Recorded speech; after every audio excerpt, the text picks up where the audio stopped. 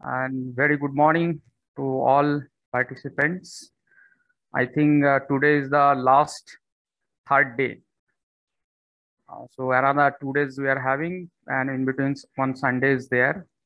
And this program is going to wind up by Monday. Uh, so before that, uh, most important uh, area for that only, I hope all of you have joined maximum of you, that is uh, protein modeling, how to uh, find the proper model and how to validate your model. That is the first aspect. And, and, and second aspect is your, of course, drug designing.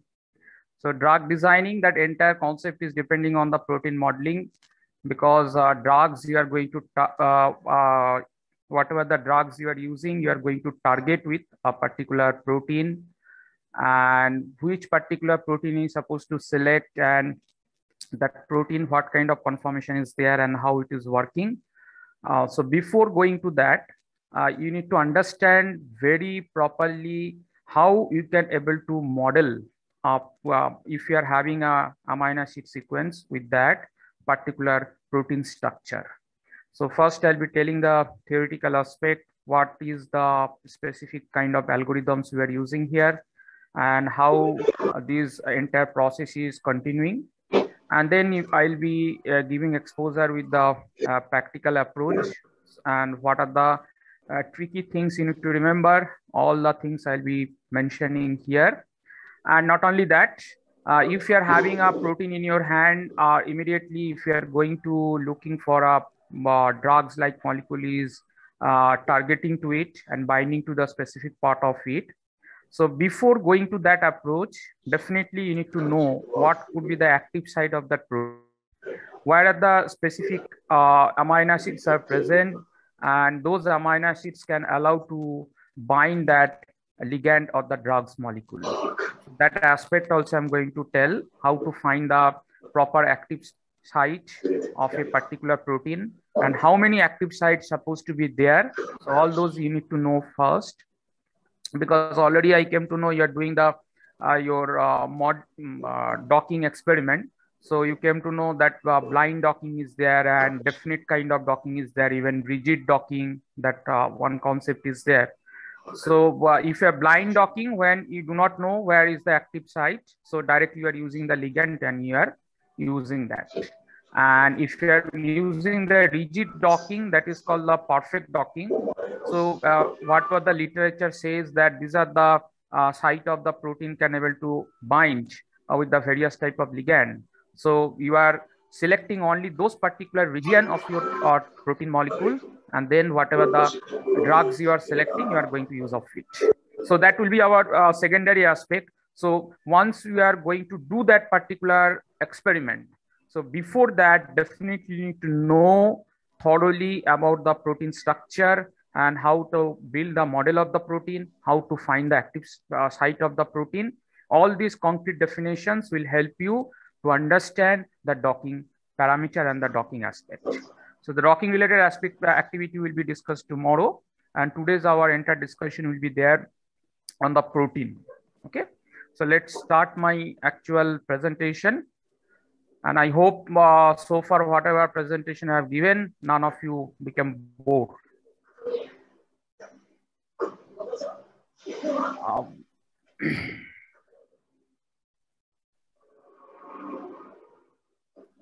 is it uh, visible my screen? Hello? Yes, sir. Okay, fine. Thank you. So our uh, discussion today on the protein and the protein structure.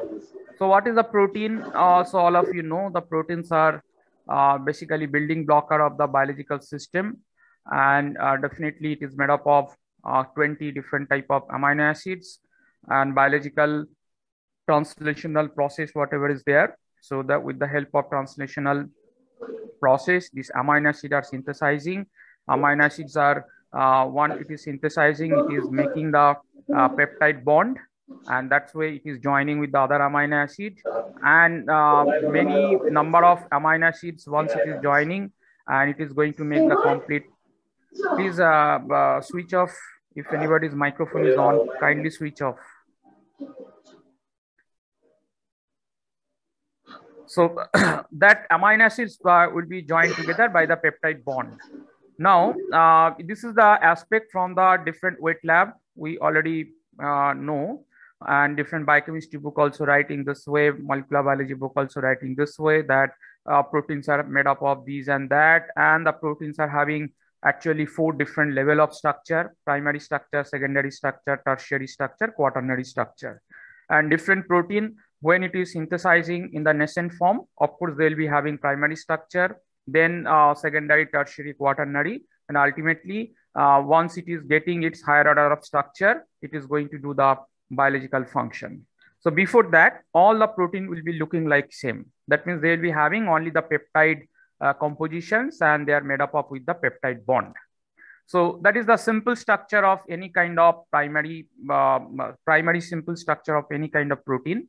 Now, this uh, amino acid composition containing chain, once it is again uh, going for making uh, interbonding, interbonding by means of hydrogen bond, van der Waals force, disulfide, and all those stuff. And then again, they are going to make two different varieties of structure, and that is called the secondary structure, that is the alpha helix and the beta sheet. Again, alpha helix is having left-handed and right-handed different based on the uh, orientation of the amino acids. And the beta sheet that is also parallel and anti-parallel uh, kind of structure it will be having. And then the secondary structure again further uh, going for making some kind of interaction with the other protein or itself. they are only going for different type of folding so it is going to make the tertiary structure and there are also other kind of uh, different uh, physical forces will be involved. And like that, when the uh, similar kind of uh, structural aspect is joined together, going to make the tertiary structure of the protein. For example, is the hemoglobin. So here, uh, what are the heme structure and corresponding molecules, whatever joined together, and their central part will be having iron and iron molecules. So with that, this particular entire structure of the protein is going to ready. And in the hemoglobin, uh, we know this is the st structure of the hemoglobin. Hemoglobin is having, these are the basic kind of function. And if you are wanted to understand whether in the uh, biological system hemoglobin is really present or not, we can collect the blood and we can analyze the hemoglobin. And that way will be confirmed, yes, hemoglobin protein is present. But uh, here the discussion will be not to uh, use the wet lab. Here discussion is completely based on the in silico approach and that is completely based on the uh, dry lab approach. Uh, so here if uh, you are having a particular protein chain and if how you can able to understand this protein chain going to make such kind of uh, so and so secondary structure and from the secondary structure again this particular uh, protein chain, how it is going to make the higher order of structure. Because a wet lab, if you are continuing this kind of experiment, it will take a long, long time. But if you are using the computational approach within very uh, short period of time, with respect to a particular protein sequence, we will come to know all kind of activity, like physical parameter of the protein, what are the amino acids are present, all those, then what type of structure it is going to make, that also will come to know. When this is making a secondary structure what kind of uh, your uh, hydrophobic hydrophilic amino acids will be there what exactly their position will be there and if it is going to make like um, membrane spanning domain containing protein like the example of g protein so it can uh, cross the biological membrane at least seven times so whether this uh, particular primary amino acid sequence containing protein it is definitely in future going to make the uh, membrane spanning domain or it is going to span the biological membrane or not all aspect we can able to understand within a short period of time. So before going to practical approach first you need to know that what kind of algorithm basically we are following uh, to extract such kind of information right so with the primary structure of the protein i'll be showing the practical aspect that if you are having the DNA sequence or the RNA sequence, uh, so how uh, the DNA and RNA sequence that server or the software is predicting, and based on that, what are the possibilities are there, such so and so uh, kind of protein or peptide bond it is going to make. That aspect will uh, come to know, and whatever the protein will be prepared, we are going to prepare from the particular DNA and RNA structure that will be using for your, our further study So you will be able to understand better way the protein, how it is uh, going to make the higher order of structure. So protein, uh, I'm starting my lecture with the protein secondary structure prediction because primary structure prediction is the simple thing. So the actual trickiness will start when you are going for the predicting the secondary structure and going to make the model of the protein. Okay. So first aspect will be the secondary structure prediction and the secondary structure are two type. You can see in the proteins are having alpha helix and the beta sheet. Uh, so most of the protein uh, it will be having if you are talking about the uh, complex structure, they must have 50% at least the secondary structure composition and then all other kind of structural aspect may join with that. And in this 50%, uh, again, 50% uh, to be found alpha helix and again, almost near about 50% found the uh, beta pleated sheeted structure. So alpha helix, if I'm talking, alpha helix basically uh, having the spiral-like structure. And if you look at the turn of this, every positions of this alpha helix, there are almost 3.6 number of amino acids will be there. And these amino acids are already experimentally proof. So this is the particular turn content so and so amino acid, everything. And the structure of this particular alpha helix, it is basically based on the hydrogen bond.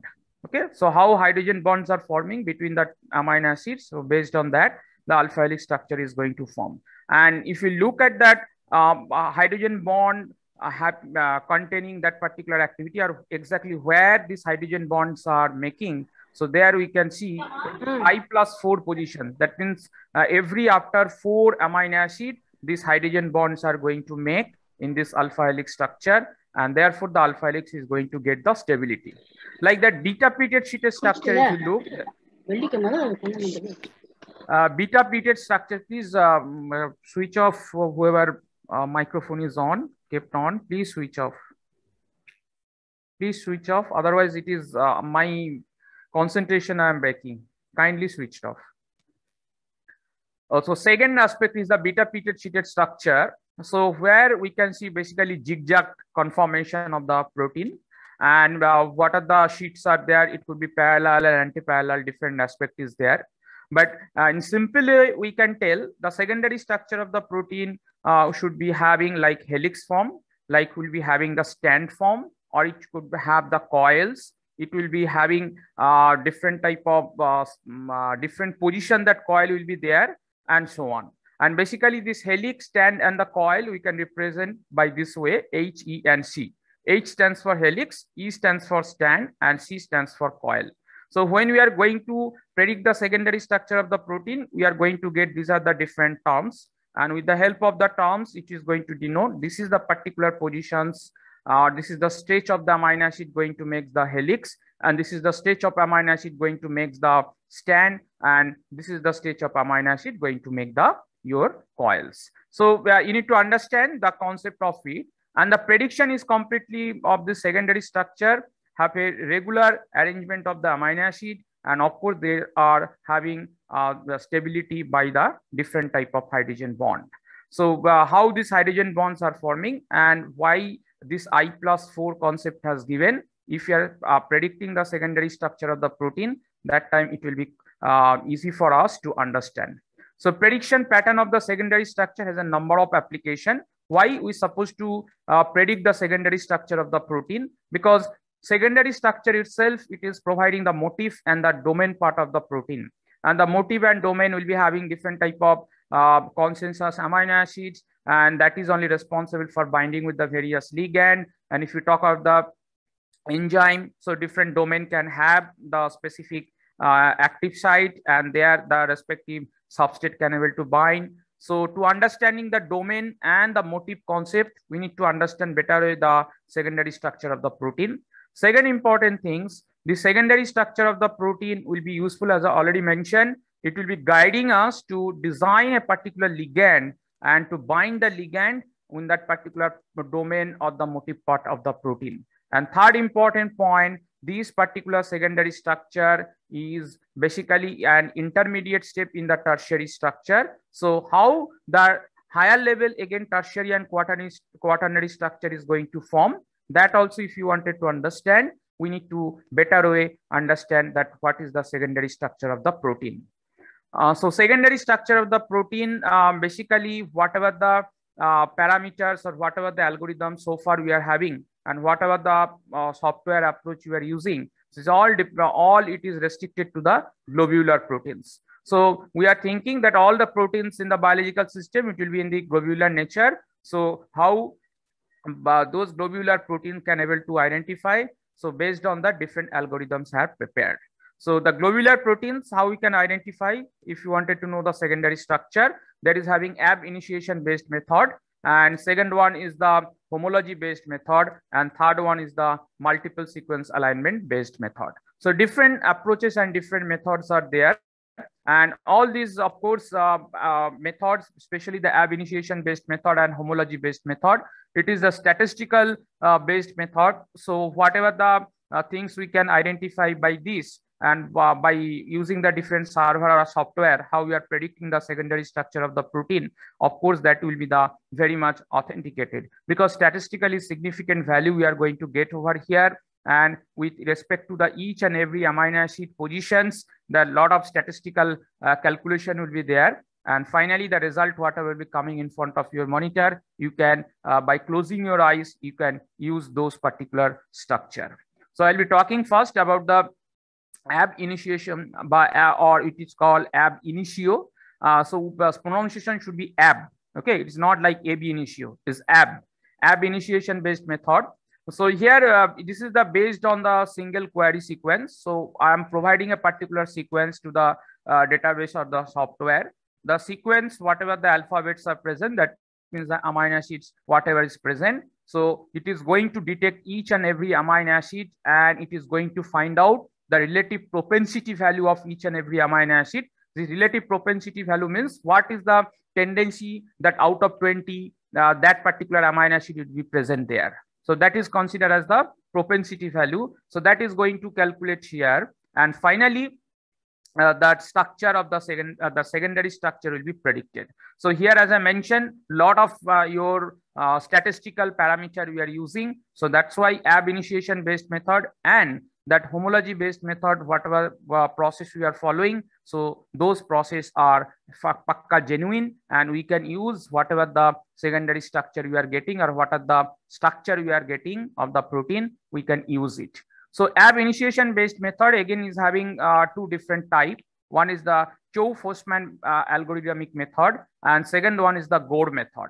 So Chou-Fasman together uh, prepared a particular concept and most of the server is using the Chou-Fasman and some server they are also using the GOR method. Actually, GOR method is much more authenticated um, uh, if you talk about the um, uh, uh, acceptance of the Chou-Man, uh, Chou-Fasman method and the GOR method. So GOR method is much more accepted because GOR method is bit modified method of the Chou-Fasman method. So GOR, G-O-R, these three word stands for Garnier. So G stands for Garnier and O stands for uh, Osguthorpe and R stands for as the Robson. So these three together uh, make this particular GOR algorithm and which is basically modification part of the Chou-Fasman method. And first, this Chou-Fasman method related algorithm, 1970, uh, we uh, it has published in the Journal of uh, mm, uh, Biophysical Chemistry. So therefore, after that, people have came to know uh, we can use this kind of concept for making the secondary structure. So the Chou-Fasman algorithm, you can click on uh, this particular hyperlink. You can able to see exactly how these algorithms have made. So mathematical calculation you can get over there. But uh, Chou-Fasman algorithm, it is basically depending on the propensity or the uh, intrinsic tendency of the every amino acid residues, which are present in the provided sequence. I repeat, this is the indicating the propensity or the intrinsic tendency of the amino acid, whatever it is present in the provided protein structure. And by looking the tendency or the propensity, we can understand that uh, where this alpha helix is going to form from the protein, uh, uh, the provided protein uh, amino acid structure, and from where exactly the beta pleated sheet is going to form all those aspects. Because this aspect is completely depending on a particular table. This table is the mathematically um, uh, calculated and with the statistically it is the uh, confirm that this is the propensity should be if for the alanine this is the propensity should be arginine all those and if we are talking about the alpha helix so we are providing the particular protein chain where the amino acids only will be present so now from this amino acid if they are finding that alanine and arginine all those are there so they are calculating the propensity value and based on the propensity value, if they found, uh, suppose uh, we are considering the eight first eight amino acid out of eight. So majority of the amino acid, if it is having the propensity level uh, that is going to uh, form the alpha helix, then the software is predicting so and so amino acid up to this much is going to form the alpha helix. Then next stage of the amino acid will be considered. And from there also try to find out the propensity value. And there also majority of the amino acid if it is uh, giving the propensity value to form the beta strand then we are predicting or the software is predicting from so and so amino acid this particular stage of the amino acid is going to make the beta stand Okay, so this is the uh, basic concept of this propensity value and this propensity value, this particular table prepared by the Chou Fasman and how they have prepared, I'm telling it. So basically, if we uh, talk about the um, uh, alanine, glutamic acid, methionine, they are uh, they are found commonly in the alpha helix. Whereas glycine, proline, these are if we uh, analyze the protein structure, if we see the glycine and proline, they are much more uh, likely found to the um, different folding part of the uh, proteins. So where the folding is going to happen, where the turn is going to happen, so their maximum glycine protein, all those found. So this was the concept and based on that, the statistical parameter they have applied and the table just now, whatever I have, uh, I have shown, so they have prepared those table and the software is telling all kind of amino acid with this particular table and finally they are predicting the sec uh, secondary structure of the protein. So the calculation of this Chou-Fasman method is quite simple. So you just uh, remember what statement I'm telling here. Suppose there are n residues in all known protein structure. Okay, so there are having n residues in the protein structure.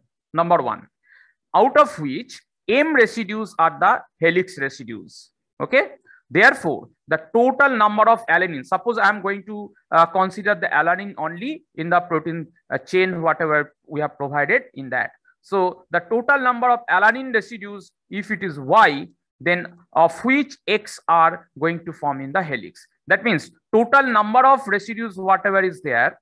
And out of that, if we found Y time, the alanine is repeating in that particular segment. And alanine, that total propensity value, if it is co correlating with the alpha helix formation, then we, that software is considering this is the alpha helix part. For example, another example, the propensity of alanine to be in helix is the ratio of the proportion of the alanine in the helix over the proportion of the alanine in overall residues. That means if, if we are using basically this formula, x divided by m and whole divided by y by n. So what is the x? x I have mentioned. So x is the, uh, uh, which is indicating the helix formation tendency. Divided by m m is indicating so m residues are forming the helix. Everything divided by y y stands for alanine residues. How many times is repeating? And divided by total number of amino acid present in the protein.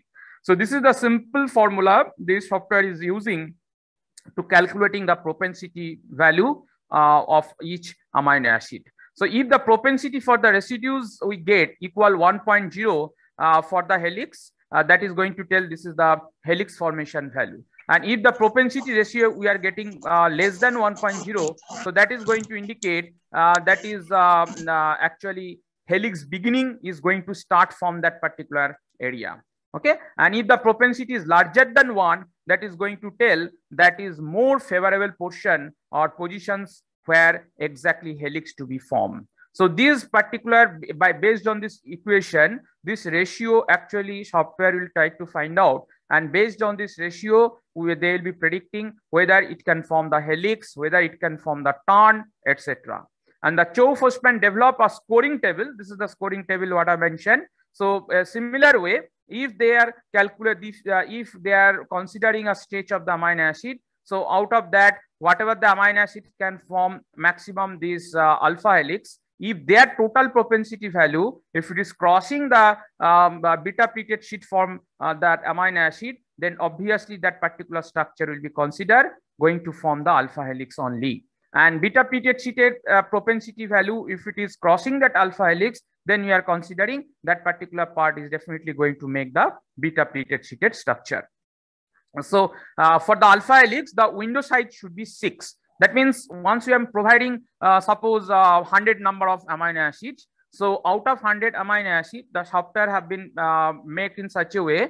So it is going to take the from first six amino acid, then seven to another six amino acid, then after that another six amino acid. That way, segment to segment, uh, uh, once after another, they are going to consider the six six amino acid residues and they are going to calculate this propensity value okay? So alpha helix for the window size is the six residues and out of the six residues if four residues are having the propensity value greater than one okay? So out of six i mentioned the majority okay? Out of six if the four they found having the propensity value together uh, greater than 1.0 then definitely software is going to predict that particular part or with that six amino acid, they are going to make the alpha helix. Okay. And the helical region is extended in the both the direction until the uh, this pro propensity value of alpha helix core becomes smaller than 1.0.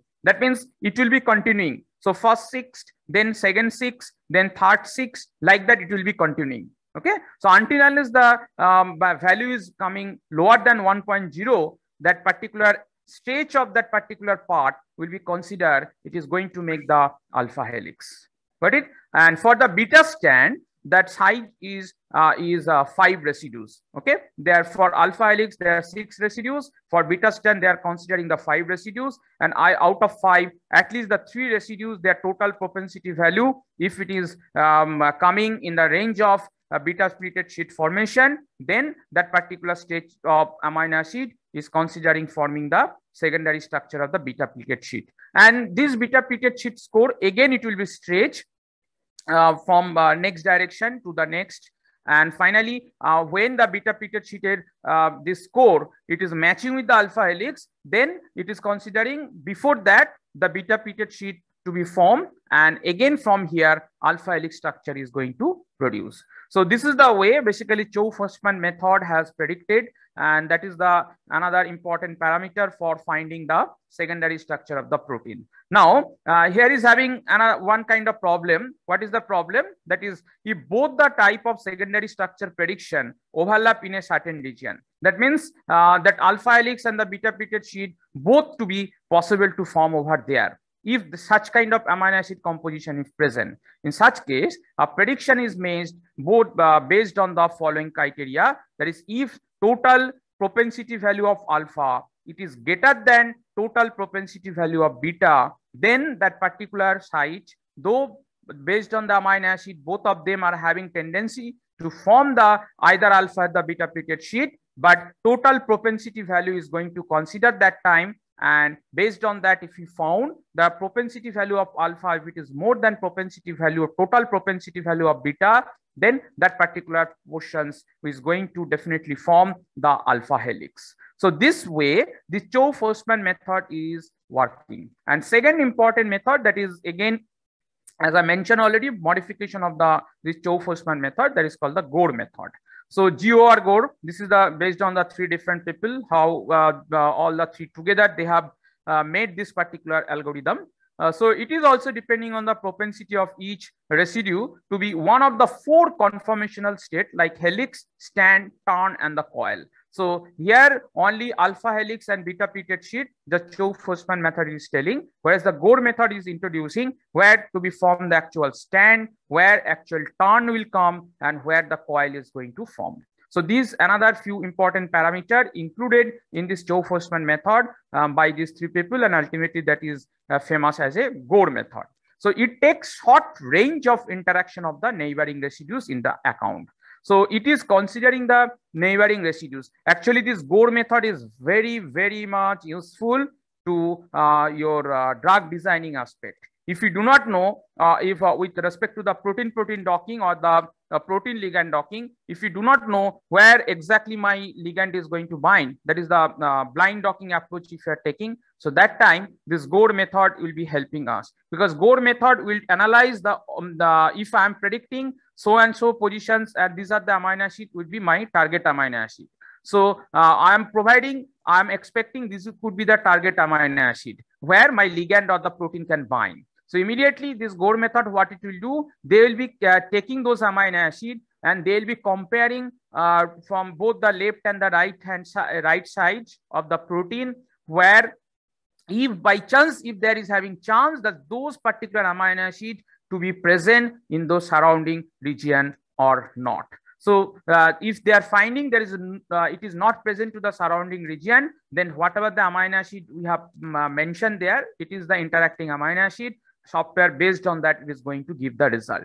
And if they found the surrounding part also present such kind of amino acid and what could be the propensity that that could be present there, everything they are going to calculate. And based on that, they are creating the grid box. This grid box is another important parameter when we are considering the docking. So what is the grid box? I hope already Sarah has explained. Uh, I'll be explaining again tomorrow. So anyhow, this GOR method, it is going to consider the neighboring residues and all neighboring residues also they are uh, keeping in consideration. And finally, based on that, the turn, coil, all this particular two concept also they have introduced. So here the uh, window length uh, should be seven. So at a stage seventh residues they are going to consider and the sum of the propensity score for all residues of each of the four state resulting in the four summated values. That means seven residues they have considered. Now, out of seven residues, um, uh, what are the uh, most probabilities there or what is the most chances are there the propensity value to be reaching uh, to forming the alpha helix or the propensity value is be reaching to making the stand or the turn or the coil. So all the four at a time with respect to the seven residues, it is going to confirm. And based on that, who is giving to the highest score and it, uh, it is going to consider that highest score and it is telling that particular position to be uh, coiled or particular position to be uh, stand or it is going to make helix or it is going to make the coil. So the highest score state defines the conformational state for each center residue in the window. So uh, if we found that uh, suppose one stage of amino acid, if it is there, suppose first three, it is going to tell make form the alpha helix. Next three is suppose going to tell it is make the stand and next uh, another three, it is going to tell the turn and rest three, it is going to tell the coil. So um, now how to consider this is going to make the turn or the coil or the stand or the helix.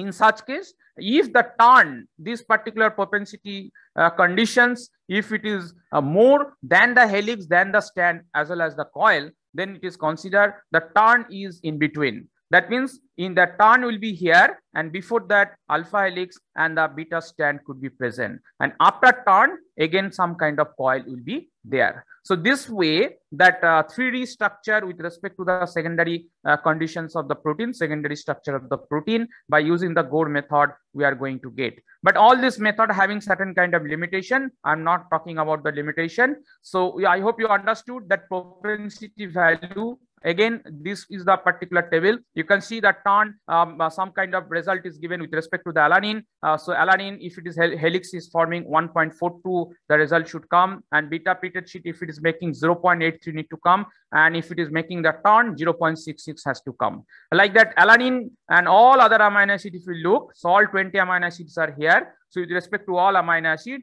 uh, if it is going to make the alpha helix, what could be the propensity value? If beta pitted sheet, what could be the propensity value? And if it is going to make turn, what could be the propensity value? So you are following software also, it is following this kind of table. And based on that, uh, by using the Chou-Fasman method or the GOR method, the secondary structure of the protein is going to be solved. And uh, next method is the homology based method. So homology based method uh, uh, people have uh, people are using after 1990 okay? So before 1990 I, uh, there i mentioned 1973 first time they have published this paper and people have came to know. And then people work on this particular aspect and in the year of 1990 so this homology based method is also to be applicable for uh, solving the secondary structure of the protein. Then people came to know so before 1990, there is uh, only uh, the usable method was either GOR method, otherwise Chou-Fasman method. So in the 1990, when this uh, uh, particular homology based method approach has come, so here uh, we are going to use uh, that database. Okay, in the database, whatever the uh, protein chains or protein structure is already present, and what are the protein sequences are already there my provided sequence it is going to match with the database all kind of protein sequence. And based on that uh, we are going to get the blast output or the first output. We are looking the blast and the first output and there uh, the identity score will be important so uh, we can uh, consider more than 35% identity or more than 40% identity. If we found between uh, my sequence and the database sequence, then those particular alignment to be considered. And based on those alignment, we can uh, finally uh, build the homology based protein structure. So this is the uh, actual concept behind the homology based method. And here closed protein homologous should be adopted the same secondary and the tertiary structure. that is our um, assumptions here. So if you my structure if it is making and we know this is the homolog uh, homologous structure or homologous protein with whom uh, this database um, the my sequence have compared and if they are found a 35% or more than 35% of identity is there so we are predicting. So as uh, my sequence have compared with the homologous sequence, uh, so homologous sequence structure and all the function already uh, it has um, uh, present in the database. So we are uh, pre predicting my sequence also what sim similar kind of structure it is going to make and similar kind of function also going to do in the biological system. So this is the main concept of homology based method. So homology based method, we can use the, this is the way. So first we are using, uh, we are aligning the sequence. So here multiple sequence alignment will be continued. And from this multiple alignment sequence, each line will, will be observed. And from the each line after looking, then we are going to actual first time predicting the secondary structure of individual sequence by using the GOR method. So here first the GOR method will be utilized. So GOR method just now I mentioned. So what is the uh, based on the propensity value, whether it can make the uh, helix, it can make the turn or it can make the coil, etc. So first it will be analyzed by the GOR method. Fine. So after analyzing the GOR method, so whatever the sequences are coming very closer. Okay. So those closer sequence again, it will be aligned. Okay. So this alignment is the actual perfect alignment we can tell because GOR method will tell you so whatever the sequences here we have used for multiple sequence alignment process with respect to the each sequence these lines are indicating one one sequence. With respect to the each sequence they are going to calculate the GOR process and the, based on that they're predicting so and so helix and so and so turn supposed to make.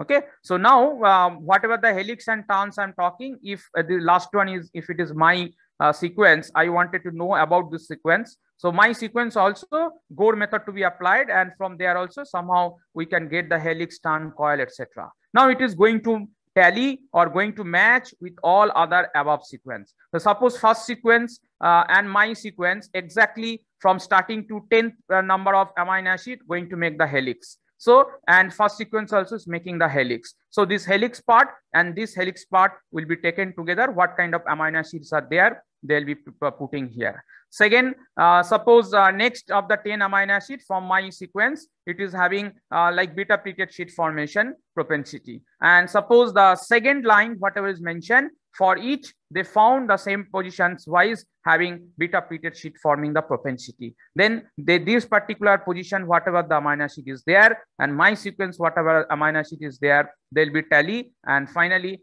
after my sequence, that particular uh, sequence is going to put. So like that, this process will be continue.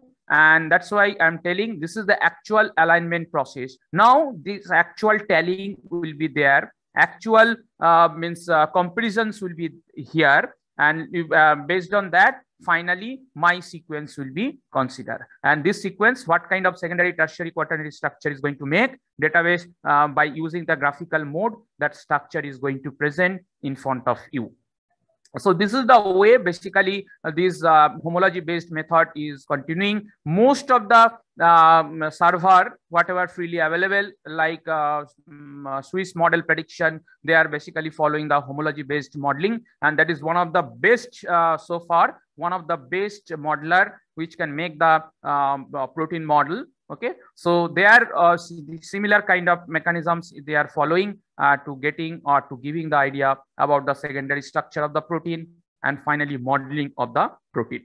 And third method, that is the prediction with the neural network. So artificial neural network or the neural network already I have explained before in the details. So there will be having three layer. One will be a input layer and uh, second layer will be the hidden layer and last layer will be the output layer. So there this net, artificial neural network uh, uh, it is going to use. So for using the artificial neural network, what will going to happen? First, that protein, my uh, query protein, it will be compared with the database some protein. And if it is found 100% or near about 90% um, matching, it is there, homology, it is there. Then uh, this 90% homology matching sequence, which is present in the database, it is taking the sequence from each it is providing the sequence as a feed in the artificial neural network. Okay. And with that will be our reference. So with the reference, the, whatever the output it is coming, now my sequence will be putting as a feed and it is going to compare uh, with the reference sequence similar way output if uh, whether it is coming or not. If it, they're finding the similar way output is coming, or certain uh, percentage or certain position the similarity it is coming. They are considering that particular similarity wala portions and rest of the portions somehow they are going to tell you this is the gap because that particular position had not been determined perfectly. In that case we need to go for some other aspect uh, to filling the gap to making the loop all those. And that way uh, we are proceeding with the artificial neural network. So this artificial neural network is not so much famous I mentioned because uh, this uh, homology based modeling so far is very, very best method to finding the protein uh, secondary structure or completely modeling of the protein in both the cases. Uh, so the, this is the actual uh, secondary structure prediction aspect and I'm going to show the uh, respective practicals how this secondary structure to be find out. so first I'm, I'm telling about the primary structure of the protein. So how we can we can you can get the primary structure of the protein and what way we can select this is the best primary structure. Okay, so for that uh, a bit a little bit I can zoom it. Uh, so for that you can first open uh, the Google and you can type the ExPASy translate tool and open. Okay, so this you have to type and then this is the particular things is going to come in front of you and you just click on the translate total ExPASy. Okay, so if you are clicking on it, so this is the actual server homepage is going to open. And here, a DNA or the RNA sequence in the FASTA format, you need to paste. Got it? So uh, we are uh, primary sequence means it is directly coming from the uh, DNA to mRNA and from mRNA to protein. So either you need to provide here RNA sequence, otherwise you need to provide here DNA sequence. And how it is translating, basically uh, software is going to predict that. Got my point? So uh, you are pasting uh, uh the sequence, either DNA or the RNA here, and rest of the option uh, need not to change. Leave it is all this like that. And finally, once you are providing the sequence, so you need to click on the translate. So down the translate option is there. Uh, so you just click on the translate. Once you are clicking on the translate, this kind of result will appear in front of you. Okay. So you can uh, see here it is written open reading frames are highlighted with the red.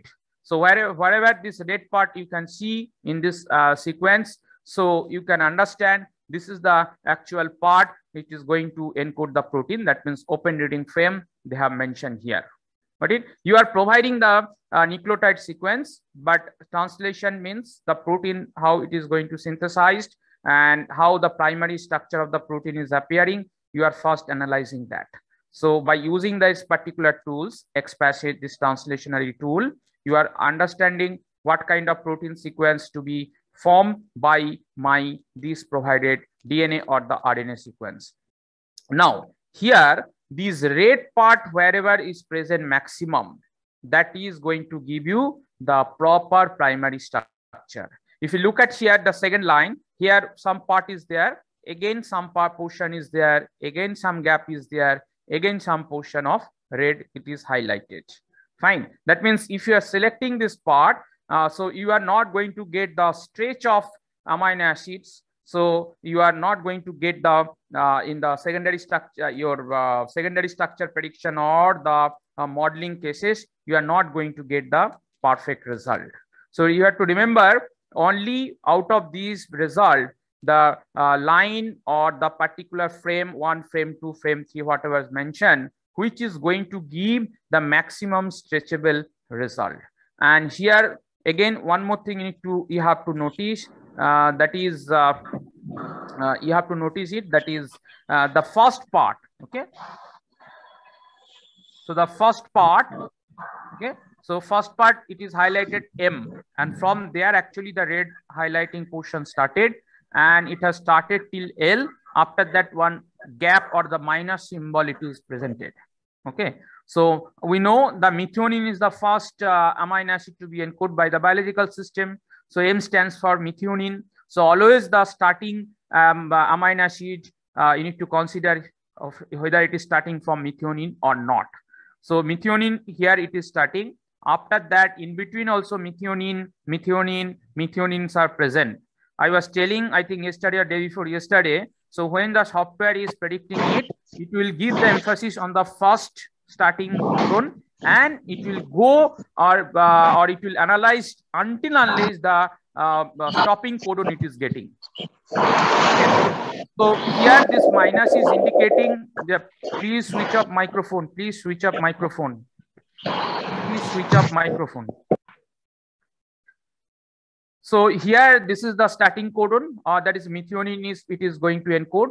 So amino acid methionine is present. And this is the uh, stopping codon. Okay, exactly this minus is indicating here they got the stopping codon. So this is the actual protein it is going to produce um, with respect to my provided sequence they have highlighted. And you should not, if you come to the next uh, uh result, so here also they are predicting the uh, from the second frame, here it is having methionine um, but here they are getting the stopping codon. So only few amino acids to be present there. Like the third one, if you look, they are also they are getting this is the methionine, and then they are getting the stopping codon. Okay, so you have to consider only that result which are having the stretch of highlighted portions, and the starting amino acid is methionine, and the dash is indicating that is the stopping codon. And uh, if you further, if you look at down, so you are going to uh, get many more result. So uh, if coming down, you can see the result, this highlighted portion slowly, slowly it is coming down.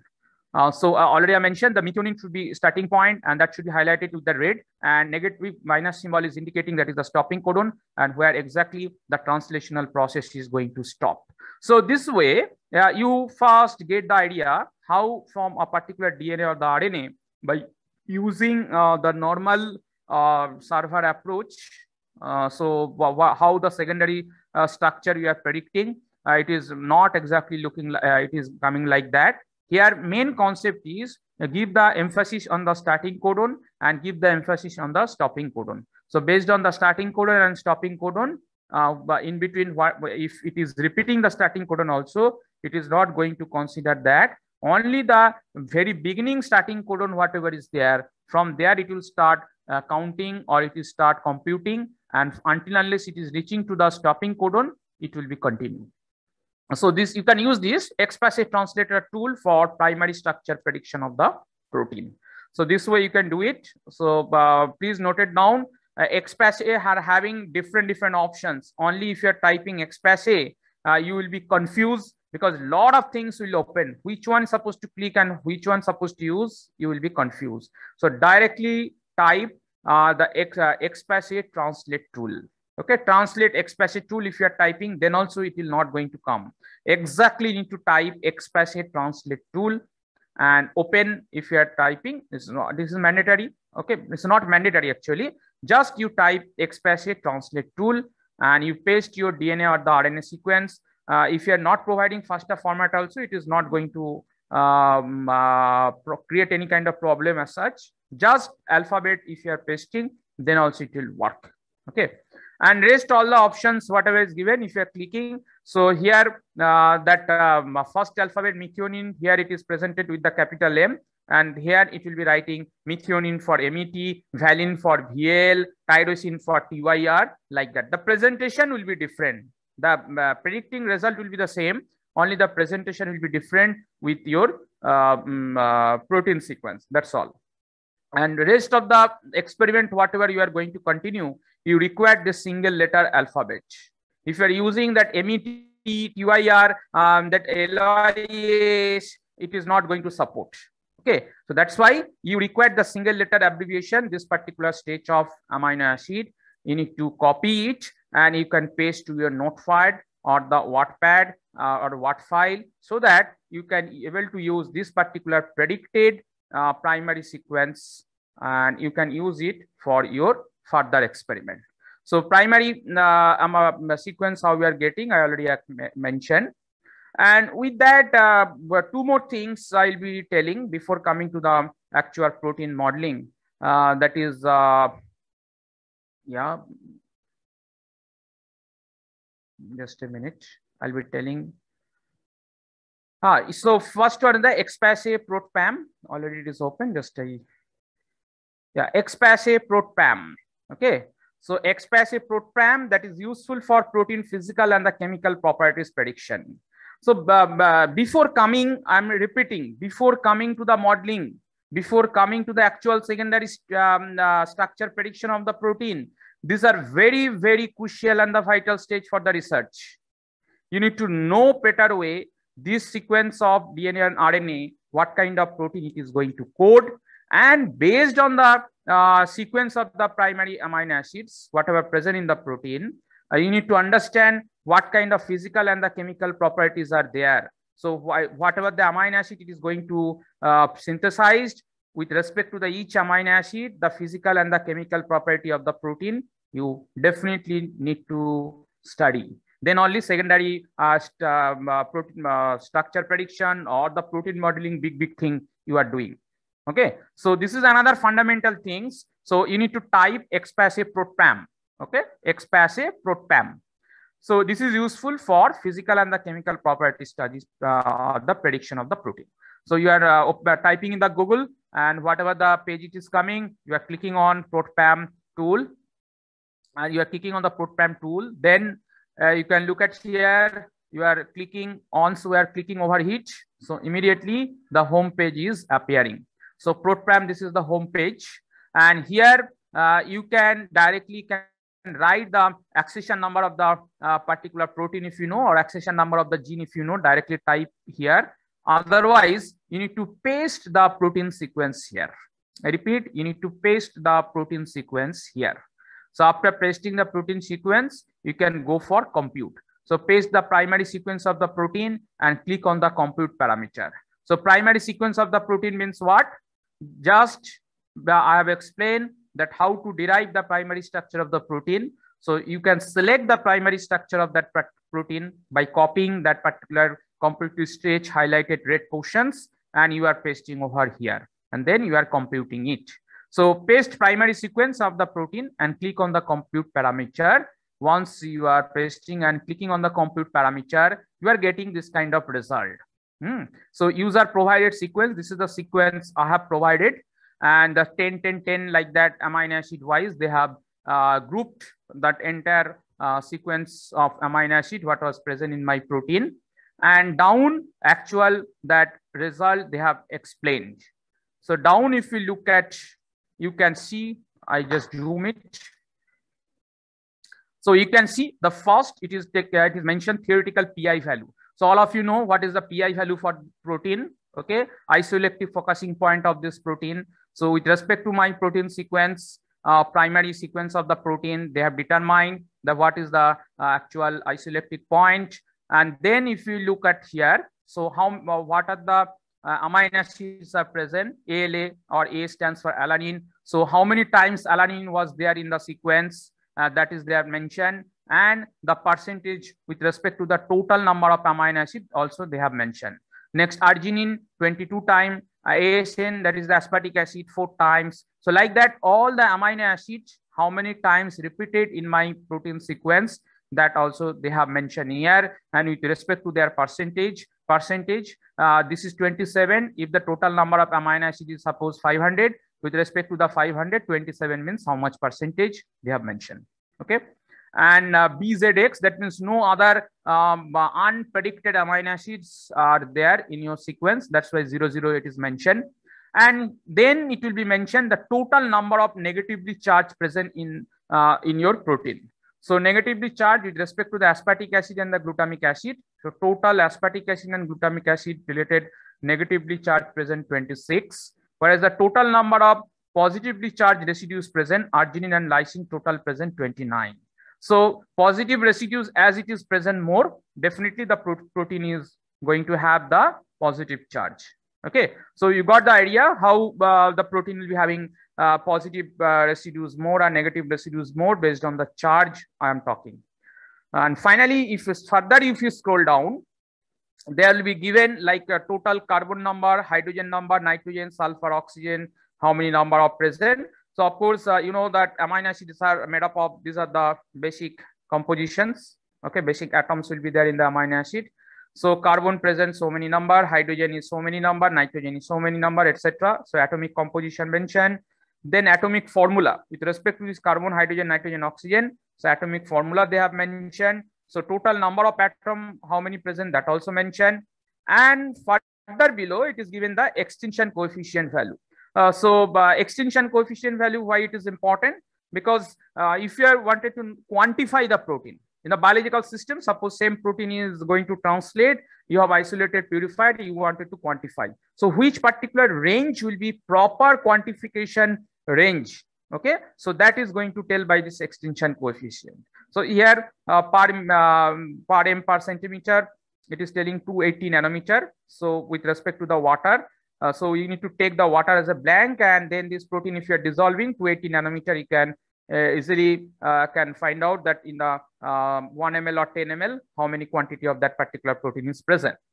Uh, so this is also again, it is depending on the total number of amino acids, what are the present and all those. Okay, based on that, this particular extinction coefficient will be calculated. Uh, next, uh, this absorbance, this is all related to the extinction coefficient, the Beer-Lambert's law, how uh, it is connected. And then estimation of half-life.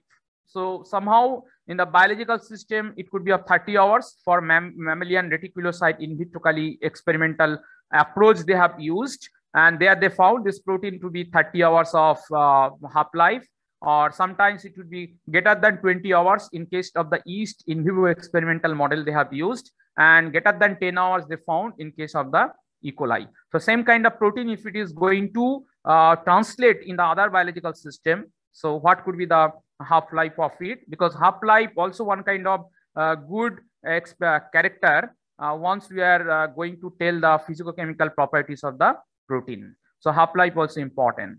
And further, uh, if we uh, scroll down, you can see the instability index like instability index is computed by this much. That means instability index, it is based on, this is the actually reference and this is the actual cutoff value. Based on that, this half-life they have calculated. Okay.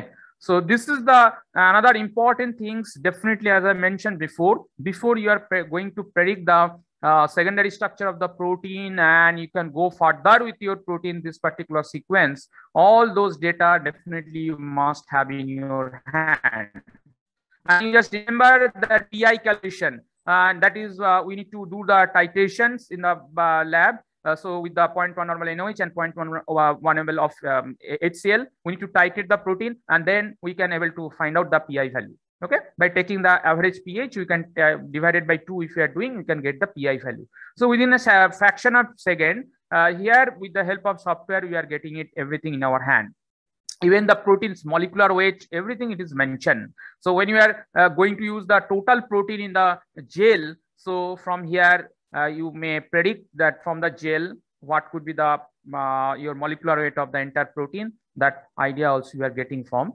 here. So this is very, very much useful uh, thing ExPASy uh, to understand the uh, protein primary con conditions, what it is there, etc. Next, uh, similar type of another server or software you can able to use that is the PepDraw. Okay, PEP DRAW. So PepDraw, if you are typing in the Google, so what are the homepage it is appearing? You just uh, click on that PepDraw and you are going to get the, uh, you are going to reach to the homepage of it. So you are clicking on the PepDraw. So here you, your PepDraw, that is Tulane University, um, Sweden. Uh, they are basically um, uh, this. And so PepDraw, if you're opening, so just look at here. This is the um, dialog box. So where you can uh, paste the sequence, okay, primary uh, structure of the protein or primary sequence of the protein, you can paste. And no need to use the uh, any kind of uh, FASTA format, just you provide the sequence Otherwise, uh, you can click here. This is kind of calculator kind of thing is there. So suppose if you are clicking on the alanine, it will come alanine. If you are clicking on glutamic acid, it will come to the glutamic acid. That means you can draw your protein by using this calculating approach. What my point? So uh, yeah, this option also is available here. And otherwise, you can use this particular primary sequence of the protein and you can paste over here. And just after pasting you can go and clicking the drop peptide. So once uh, you are clicking on it so below you can see the peptide they have drawn. Uh, so this is the uh, chain of amino acid. Definitely uh, it will be there. So they have drawn the peptide. And at the same time uh, what is my sequence and what is the length of the sequence that mass of the sequence everything is mentioned only uh, drawback of this, only the 60 alphabet, 60 amino acid, up to 60 amino acid, they can calculate, not more than that. That's why the length they have mentioned here 60, whereas before it was mentioned something else, right? So this is the uh, drawback of this PepDraw. So only the uh, 60 uh, alphabet they can consider uh, for detecting the uh, length, mass, molecular weight, and the net charge, hydrophobicity, extinction coefficient, etc. This is not so much useful, but um, uh, within short period of time, uh, if you are having from the literature, one thing you got the idea, this hot stage of the protein uh, is having so and so. So immediately you can draw this protein from here by clicking all these amino acid residues. You can draw the protein and you can use that for your, your um, uh, experimental purpose. And uh, next is the uh, protein domain.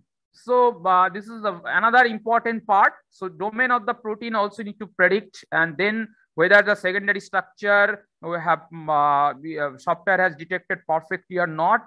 You need to uh, think on that particular aspect. And this domain aspect also useful for modeling the protein. So uh, protein domain. so by using this interpro EMBL EBI, you can able to use the, uh, you can able to find out the domain what are the condition of the domain of the protein is there. Okay, EBI interpro, you need to type and then you are going to get so and so um, home uh, things is going to appear in front of your monitor. You just need to click on interpro EMBL EBI. So before coming uh, to actual this particular domain concept, just I want to give the idea um, uh, that uh, how it is present in the what is the meaning of the motif and what is the meaning of the domain. So this motif and domain both are the uh, functional site of the protein.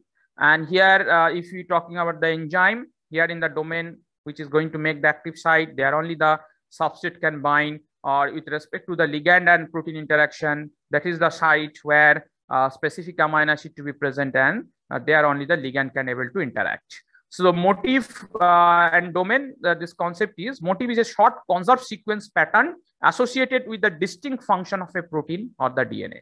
Okay, so motif like we are having this concept zinc link uh, finger motif. So where a specific transcriptional factor uh, that center will be having Zn plus 2 ion and that is exactly binding to the specific part of the DNA and uh, helping in the uh, controlling the uh, translational activity in the eukaryotic system. So there that motif should be present in the DNA level, motif to be also present in the protein level. This is the very short stage of the nucleotide of the amino acid sequence where the uh, ligand can able to bind, where the specific molecule can able to bind by looking that particular sequence composition. And domain, it is a, uh, again, it is a very conserved uh, sequence definitely to be found in the protein or the DNA or the RNA level, especially the DNA and the protein level. So it is a very conserved uh, kind of uh, conditions or pattern we can found and it is defined as an independent functional and the structural unit. Okay, independent functional and the structural unit. Domain need not to be present always to the core part of the protein. Domain can be present to the surface part of the protein and that is, is you have to understand. Because when uh, the protein ligand interaction we talk, so the ligand maximum time it can bind to the surface part of the protein and uh, very rare chances are there if uh, the domain can go directly to the active site and uh, blocking the protein. Actually, uh, that um, um, allosteric site of any kind of enzyme, enzymatic protein. So allosteric site is kind of domain. It is present to the other site of the active site in the enzyme. So there also can ligand can go and bind and control the functional activity of the core part of the protein. So domain is very much conserved. Uh, so motif also it is conserved, but motif is very short stage of the part uh, comparatively to the domain. And uh, motif uh, it is uh, domain it cannot be uh, present always to the central part of the protein. It can be to the surface part also.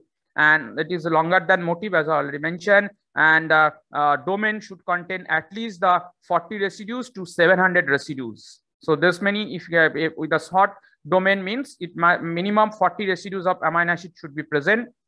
And maximum bigger domain means 700 uh, amino acid residues should be present. Or on an average uh, if you tell uh, if we uh, as per the um, uh, different experimental procedure we can found uh, with a similar homologous group of protein near about 100 different residues containing domains will be present so this motif and domain is always useful for evolutionary concept uh, to understand the evolution of the protein, to understand the evolution of the DNA or the RNA. Because as these are the uh, conserved region, so we can target this particular region to identify what kind of protein it is and what kind of relations are there between all such of protein. So this is a brief idea of the domain and the uh, motif. And uh, basically, uh, there is a no proper as such um, concept to or server or software to predict the motif itself.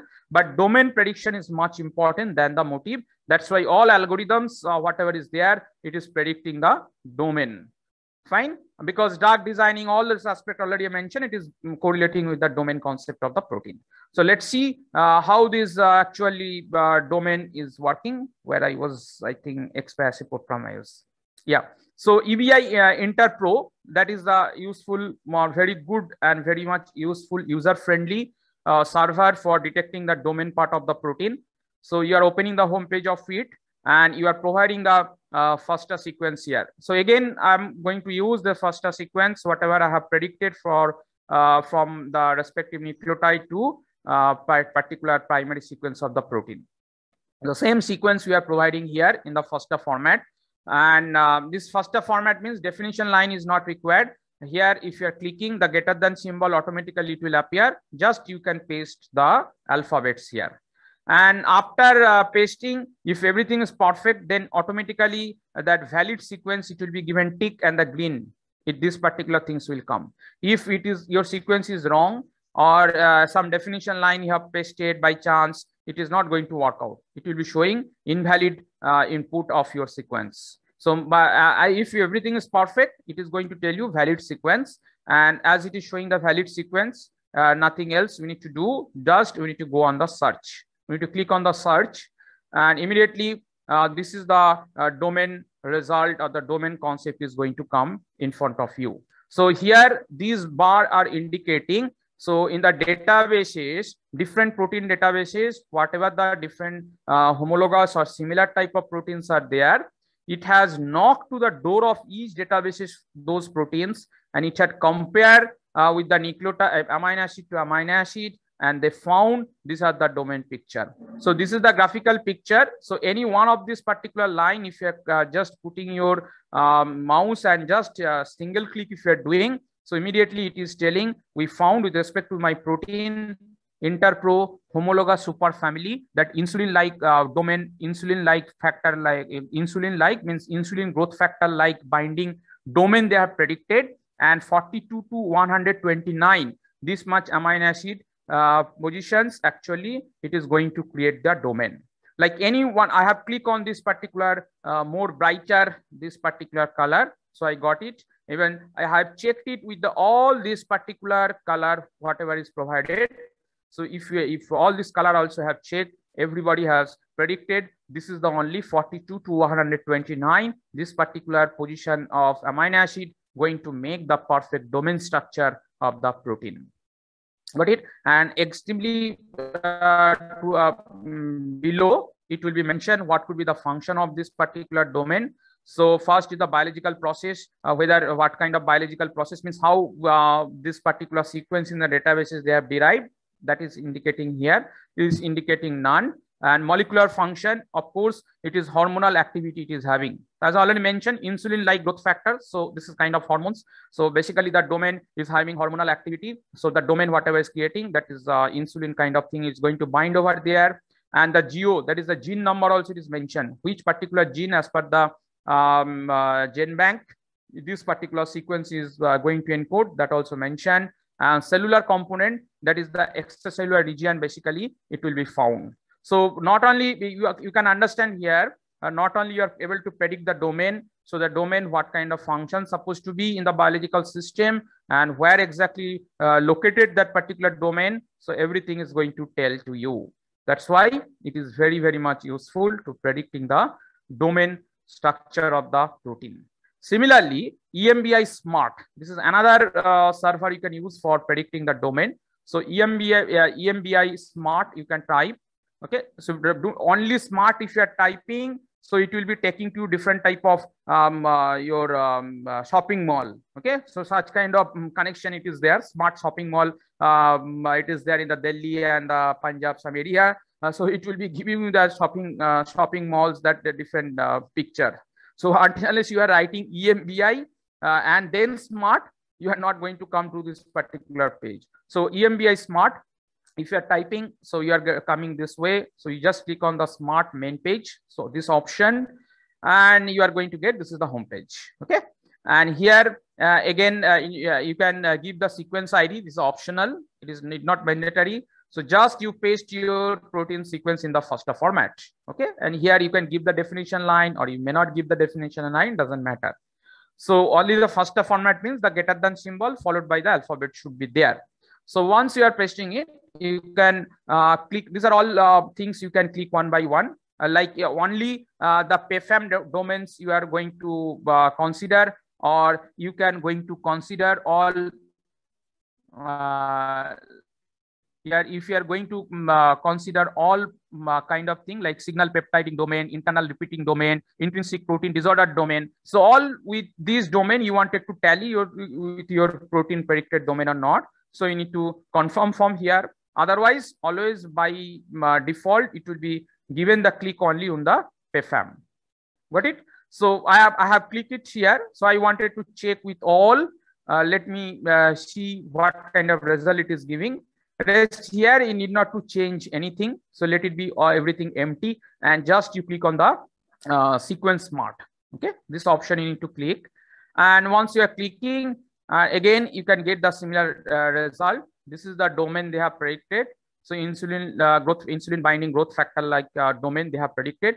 We just previously also, uh, you have seen that it has predicted the same kind of domain. Here also it is predicting the same kind of domain, including the domain uh, structure also it has given. Suppose it will be looking like this.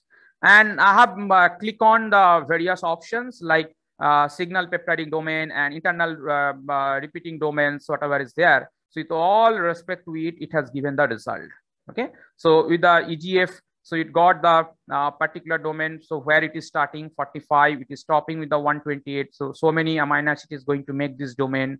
And if i what they found with that means my protein predicted domain. And along when they have compared with this egf they found it is matching. And that way they have predicted here also. Like uh, something whatever they have predicted whatever i have given click based on that this entire domain like informations uh, we are going to get Muthu phone ಮಾಡಿದ್ದಮ್ಮ and if you are uh, clicking on uh, ಬಂದಿದ್ರ ಯಾರಾದ್ರೂ phone ಮಾಡಿದ್ರೆ ಮಾಡಿದ್ರೆ ನನ್ನ ನಂಬರ್ಗೆ and if you are clicking on uh, if you are clicking on any other kind of um, sequence here so if you wanted to look the domain sequence so just here the uh, hyperlink whatever is given you just single click on that hyperlink you are going to get this domain is having this kind of amino acid compositions. So you can understand as your protein um, uh, these also having similar kind of domain. So that means your protein, this particular uh, sequence, sequentially going to prepare such kind of structure. So this is the concept of domain, and uh, I mentioned all uh, hyperlink whatever is given. Just give the single click, and all cases you are going to get the exactly similar kind of result. Uh, so this is the condition of uh, domain prediction. Then Pfam directly you can type to the Pfam, and you can open the home page. And here after opening the home page, you just click on the sequence search. After clicking on the sequence search, uh, you just paste your sequence and once you're pasting your sequence you are getting the this kind of domain result so here also they have mentioned that a starting part ending part and uh, if, uh, this is the, the second uh, starting part and ending part. So what are the uh, position different uh, domain uh, to be possible to have from my particular protein sequence? That also they are going to present here. And if you click on the uh, any of this particular uh, clone okay this particular part if you're clicking or just simply if you're clicking on the show so it is going to give you the sequence and how they have compared where exactly they found the matching part is there and all that aspect you are getting in your system so this is the very very important things i'm telling again and again so these hyperlink portions, it has matched with the which database, which particular protein, and which article it has published before. Uh, so this is the correct one. All the reference, everything you are going to get. So this way, uh, you we need to understand that uh, what is the domain and what kind of um, uh, what is called motif this supposed to be present along with your uh, primary structure of the protein so all aspects you are keeping in your mind along with the physical chemical properties of the protein and then uh, what kind of domain and motif, etc. it is predicting everything we are keeping in your mind and then only we can proceed for secondary structure prediction of the protein. Okay. So secondary structure prediction of the protein. So best one is the uh, um, according to me or according to me in the sense uh, whatever the literature I have gone through, whatever the literature with the protein uh, structure related aspect we have studied. So everywhere they mention they are using the Phyre2 or else I-TASSER and for modeling purpose they have they are using the Swiss model or else I-TASSER. Basically I-TASSER and the Swiss model these are for modeling purpose. Okay, and I'm talking for the uh, secondary structure prediction. So you can go for uh, PSIPRED. Uh, this is uh, one kind of thing is there. You can go for otherwise uh, you can uh, go for any other like 5dt uh, Phyre2 all those okay? So it's just simple way. If you wanted to understand then the PSIPRED is better. And if you really wanted to work out on the modeling level and you really wanted to publish your paper then you need to definitely use the Phyre2 I-TASSER or the Swiss modeling uh, process. Okay, uh, so I'm going to uh, tell you first the secondary model prediction with the PSIPRED, how it is happening as the theory part I have completed. I think this practical part already um, you have come across. Uh, so you are going to type the size page and this is the home page it is coming, uh, not home page, the Google page it is coming you are clicking on that PSIPRED work, workbench, UCL CBS Bioinformatics. So uh, they are taking care of it. You just click on it. So this is the uh, homepage it is appearing. And if we, uh, this is the many things I've written. And if you go down, so there will be there a particular dialog box where you can paste your uh, the protein sequence. Okay. Again, I'm telling this protein sequence of uh, from where you are getting. This is the um, uh, predicted primary protein sequence. And if you are not worked with the predicted primary protein sequence, directly you can uh, copy it from the NCBI or other protein database, some amino acid sequence, and you can paste over here, and you can run this particular uh, software okay. So here um, uh, i have like a PSIPRED what is mentioned everything and i have pasted the protein sequence. And just uh, i have selected from here actually. I forget to take that it so that is the um, uh, it is written one minute. Uh, it is written like uh, ME, MSAT and SVM prediction. And you can go for uh, all other prediction if you're clicking one after another and that way all the result will be appear in front of you So I have clicked on, on both these two, size PSIPRED 4.0 and the MEMSAT SVM. This MEMSAT SVM stands for membrane helix prediction. If my protein, whether really is having membrane helix domain or not, so that also I can able to predict from here, membrane helix prediction. Uh, so uh, we can uh, paste that we have paste the sequence and we have start it and it will take some time. This particular part will be rotating. Uh, it will take some time after analyzing. It is going to give the result this way. Okay, so we need to whatever the result is coming. One it is showing the done. We have to click on the show PSIPRED. Uh, once we are clicking on the show PSIPRED, so different color related informations we are getting which related to the my protein sequence. You can see here different color annotations are there. Uh, so this different color annotation, it is going to tell uh, the click on the show uh, NMCT, uh, different color annotation, it is going to tell below, you just look at here, the yellow is indicating uh, the stand formations amino acids then uh, even yellow is also indicating the extracellular, the yellow color difference as it is here. Then deep green re-enter uh, helix. Then pink is indicating helix part. You can see here pink is helix part. And signal peptide, if it is there, it will be very light uh, pink color information. Uh, so basically we are getting here, uh, this is the completely gray color part. I'm getting here, this is the pink color part, deep pink. I'm getting here yellow color part. So the yellow color portions is going to indicate this is the uh, residue which is going to uh, favorable to make the stand or extracellular part also they are going to make the favorable. So and pink color, deep pink color it is indicating this is the helix formation part. So this particular position of the amino acid going to make the helix. So how PSIPRED is working? I, it is working based on the GOR method and the Chou-Fasman method. Uh, so they are predicting, they are considering this amino acid, they are trying to find out the uh, propensity values and based on that they are predicting this could be the amino acid form the helix or this could form the coil or etc etc now if you click on the show if you're clicking on the show MEMS, MEMSAT, MEMSAT, so here uh, the particular positions will be highlighted and that is going to indicate uh, this is the the particular positions are having membrane spanning conditions. Okay, membrane spanning domain, it is going to form whatever the amino acid sequence I have provided and they have find out these are the particular portion can responsible for creating the membrane spanning domain. Hmm? Uh, so definitely this is the extracellular part. Yellow is indicating extracellular part as well as is going to make the stand and the gray, it is the membrane interaction. So deep gray part, whatever is mentioned, it is indicating the membrane interaction. That means it is going to, this particular part is going to span the membrane. So that way we am, uh, I'm confirming this is the particular related to the sequence. This is the, that. And second thing, if we again uh, down we scroll, okay, so click on the show type. So already I mentioned um, the uh, third option is the show types. If you are clicking, again you are getting some kind of uh, color informations. Uh, so so some time of color. Can you hear me? Hello? Hello? Am I audible? Yes, you are audible. Okay, fine.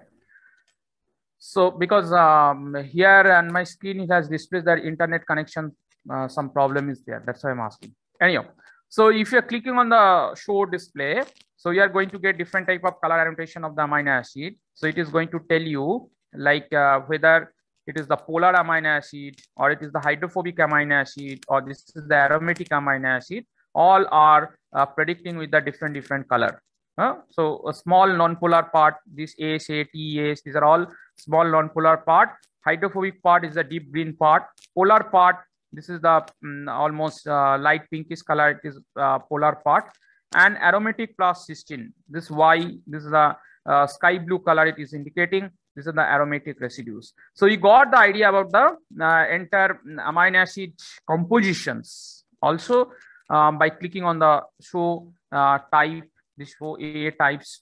Okay, and uh, further, further, if you click on the PSIPRED cartoon, so below of it there will be having a plus uh, annotation. Okay, just after writing this part, there will be having a particular just plus symbol. So if that is called the PSIPRED cartoon symbol. Uh, one will be the plus symbol, one will be the minus symbol. If you are clicking on the plus symbol, you are going to get this kind of picture. So this picture is indicating once again, this you can see the pink color bar. Here it is having uh, again some gap again in the pink color etc and below the amino sheet they have mentioned and the prediction they have made so successfully they found yet it is matching this way. And this is actually telling that how and which particular portions of this particular sequence exactly going to form the helix going to form the coil etc here c stands for here the annotation will be uh, the meaning of it it will be like that h uh, stands for your helix E stands for beta stand or the beta sheet. So wherever the uh, E is written, so that will be beta stand or the beta sheet. Okay, so nowhere it is mentioned here. And C stands for your coil. So CCC, whatever is written, that is the coil. And this way you can again able to understand which particular amino acid and uh, what is the length of making the uh, what kind of beta stand, alpha helix, coil, etc. And again, you can click on the MET SVM for transmembrane helix graphics. Okay, so below uh, there will be having another option. So from there you need to click on and where that plus option is be given and this particular word will be written. So just click on that and you are going to get this is the uh, membrane uh, domain condi uh, conditions. Okay, so the only this much particular position is indicating it is going to interact with the membrane that also before also you have seen and this is the particular conditions so one part will be outside, then it is crossing the membrane. Then again, it will be uh, from outside to inside. Then from inside to outside, it is going. Then again, the outside domain from outside to inside. Again, from inside to outside is going. This is the outside domain. And then finally, it is coming to the inside again. So this way, uh, this particular uh, scheme is indicating that what particular positions are actually, uh, it is crossing the biological membrane and that idea also we are getting from here. So this is all about the um, uh, single way the prediction of the secondary structure. As I mentioned, uh, this is not so much useful for uh, publication purposes. This is just to get the idea. so this is the composition that this is the things might have or might be going to be there in my protein sequence and biological system. It may work this way. Okay, so this is the uh, secondary structure prediction. I'm coming uh, finally to an I-TASSER after uh, discussion is getting over on the uh, protein uh, modeling. I hope it is clear. So till this much, if you're having doubt, kindly ask me question. Because next part will be another important part, uh, that is the protein modeling. Please, if you're anybody is having any questions or any doubt, kindly ask.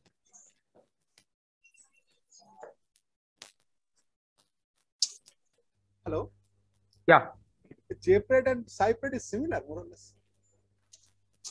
JPRED and this is uh, uh, working activity will be just similar, but uh, PSIPRED, uh, uh, there uh, more options are there. We can use the more options at a time. Only the difference.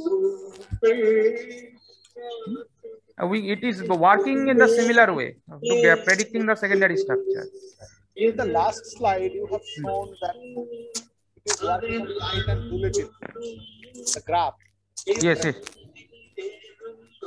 The, that, that graph, they are showing which particular part among that pro entire protein uh, which particular domain actually only interacting with the membrane. That means there will be having interaction with the lipid. Then only it can interact with the membrane. This is similar to plot scale analysis. Yeah, yeah, yeah.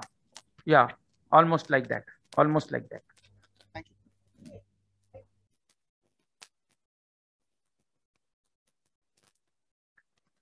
so can i have uh, uh, five to six minute break then i can start the protein modeling uh, one more uh, one more thing is left out uh, forget to tell you so that is uh, how to actually predict that whether your protein is having transmembrane domain perfectly or not.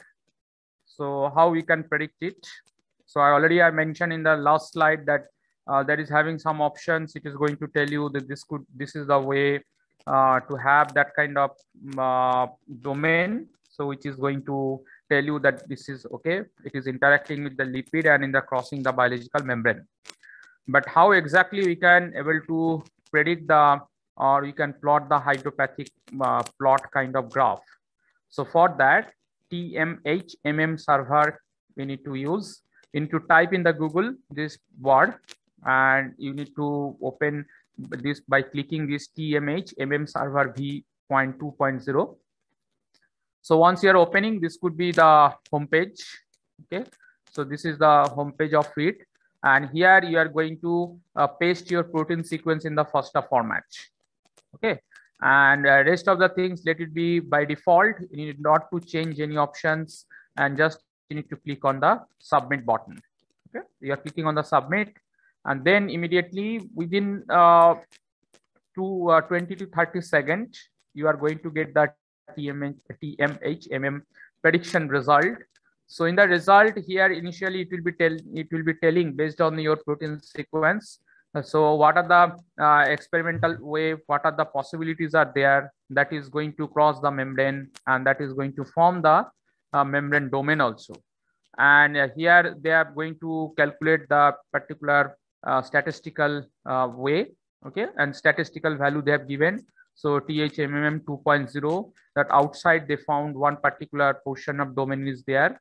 It is starting from 403 number of amino acid and the helix it is forming between 404 to 40, 426 this particular uh, positions of amino acid and inside that means in between the membrane. Okay, we are having two uh, lipid bilayer.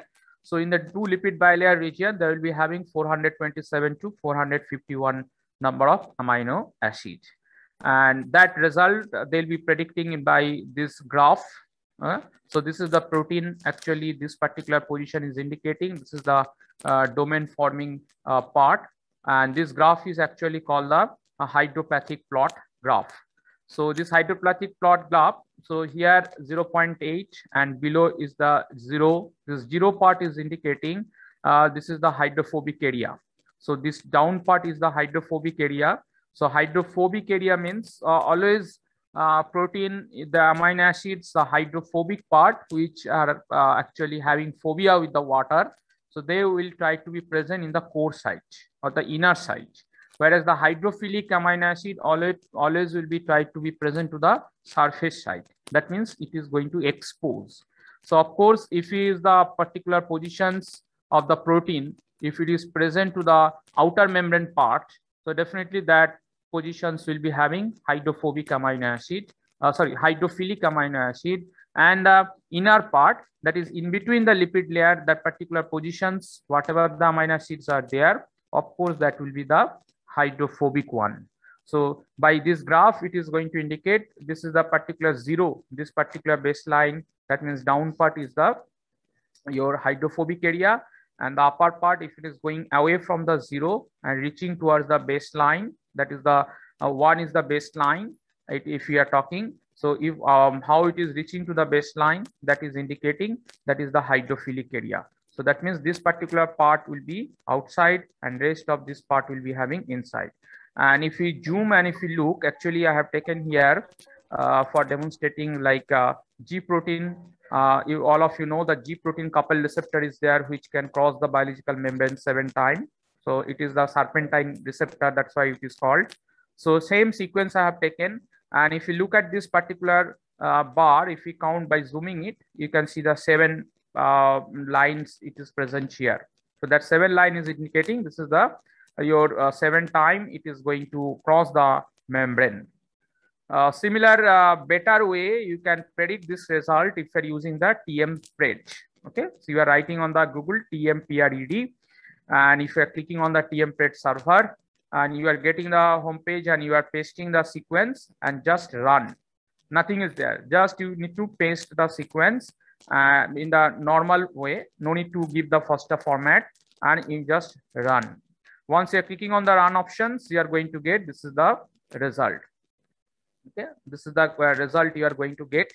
So here they are mentioning that which amino acid to which amino acid it is having the helix formations um, uh, that uh, tendency and exactly where the helix is formed. Because uh, normal idea we are having especially with the G protein coupled receptor that uh, helix form they are making when they are spanning the biological membrane so um, in that what could be the length of the helix? How many amino acid to be present in between uh, that particular helix area? All uh, it is going to uh, predict from here. And finally, what we are looking for, we are looking for this particular graph. Okay, this top part, this peak part is indicating this is the outside region, and rest all this part is indicating this is the your hydrophobic region of the protein, and that's why they, this is going to be present in the membrane part. Only the uh, maximum highest peak, this particular area, it is uh, going to tell you it is present to the outer side. So how many uh, peaks you are getting? One, two, three, four, five, six. And if you consider uh, this is um, starting, if you're leaving this part also, because from zero, it is going to start for prediction. So we can tell this is one, two, three, four, five. Again, this part is not able to reach uh, or this is not able to cross or it is very uh, away from the minus thousand this particular score. So we cannot uh, consider exactly this particular part. And this is indicating this is the going to stop. Okay? So in between how many peaks we are getting? That is one two three four and five and we can tell this is the six and this is the seven so these seven peaks are indicating from the starting to end point the seven peaks are indicating this is the seven time it is spanning the biological membrane.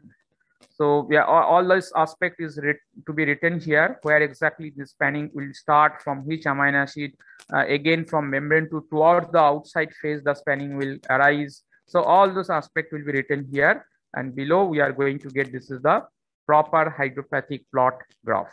So this is the another important aspect uh, with your primary structure of the protein uh, before uh, you are going to uh, completely analyzing that what could be the, its 3D structure and how it is going to uh, use in the biological system because if you found that your protein is having this is the tendency that means it could be uh, behave as a, a, receptor protein most probably that's why it is going to be present in the biological membrane that means once that drug you are targeting, so it will be very easy for you to understand that you, the lipid uh, in the biological layer, these proteins are already present. You know the sequence of the protein, you know the structure of the protein. So the targeting will be easy for you. That's why I'm telling uh, step by step, this is the important things. You better, you got the idea, you keep in your mind, and then you can go for the protein modeling and drug designing. I hope it is clear. So next aspect, uh, what exactly I'm going to talk to you, that is the protein modeling. And this protein modeling uh, is very, very crucial area in the uh, drug designing aspect, otherwise uh, for protein-protein docking aspect, and also how, you know, the immune system is working perfectly and our immune, immunoglobulins are uh, very much um, high molecular weight of proteins and these proteins are interacting with the various kind of antigen. Even all kind of process in the biological system it is depending on the interactions. How the small molecules are interacting with the larger molecule how the two larger molecules are interacting with each other all is the major theme for uh, continuing the physiological activity in the living system. Okay. So in that uh, one of the aspect is the protein modeling. So if you wanted to understand all those aspect proper way, in uh, whatever the protein uh, you are getting, the protein, why it is behaving in that way. Uh, if you really wanted to know, you can go through step by step. Ultimately, you can model the protein and you can able to understand what could be the core part of the protein and all. Uh, and that way you can uh, use, it will be useful for pharmacological aspect. So I'm going to talk about the protein modeling. Uh, so the protein structure prediction and the tertiary structure and the functional structure basically we can found with the modeling aspect. We are not talking only on the secondary structure. Secondary structure is the got over. We need to know what kind of secondary structure it could uh, it is going to form and what kind of where exactly helix and sheet, turn, etc. will be there. Then we are moving to the higher order of structure that is uh, tertiary, tertiary, quaternary, as well as those are considered the functional aspecting structure of the protein. We are going to detect the functional aspect of the protein. Uh, so uh, this protein modeling is the very uh, prime goal nowadays for all researcher and especially in the pharmacological field. so how to design the drug and how to interact the drug and protein modeling it is completely as a, one of the aspect is the on the drug designing and second aspect is that to know the function of the protein, interaction of the protein, intern, uh, antigenic behavior of certain, certain kind of molecules, even immunoglobulin, how it is working on that antigen. So for knowing all these, we require the protein modeling concept. And also it is useful for rational design of the protein with the increased stability of the novel function. So uh, genetic engineering aspect, we are uh, nowadays, we are taking some gene from somebody else, we are putting to someone, and we are expecting that protein is going to uh, pro uh, produce in the so and so uh, organism. And in that organism, whether uh, it is going to fold the protein perfectly or not, and what kind of uh, post-translational modification that protein is required. So all those aspects we are keeping in our mind and we are doing those particular genetic engineering approach. But uh, the most of the cases, uh, if you are not able to select the uh, perfect uh, your um, uh, host system on in which you are going to express your protein, so your experiment will be completely super flop because in a eukaryotic system that is having a lot of kind of uh, translational modification, glycosylation, then folding, and many, many things are there. Uh, so if you are using uh, that eukaryotic protein to be expressed in the prokaryotic system, maximum time it is not possible. Or if the eukaryotic uh, prokaryotic system you can able to express in the eukaryotic system after bit modification, it is possible. Got my point? So you need to understand why it is not possible, why it is possible. So that context also protein modeling and the features of the protein, how it is working, you need to understand proper way. And most of the cases for doing this uh, protein related study, we can get the protein structure from the PDB and in the PDB, basically the structure, whatever will be present, those are either to be solved by NMR, otherwise X-ray crystallography. And most of the time that uh, protein, whatever you are looking for, it may not be there. A similar kind of protein is there, but exactly that protein only, it is not there. So in that case, what we'll do, if you know the protein modeling uh, aspect, so you can model your protein and you can use that protein uh, better way. Uh, and another important uh, drawback to use this PDB. So when uh, they are um, when the NMR or the X-ray crystallographic method uh, those chemistry people are using to uh, solving the structure of the protein. Uh, so maximum time um, because of machine fault. so a lot of water molecules, of course, to be involved in that process and water will be co-crystal along with that protein molecules. And if you do not know how to remove the water and uh, exactly how to get the protein structure directly after downloading that protein, if you're doing the docking, it will be mesmerized. Okay, your, your result will be the faulty result. This is uh, another problem. And uh, another uh, other problem is Uh, most of the cases the protein will be uh, your uh, entire structure is not able to resolve. Okay, partial part of the structure will be resolved. And if you do not know if you are taking those particular structure only for docking and for your purpose, so definitely the result, whatever is going to get, that is not going to accepted by anybody. So lot of lot of um, uh, aspect is there. Uh, so how to select the protein and how to use that protein for drug designing purposes. Uh, so for all aspect, better way you need to understand what is called exactly modeling of the protein and how you can create your own model and how what are the drawbacks basically is there in the PDBs, those structure how to refine those, how to um, uh, that all the unsolved part, how we are going to solve, and that way you are going to make the perfect and concrete structure of the modeling protein. So for doing this modeling, there are having three different methods. Uh, whatever the uh, server or um, free web-based server we are using.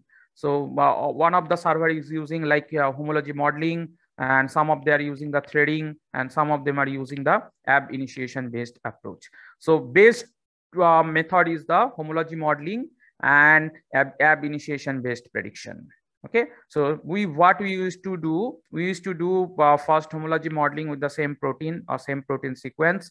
The result, whatever you are getting, we are keeping in our mind or we are saving it. And the same sequence we are going for using the ab initiation based prediction. And you need to tally both the result and then only you can use or you can uh, select your actual uh, model of protein. And after uh, creating the model, you need to um, uh, validate your model and you need to refine your model. This the two other concept is there.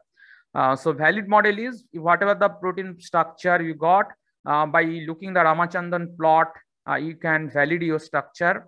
And when you do the Ramachandran plot, maximum cases we can see that when we are downloading the protein from uh, PDB, and if you are using the Ramachandran plot, so maximum cases we can see the uh, many uh, unfavorable region where uh, some unfavorable amino acids are present. That means those protein never ever able to use directly for your docking study.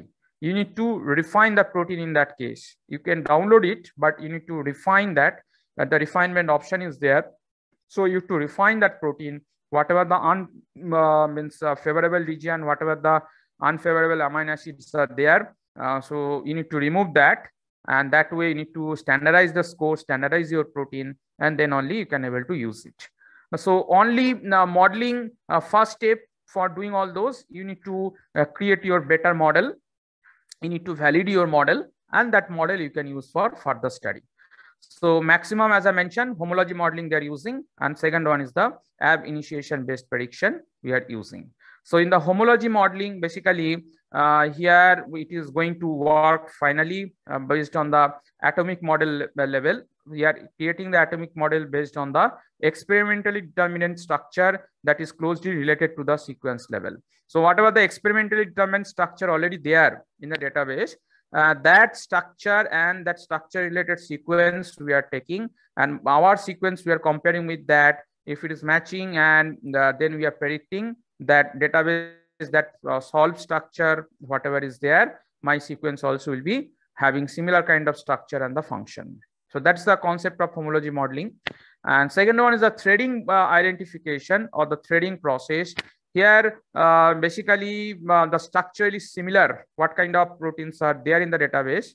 Uh, that is having with or without uh, detectable similar uh, similarities, we are taking them. That means sequence wise similarity may not be there my sequence whatever i am providing to get the actual model structure uh, so when this particular thread uh, process is working so they are looking just to the 3d structure of the protein whatever present in the database and my sequence what kind of 3d structure is going to produce the 3d versus 3d they are comparing. Whether the protein is having similar kind of um, uh, structure um, uh, similar type of sequence or not they are here that particular aspect is not going to consider. That's why i mentioned this uh, threading identification some particular cases it is required but maximum time homology modeling and ab initiation based approach you can prefer. An ab initiation based approach basically homology modeling and threading both kind of uh, activity uh, it is they are considering. And also they are considering the physical chemical properties of the protein and what kind of tendencies are there those amino acids to be fold in perfect way. So all those aspects we are considering. And that's why that ab initiation approach is 100% uh, reliable and homology modeling if it is 90 90% reliable ab initiation based approach is 100% reliable because ab initiation based approach it is completely on depending on homology modeling, thread, mo thread identification. At the same time, extra advantage or weightage they are giving on the uh, physicochemical properties of the amino acids. Okay, so uh, these are the uh, three process or we can see algorithm to be used for predicting the structure of the 3D structure of the protein and modeling. So homology modeling, as I already mentioned, so it is going to compare with the uh, sequence to sequence. And in the solved sequence what kind of uh, structure or uh, if it is found the matching with the sequence so that sequence is going to use as a template. And based on the template the model is going to be built. So the principle behind it here if the two proteins share a high enough sequence similarity so high enough sequence similarity here minimum cutoff uh, similarity should be uh, 60 percent Okay, so below 60% if we found the similarity, we are not going to accept here. So minimum 60% uh, cutoff we are keeping. So 60% uh, value or 60% if it is matching between the two protein sequence. Uh, so we are predicting these proteins must have the similar three-dimensional structure. And if one of the protein sequence have a known structure, then the sequence against whom I wanted to predict my structure, uh, by looking the known predicted structure, I am confirming that my sequence also having so and so structure. Got it? So this is the main principle behind the homology modeling. And here in this homology modeling, all uh, atom model based on the alignment with the template proteins we are considering. Uh, so all various type of model to be generate and which model is the best based on this particular 60% uh, cutoff value, so whatever I mentioned based on that similarity wise, which one is the best, the best one to be selected. And that is also having a lot of uh, statistical approach. And by looking those approach, we are considering, okay, somehow this protein is to be used as a my um, uh, template and we can make this kind of structure. So what uh, steps basically we follow here? So first step for homology modeling, you need to select the template. Got it? So until unless you are correct you are able to select the proper template you may not able to continue with the further step. If the template selection uh, it is wrong so the structure whatever you are detecting it will be completely wrong. Fine? So template selection is the prime important criteria here and it involves the identification of the homologous sequence in the protein structure and the database that particular sequences will be there and it is going to match with them and and by looking certain criteria we can select those temple uh, template. Second approach once you are able to select the template uh, so second uh, step or the second approach will be alignment of the target and the template sequence. Both the sequence uh, our query sequence and the template sequence will be uh, compare and third approach will be after comparing by looking the similarity you can build a framework of structure and after building a framework of a structure you can add, add additional optimization condition like the side chain uh, prediction, then looping model, uh, the looping prediction, all those things. Um, uh, uh, everything we are uh, considering here. Fine. Uh, so my my screen is visible. Hello. Yes, yes, visible. Oh, fine. Uh, yes, sir. Fine uh, because sometimes it is uh, appearing in my uh, screen that the screen may not visible by the um, audience. Anyhow, uh, so uh, building a framework structure is important. And once you are building a framework structure, then uh, further other optimization condition like looping, it is proper happening or not. All this also we are taking care. And then after refining everything, we are considering actual model. And of course, after defining, we are evaluating it proper way, and then we are considering the model. So this is the picture. So the sequence only we are providing the target sequence. So with the database, it is going to search and then identification of the template. And based on the template and my sequence, again, they're aligning. And that's what it is called the refinement of the sequence alignment. Based on the alignment, uh, this refining, they found somewhere some gaps are created in this uh, particular uh, structure uh, so now the concept will be to fill up those gap. Uh, so for that, this particular threading condition is important and looping condition also important. So that now they are telling and by looking this loop and thread, they are filling all this gap. And finally, the model structure, whatever they're preparing, that will be having kind of evaluation strategy. So this evaluation strategy is the statistical parameter. So the statistical parameter is telling this model yes, perfectly, it has optimized. So now we can select this model for our study. So this is the activity step by step we need to continue. And some of the thing definitely uh, the software will be taken care. And you need to understand that uh, how to evaluate the model what are the model they are presenting, uh, the, how to evaluate it, and major important things, how to select your template. So template selection from the PDB, the practical approach directly I'll be coming instead of uh, uh, talking too much. So uh, backbone modeling is important. Backbone modeling means uh, you, you, what kind of amino acid should be uh, hydrophobic and hydrophilic based on that. The backbone will be created of the protein. And this backbone creating is the uh, prime important to uh, preparing the model. And once we get the backbone, we can understand that what kind of loop I supposed to uh, refine and what kind of loop I need to, after defining to join with my protein structure. Uh, so we need to get off that. So loop modeling is a loop modeling. It is telling, uh, so I can come directly. Suppose um, uh, this uh, initially we have able to compare only this part and this part, but this loop part, this particular part is completely missing because you have seen here once these two sequences were aligning, uh, so definitely here some gaps are created. Okay, so now how to fill this gap? For that, we need to go for the loop uh, filling or the uh, loop alignment, whatever the process we can tell, or we also we can tell sometime. That is the loop modeling activity. Okay, so we need to uh, move for the loop modeling activity. So this loop modeling activity, uh, we can tell one way. This is also a mini protein modeling process.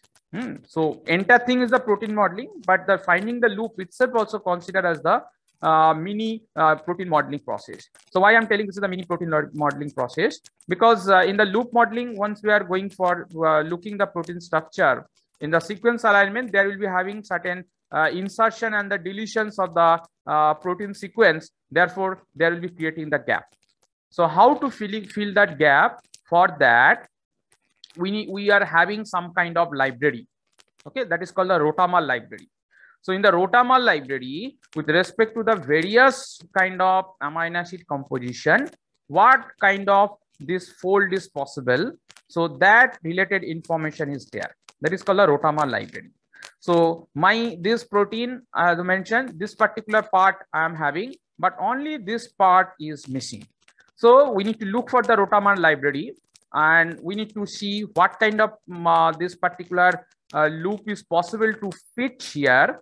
We need to go by looking the n number of uh, loop conditions which is present in the rotamer library from there and each well from this library each loop when you are when the server or database or this particular software will be joining after joining every time they'll be considering phi and psi angle of the ramachandran plot but my point so uh, this Ramachandran plot, once it is favoring this particular loop, one particular loop model, which is there in the uh, Rotamer library, if it is uh, after taking it here, if the Ramachandran plot, if it is uh, favoring yes, or it is telling yes, this loop is possible to fit here. So that way we are taking that loop, we are putting it here and we are filling all the gaps. So wherever the gaps will be created, definitely need to understand there will be having some kind of loop so that loop is going to uh, take from the different type of rotamer library and ultimately phi and psi angle of the Ramachandran plot will be varied. And that way we can fill up the entire structure of the protein. And after that, another things you need to consider where software is doing that is the side chain refinement. So what is the side chain refinement? Definitely uh, when we are doing the proper uh, protein modeling, only our concentrations will be there to get the 3D structure in the core, whatever is there, uh, only we can uh, give the emphasis on that. But until unless we are doing the side refinement, your structure will be not up to the mark. So side chain refinement, it is basically telling, so surface uh, in the, uh, when the database is compiling the structure, that time any hydrophobic residues by chance if it is appearing to the surface area so uh, that hydrophobic residues is actually giving the faulting result. That's why again the full uh, side refinement is telling if the hydrophobic residue sometime uh, by chance if it is appearing there, what could be the alternative residues to be present there so that hydrophobic residues to be omitted and hydrophilic residues to be present to the surface area. So that activity also it is going to check. So that is called the side chain refinement and every step Ramachandran plot is going to tell whether this is the correct one or this is not correct one. So side chain refinement also it is important the criteria you need to understand when you are doing the protein modeling. And last, the modeling refinement. So modeling refinement complete will be based on the energy function. So the protein, you know, the biological system, when the protein is making and protein can go for folding and that way after folding and twisting, they can make the complete uh, perfect uh, functional structure. and for happening the folding and the twisting lot of lot of energy concept is there so this energy concept wise my protein whatever software has prepared whether it is going to fulfill the biological energy concept or not that is the meaning of model refinement in terms of the energy. Uh, so energy always should be minimum and minimum energy containing the structure always to be fruitful and the favorable in the biological system. So that's why the energy refinement process finally will be conducted and the energy related information also when we are doing the homology model that also is going to predict uh, that is also going to show. And by looking everything we are considering okay chalo this is the perfect so but this is having different kind of software is there. I'll be coming here and model evaluation again after doing the energy cal calculation, energy wise stability, whether it is there, all those things. Again, the software will be finally checking the model evaluation. So model evaluation again, it will be depending on uh, Ramachandran plot whether phi and psi angle, all the residues are perfectly placed in the uh, uh, exact positions or not. Uh, so ultimately, we are going to get the protein structure. Now, problem is once we are doing it, uh, so sometimes for providing the actual model, uh, some unfavorable amino acid need to be plotted in the some area. Uh, so before using your this model for further study, again you need to um, refine your model. So that process also it is there. So manually you need to remove that uh, whatever the unfavorable region amino acids are there, the maximum time glycine and the proline will be falling to the different unfavorable region. Uh, so the glycine and the proline need to remove, you need to place in the proper area. Again, you need to calculate the energy that manually you need to do. And finally, uh, the structure, whatever we'll be getting, that will be 100% evaluated and perfect model. We can use that model for our other work. So this is the activity which is the energy concept which has mentioned. So every step that atomic energy, how it is favoring. Uh, so that is going to check and there will be a threshold level. Once it is crossing the threshold level, that particular protein is not going to stable. So always it is try to be below the threshold level and it will be starting to the minus and it will be crossing the zero and the threshold uh, will be bit high like 5 or 10 angst uh, energical value if it is uh, uh, keeping the threshold for the software, we are not allowing to touch the threshold. If the portion of the amino acid or the portion of the protein, if it is touching to the threshold, that particular part immediately need to refine. Okay, so Ramachandran plot will be working based on this particular graph. So if the particular part, sometimes if it is crossing, as I mentioned, glycine and proline, maximum the folding portions of the protein we can get. So if somehow it is present and crossing to the threshold, so that glycine and the proline we need to rectify.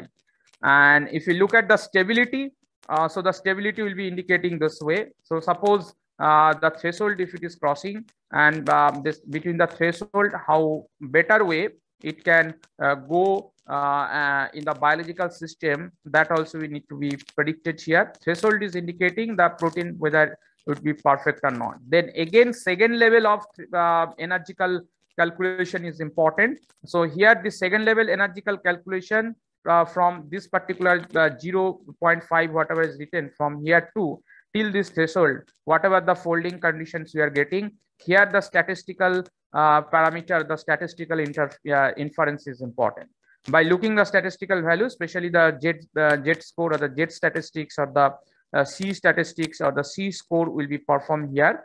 And if we found these amino acids are not suitable, then these particular portions, whatever the uh, protein part is there, that should be cut off and rest of the part will be joined. That means these are the particular part software is throwing out. And in such case, we can get in faulty and a very small protein structure. So many, many aspects are there. This software is going to work out and just uh, opening the software, putting your protein and you are uh, looking the model, it is not going to work out. You need to know the logic, you need to know the theory, everything in better way. And so uh, second aspect, that is the threading and the fold recognition. So here uh, uh, it is working this way. So these are only the small number of the protein fold available that is less than uh, 1000 or more than or less than that also the protein fold is available. So here what actually doing in the threading process I mentioned. So uh, uh, side to side, it is going to compare. Uh, so here the Rotamer library concept just before I mentioned the Rotamer library concept, there are almost a thousand or uh, less than thousand number of fold kind of um, uh, structure is present. So taking the fold and try to gap or try to seal that particular ungap portions. And that is the meaning of threading and the fold recognition. And uh, here, this again, the energetical concept will be continue. Suppose this is the sequence I have provided. So initially they are making software is making such kind of uh, structure. Now, by looking the structure, wherever the fold is there, whether this fold is perfectly uh, happening or not, for that each fold will be compared with the database or what are the Rotamer library I mentioned with that, whatever the uh, amino acid related fold are there, it will be compared. And finally, if they found this particular fold and that fold is matching, then they are considering, yes, the fold whatever predicted it is the correct one. So like that, n number of fold will be joined and n number of predetermined structure will be created. And every cases, again, the energy will be optimized. And finally, based on the energy optimization, energy calculation, there will be a scoring and the scoring is going to uh, tell you which particular model is the best one. So definitely in the table as per the energy value, lowest energy value, which particular protein model will be there. So that could be your best protein model and that is going to be used for further. So this is the looping and threading process is working this way. And uh, last method uh, that is uh, called the ab initiation based method. And uh, here in the looping and threading model, uh, so they are using the PSI-BLAST approach and the SCOP family uh, that calculation they are creating. And finally, they are going to understand what is the actual fold to be present in the protein. Uh, so uh, last approach is the ab initiation based approach. So this is the most workable one. As I mentioned, two different approaches will be there here. And this is the, uh, by closing your eyes, of course, you can able to use this ab initiation based method. So here the homology, fold, and further the proteins, amino acids that all physicochemical values or properties they are keeping in mind. And finally, they are creating the structure.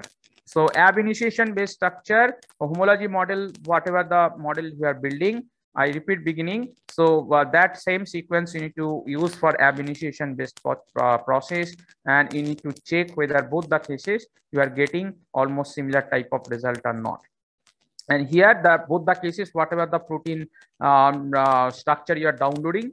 So you need to use the different type of software um, uh, protein viewers softwares and you need to project one protein over another and try to get the RMSD value.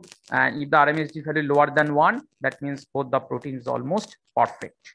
And uh, that way you need to tally whether both the, the proteins are uh, actually uh, useful or both the server, both the process, whether given similar type of result or not. So I'm going to tell you first uh, here Phyre. So this is the uh, very, very good uh, software which is completely based on uh, actually app initiation based okay? And here though it is based on ab initiation based but first it is doing the homology modeling. And whatever the uh, steps i mentioned homology uh, first finding the template then step by step energy evaluation and it is predicting the result. So p-h-y-i-r-e dot to FIRI 2 so you can open uh, the you can type it Phyre2 and you can open the homepage. And here you can uh, first you can provide your email address so that result uh, may come to your email also uh, because it will take some times. And job of description if you wanted to give you can give. Otherwise you can leave it. You can provide the amino acid sequence here. So first format is not mandatory. You provide your sequence here. And ultimately all those will be um, optional. Okay that means it will be let it be default. And you just click on the file search once you're clicking on the Phyre search, you can look at here. I've pasted everything and I've taken the insulin uh, gene sequence. And um, uh, I want to know that insulin, uh, this particular sequence, what kind of um, uh, structure it is going to make. So uh, click on the Phyre search and you need to wait. So once it is, yes. So one, it is uh, working, it will show this kind of result. Result is progressing. You need to wait for some times. So if you look at keep on your morning chart, you can see one by one how the steps are progressing. So first they are finding the uh, homologous with the PSI-BLAST And then second, they'll be showing that the building uh, hidden Markov model they are using. And, and this particular bar, slowly, slowly, it will be moving one, uh, one, one step it is going to over. And finally, it will be reaching to this particular end. And then only you can get the result. So it may take sometimes one and a half hours, uh, even one hour, two hours, three hours, even sometimes if the sequence, if it is too many, uh, then uh, means lengthy sequence if you're using, it may take also one day time. So one by one, the step will be uh, working. Third step, it is telling uh, to checking the transmembrane helix, whether the protein is present or not. And fourth step, it is telling to finding the um, your uh, to fourth step, it is basically telling to tape the uh, loop detection Fifth step, it is the loop modeling. And the sixth step, it is telling generating the result page. Okay, so you can see the line has already reached to the end. So it is generating the result page. And after that, within uh, one minute or within few seconds, the mail will come. Otherwise, in the home page itself, you can get the result. Uh, so uh, this is the result page. So this is the first uh, result and the first protein structure they have predicted as I mentioned. And you can see here, right hand side, it is mentioned PDB header from, uh, and the, uh, the PDB molecules. What is that? I have provided insulin. And here 99.9% confidence. That is a um, uh, confidence level up to predicting the protein structure is 99.9 and coverage area is 46%. So one step I mentioned, the query coverage, so similarity to be found, uh, try to finding out between the two sequence, the uh, uh, minimum 40 to 50% should be there. Okay, so here they have uh, created the 40 to 60%, but the, they can found the confidence level is quite high. So according to them, this is the first model. So you can rotate your model and you can look at here and below all other um, almost 100 models will be they will be providing so if you scroll down and if you look at the confidence level and percentage of identity, uh, that uh, both the things you need to look at here. And with all the proteins, which particular databases, which protein they have compares, everything it will be mentioned to the right hand side. So here two things you need to remember, not only the confidence, your percentage of query is the prime important one. So you can look at here, it is the 60 it is written then if it is scroll down 47 45 like it is slowly slowly coming down. So if you go below it may give the 10 10 percent or 12 percent result also. So you need not to consider not those particular result. Always you need to consider the uh, percentage of query. That could be the first important parameter and then the confidence. Okay? So both the things you need to look, look at here. And you can download your protein structure fine. So this way the below you can look at here the number it is coming down percentage. And uh, completely at the end of the page so you can uh, there will be option you can able to download. So all the structure you can able to download. So that particular option will be here so generate the uh, superposition of the selected model. So you can click if you feel you can click over there so they are going to get the general superposition model. So how this loop they have generated. So different loop one after another they have put it and they try to find out the RMSD value. Okay. So this RMSD value, uh, it is showing all cases zero. That means there is a no deviation, but the TM score, it is showing one. So TM score is the, again, the one kind of statistical parameter. I'll be talking about the TM score on the ab initiation based method. So you can look at here if you wanted to tally with which particular chain with whom they have uh, compare and how they have compare everything. You can look at here and you can download all the structure in the uh, PDB form and you can use for your research purpose. So this is very much useful. And second one, SS spread. Uh, this is not so much useful, but still have uh, I'm trying to show you here. So SS spread, if you open, you just paste the sequence in the first format and you can run. So here also they are predicting this A stands for uh, which alpha helix.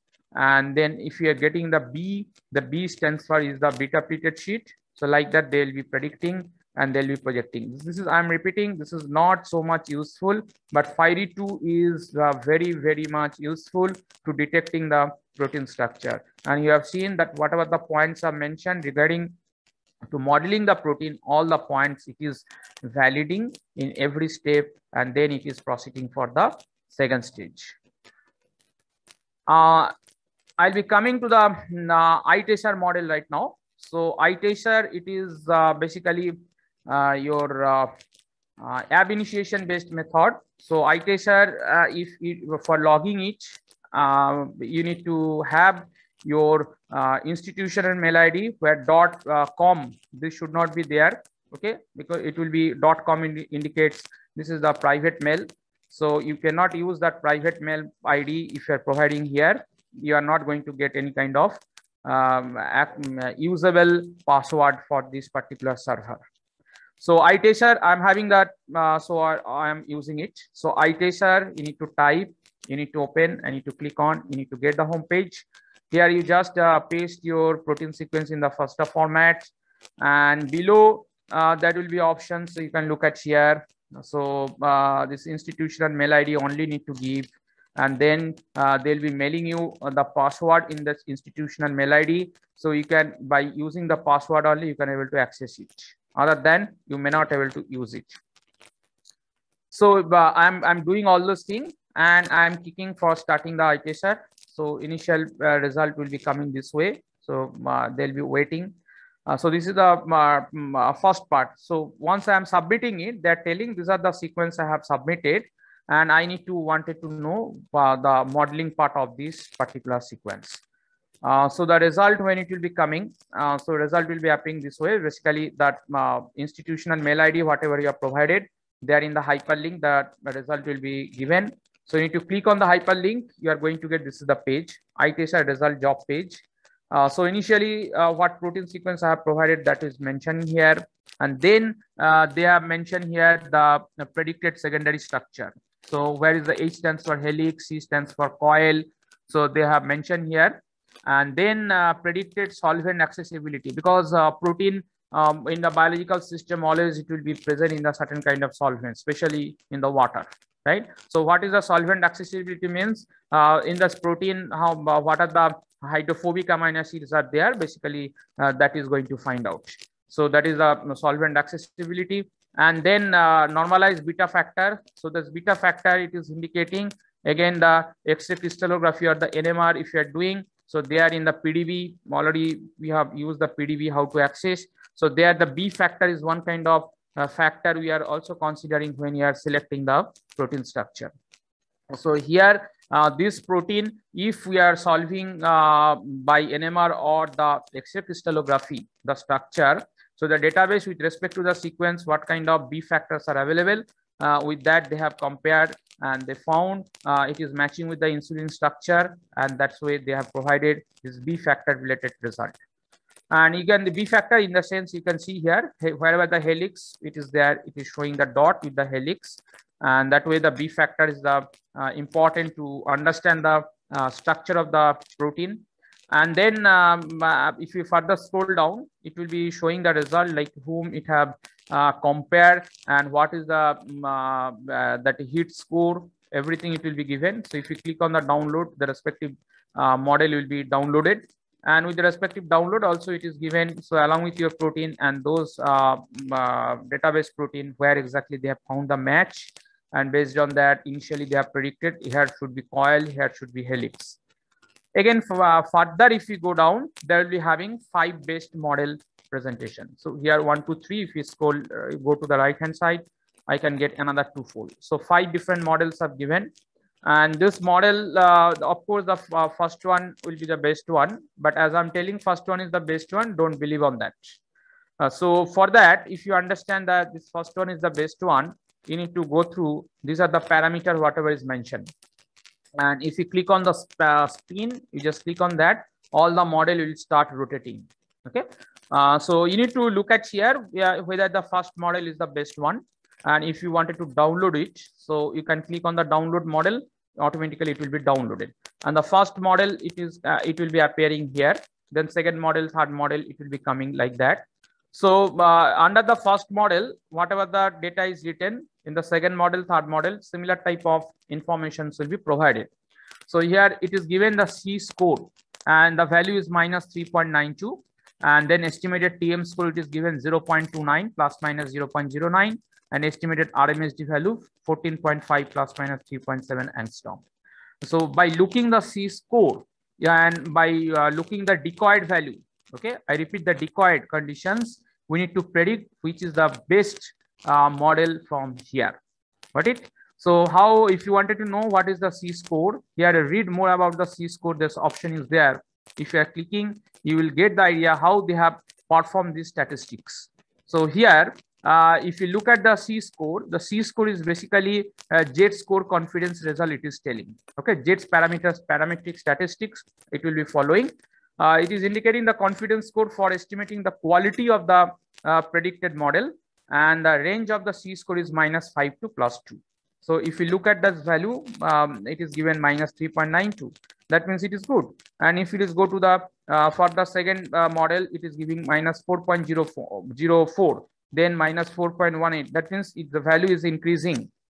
Got it? So value is increasing means it is going to uh, cross the minus 5, right? So you need to look at the C-score and also the RMSD value also need to look and the TM score, what is mentioned here, TM score, so 0.29.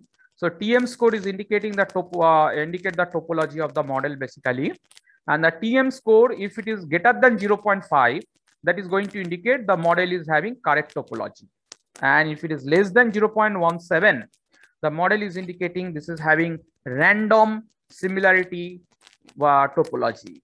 That means with the database randomly, it has found the match uh, that's why the score is coming and perfectly if it is able to calculate if it is finding the match uh, topologically the score should be greater than 0.5 so here what is the score uh, here tm score is 0.29 right? So 0.29 means uh, it is greater than uh, 0.29 greater than 0.5 okay? So that score is much better and you can select the first model.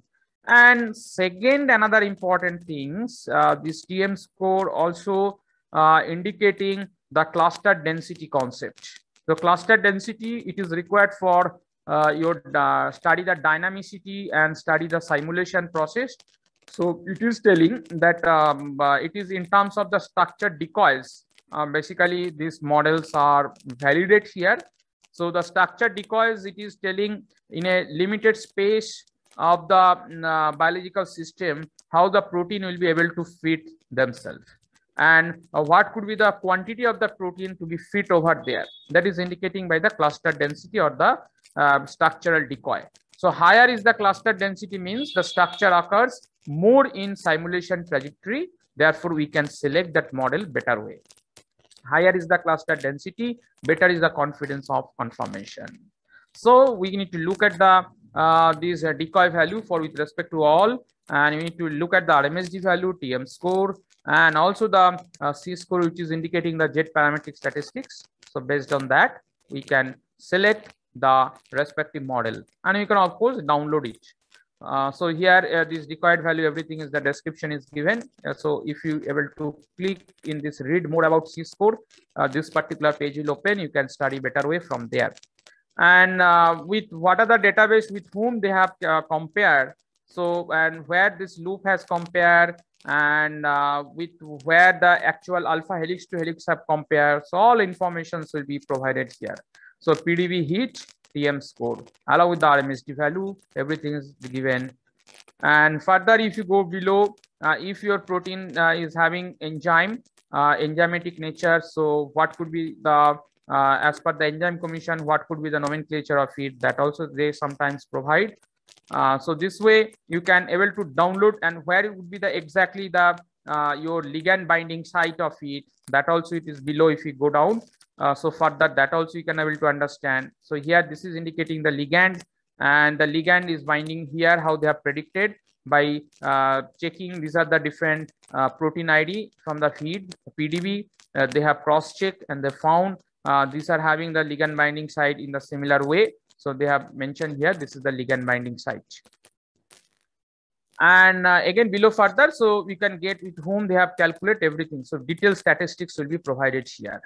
So this is the uh, I-TASSER. So here you just uh, look at uh, in all the cases, just you are providing the sequence, nothing else you are doing. Well, if you know the protein sequence, what you're supposed to take, directly you are pasting the protein sequence both in case of the 5E2 as well as the I-TASSER and you are getting the model structure.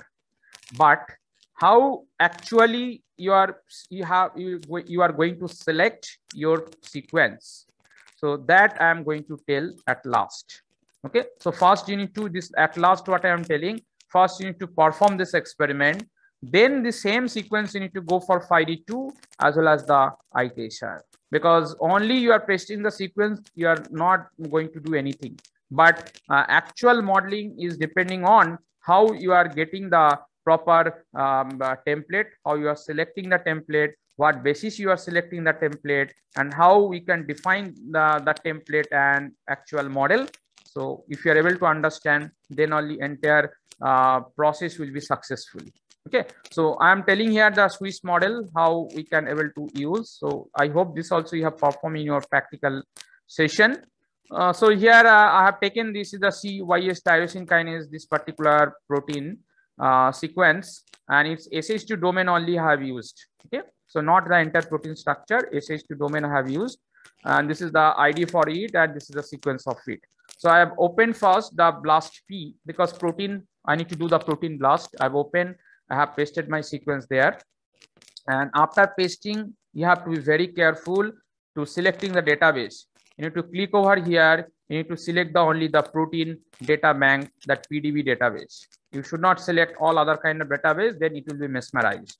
So you need to selecting it, the respective database, and then you are going for uh, mm, uh, blast. Now after blast, you are going to get such kind of alignment, right? In this alignment, many things you need to take care.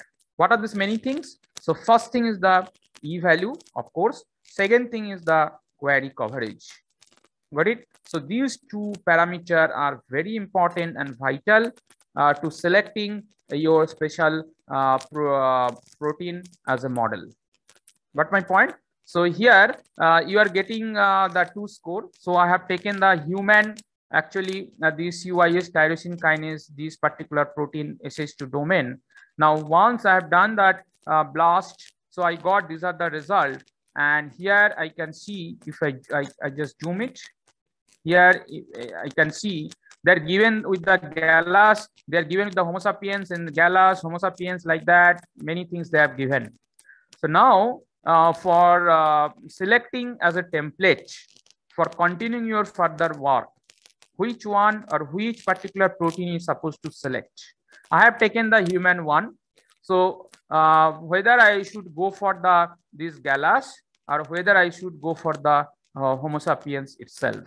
So there will be a confusion. But according to the score, both of them are having near about 89 point something score. And the E value also is almost seven, uh, same. And query coverage also it is showing the 100%.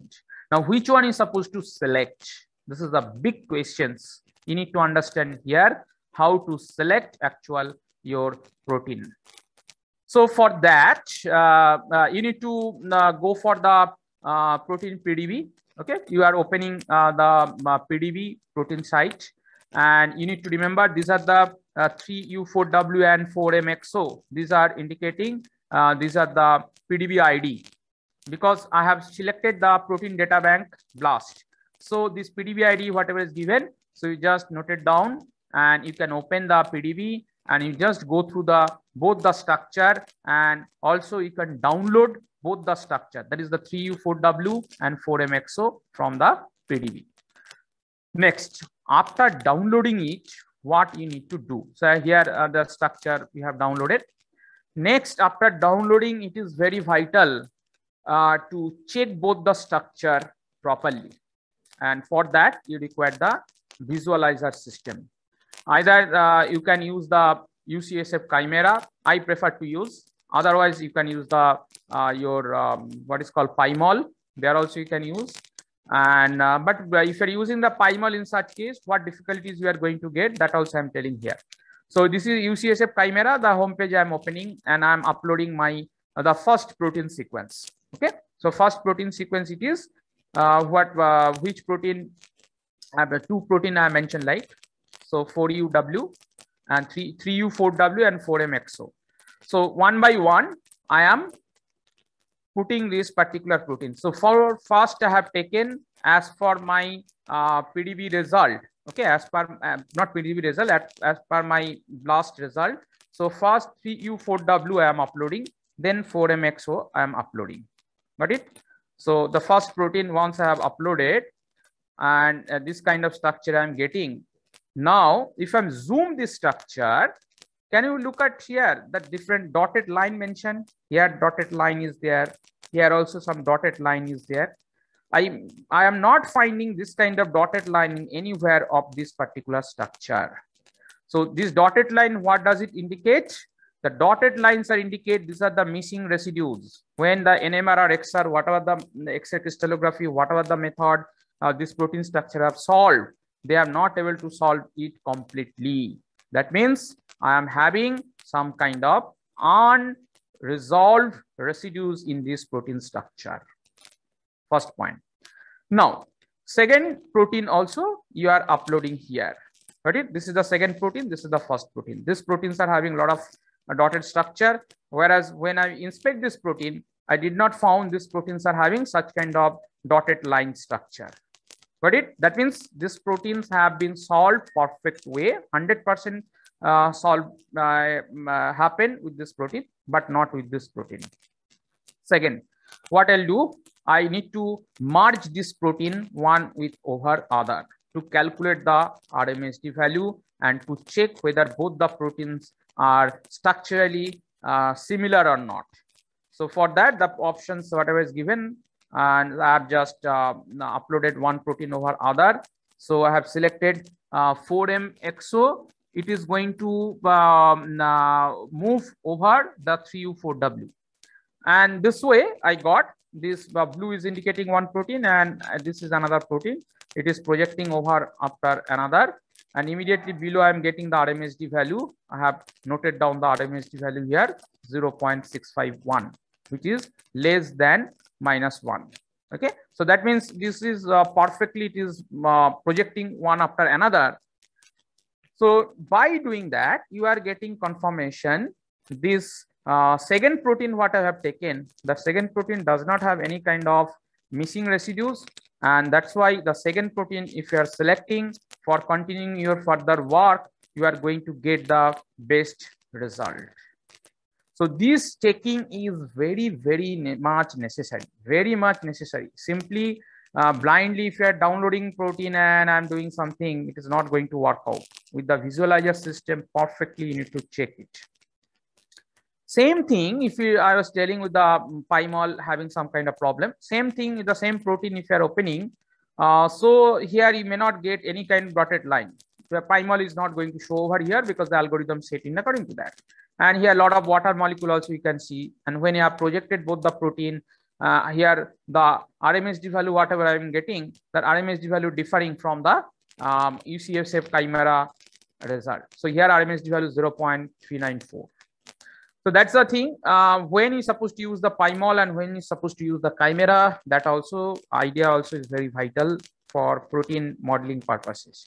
So chimera, uh, pymol, if you're using, it is not going to solve your criteria at all. So anyhow, so you got the idea which particular protein supposed to you select by based on the blast, by based on the structural uh, comparison, and you are going to work on that. Now you open the Swiss model and you open the home page. So which particular protein sequence suppose you need to take already came to know from this structural comparison. The protein which does not have any kind of uh, solved structure means um, uh, default amino acid residues or unsolved amino acid residues. Uh, so you are not selecting that particular protein. Hmm. So here, uh, though I have taken uh, taken the human um, uh, for my uh, Uniport CYS, the protein I have taken from Uniport, but still I am not considering after looking the blast and the result parameter that human model only, that human PDB structure model.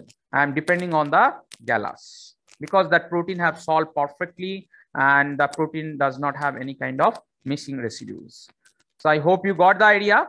And uh, next, I'm opening that particular uh, Swiss model. I'm taking the uh, this first format sequence of that particular uh, protein of the GALAS. I'm pasting over here. And after pasting, of course, always you need to go for fast search template model. Okay, so you are clicking on the search for template and then the this is the waving result will be continued. That is going to indicate that it is going to work with all with respect to all and each residues. And the final result will be coming this way. Uh, so this is the result. Again uh, here many things note down. So here the first model whatever given the first model related structure also it will be presented here. And you can go through the down. Many other solved structure also they'll be given. And for all the cases you need to look at uh, that uh, gmqe value so look at here, you need to consider the GMQE value, then um, uh, also the query coverage. And if, uh, these are very prime important to select the actual uh, template. And from there, you have to build the model. So if you are clicking on this, uh, the blue bar, whatever is written, if you just uh, keep your cursor over here, and if you do the single click, you are going to get here, here I mentioned what are the things you're supposed to consider when you are uh, taking this particular model or building this particular model. So global model quality assessment, that is GMQ, it is indicating the target and the template, uh, template alignment quality. Um, basically, it is going to indicate by the GMQ and the GMQ value should be between 0 to 1 and nearer to 0, it is going to indicate the better is the template. So look at here, the GMQ value uh, nearer to, uh, nearer to uh, it is nearer to 0 so that means 0 0.89, it is 0 0.88, 0 0.88, 0 0.87. So like that, it is continuous 0 0.89. Uh, so we continue, uh, we compare, uh, we can consider this is near about the zero. Okay. Uh, so the GMQ and query coverage, everything you need to consider. And you need to, uh, in the, by this uh, blue uh, bar, whatever is given, you just single click on that. You can see which chain, what is the coverage, how many amino acids are there.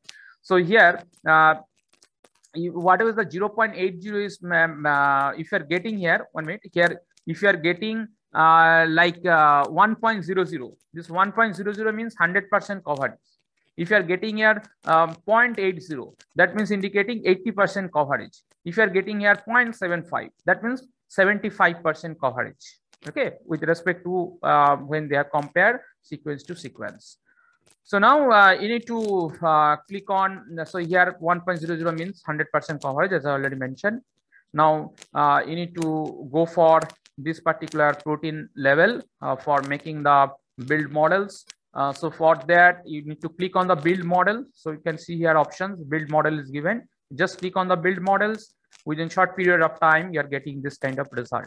And here also, this models, whatever prepared, so that is the model actually right, we are looking for. Okay, uh, but this model is perfect or not. Uh, so that also need to tally. So for that, you need to again uh, look at this uh, score and GMQE score and also the JET score. Then also you need to look for the sequence, everything. And after that, if everything you are satisfying, you can select this is the model and you can download it for doing the other work. Got it? So Qmin, this always, uh, it is be negative and it is basically the JET score value. It is indicating, so JET score value we are getting from here, the Qmin, whatever is given, if you click on that, so we can get, these are the three different graphical conditions.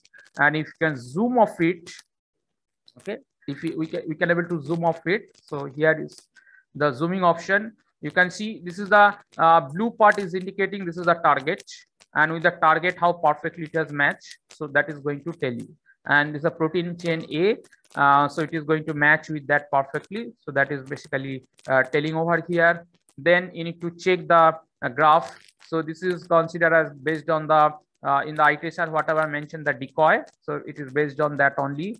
And this asterisk red whatever is indicating and which particular zone it is present that is going to tell you the model quality. So here uh, this uh, asterisk this model it's lying between 1 and less than uh, 2 so this is the JET score value. And if it is moving towards the um, uh, this minus by less than 1 this particular zone that means model is not proper. And it is always preferable. It should be present towards the high JET score conditions. So we are getting here near about the towards high JET score. So the protein model whatever you have detected yes that is the correct one and next uh, you need to check the sequence also uh, so sequence to sequence how it has they have matched and they have perfectly found these conditions and also the X-ray crystallographic conditions. If the protein got solved, what could be the X-ray range and what could be the Armstrong value and uh, the similarity coverage, everything here also is mentioned. And in this uh, build protein, uh, anywhere if you're keeping uh, keeping your cursor, so immediately in this particular position of alignment, that will be highlighted. If you're clicking on this red, it is going to highlight it. If you're clicking on the blue, that is also going to highlight it. Actually, uh, this blue uh, ribbon part, this is the cartoon form actually. This blue part is indicating this is the 100% coverage and identified part, whereas this oranging part, this part is indicating uh, with the help of uh, that um, uh, library, the looping library, they have considered this loop and they have uh, finding as per the energetical value this loop is suitable. And they have projected this loop over here. Okay. So this particular loop related information where in the sequence is present that also if you are clicking on the loop you are going to get idea. So now uh, this way you are telling your the structure whatever the model you prepare the model is perfect or not. And finally you can uh, able to download this model into the pdb format so after downloading it, your protein is ready in your hand. You can open in the uh, Chimera or the um, uh, PyMol here and you can check again. You can study again this particular protein. Got it? And this is the same protein if you're opening to the Chimera, the resolution and the properties based. So I can see, I can study in better way. And you can look at here, there is a no proper dotted line. That means perfectly the entire positions of these proteins we have able to model. And 100% this protein I can able to use for my work. Again, for before going to the uh, using this model, uh, so with this model again, uh, uh refinement is necessary and this is the uh, uh, your discovery studio representation. So i'm having this software also. So discovery studio it is going to tell you uh, the different color it is indicating where the loop beta pleated sheet alpha helix etc so this uh, blue color is indicating there's a beta pleated sheet. And the right red part you can see this is the helix. Whereas the green part this is the turn part it is telling many other things we can do with this bitware discovery studio. Anyhow this is not my cup of tea. So before um, downloading uh, this particular model uh, so you can uh, there is only having the option. Uh, so check the ramachandran plot conditions. Uh, so it's related to this model this is the ramachandran plot i am getting. And somehow these blue dots are indicating uh, if it is following this particular gray area so this is indicating this is no, uh, these are outer uh, means unwanted area. These particular amino acids are present. Okay. So you need to refine them. For refining them, what you need to do? This downloaded protein structure. Uh, you need to open uh, the Galaxy refining uh, web uh, server. So Galaxy web, if you are getting, you just click on that. In the Galaxy web, there will be having option here. this you can go for the software options. In the software option, if you are going, you are getting the option called the Galaxy Web Protein um, uh, Prediction Condition. So here just you upload your this downloaded protein structure, the model, and initially just click on that. The result will come to your mail. Uh, so you are going to get this kind of result. So result, of course, I'm not showing here. So based five uh, predicted Ramachandran plot, they are going to give you and related to the model. So that model uh, and the Ramachandran plot you can save and you can download that protein after refining with the Galaxy Web and that protein only you can use for further work. So from the beginning I mentioned, uh, so template selection, proper template, how you are aligning all those as aspects is necessary and how you are selecting the template, how you are building the model and when you are building the model, what parameters supposed to remember and after building the model, how uh, you are refining the model. That is another necessary things. So Galaxy Web, this is freely available. You can uh, do with that. And finally, uh, whatever the proteins you are downloading, that is your actual ready protein for all kind of docking activity, for all kind of uh, whether protein protein docking or protein ligand docking for all aspect, you can use that protein and this way only all kind of uh, your uh, all good research paper in the various reputed journal they are working this way only and i follow the same protocol here and if you are following the exact protocol definitely your paper is going to accept. And nowadays, this is a hard, uh, it is uh, like hot cup of tea. Uh, so everybody is working by sitting on the home to do some kind of research. And these are the good research area uh, to build a various kind of model with the various kind of protein. And you can try with the uh, SARS-CoV-2 protein. I'm having different protein model with that, like uh, ACE2 receptor, how uh, the structure to be predicted, and like uh, SARS-CoV, whatever the different enzymatic proteins are there, spike protein. So if you're getting the sequence, you can build the model with that, and you can publish your paper. With that, thank you very much. I have taken um, uh, almost uh, half of the day. I'm sorry for that. And actually, a lot of the portions I need to cover. So I have taken so much of time. Again, again, I'm sorry. No, no, no, no need to sorry, sir. We should be thankful to you. in our uh, yesterday's class or session, we worked out uh, how we can perform the molecular docking studies. And uh, we, yeah, so in yesterday's, uh, we performed the protein ligand docking. I just demonstrated uh, how we can take the uh, protein and uh, how we can prepare the protein. So in most of the research papers, protein preparation step will be written. So in the protein preparation step, right, we will mention like the PDB ID that we retrieved, and then uh, we will say the heteroatoms are removed, and uh, the Maraviroc, which is a bound ligand, was separated and considered for redocking so all those information will be mentioned. If we give any amino acid flexibility, that will also be written. Then we will have like a ligand preparation step. And in the ligand preparation step, we will mention uh, uh, what is the energy minimi, how the energy minimization was done, and what is the energy at the state when the minimization that is 598 or 640 so the ligand preparation step will be mentioned, then the molecular docking. So the entire process uh, will be explained with uh, uh, like in detail. It will be mentioned like as I was showing with the different papers, right? So okay, I will share this paper, not an issue. So the explanation about the procedure followed will be so one can also write it the entire process like in a flow chart so this is the flow chart we have followed in one of our research work. And then uh, as i mentioned the small molecule ligand library and then the molecular docking. Then we will mention here what is the xyz coordinates the size of the grid box all those things then the Autodoc VINA score was visualized using PyMol. So this is what we will be doing it and also we look into interaction analyzed using LickPlot Plus software. So we will also generate the images, something like this, okay. This is the LickPlot image.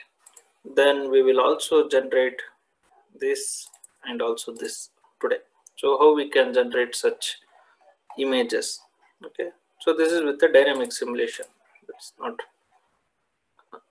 So how we can generate? In fact we can also generate much better or high resolution images like this. So th that is what we will be doing it today. Okay. Now we have to analyze the results right? Yesterday i just demonstrated with the performing the docking but how to analyze the results. Now, the first thing is where exactly our result files are getting stored, right? That will be the first question.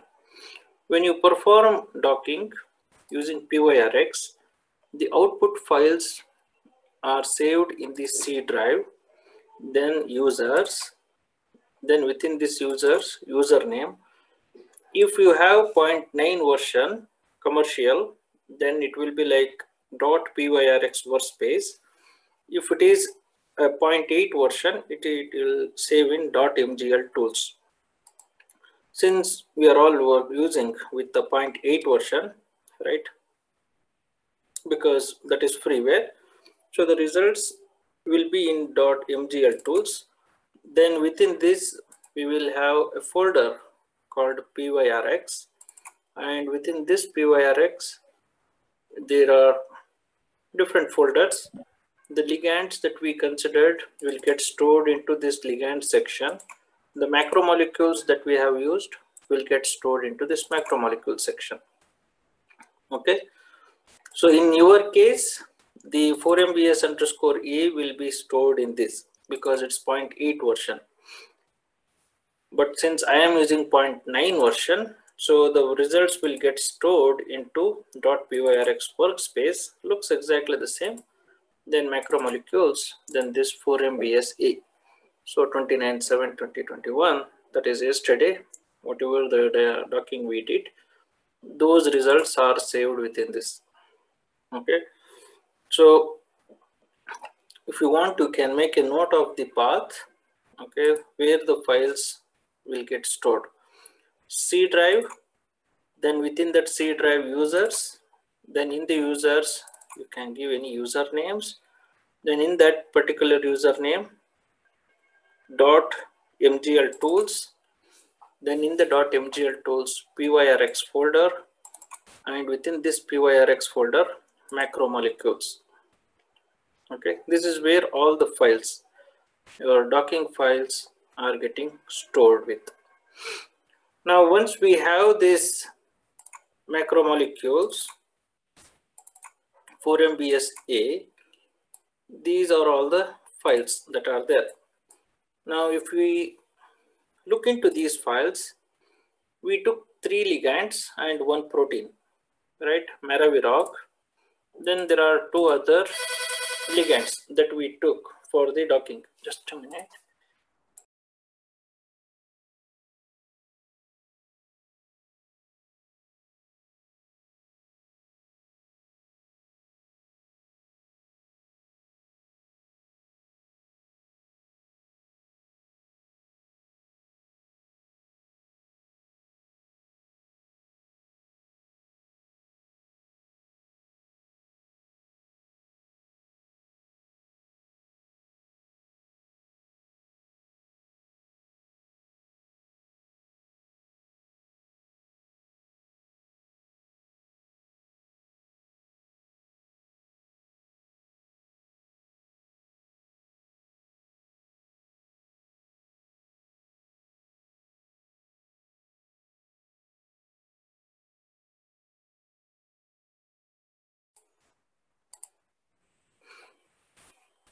Okay.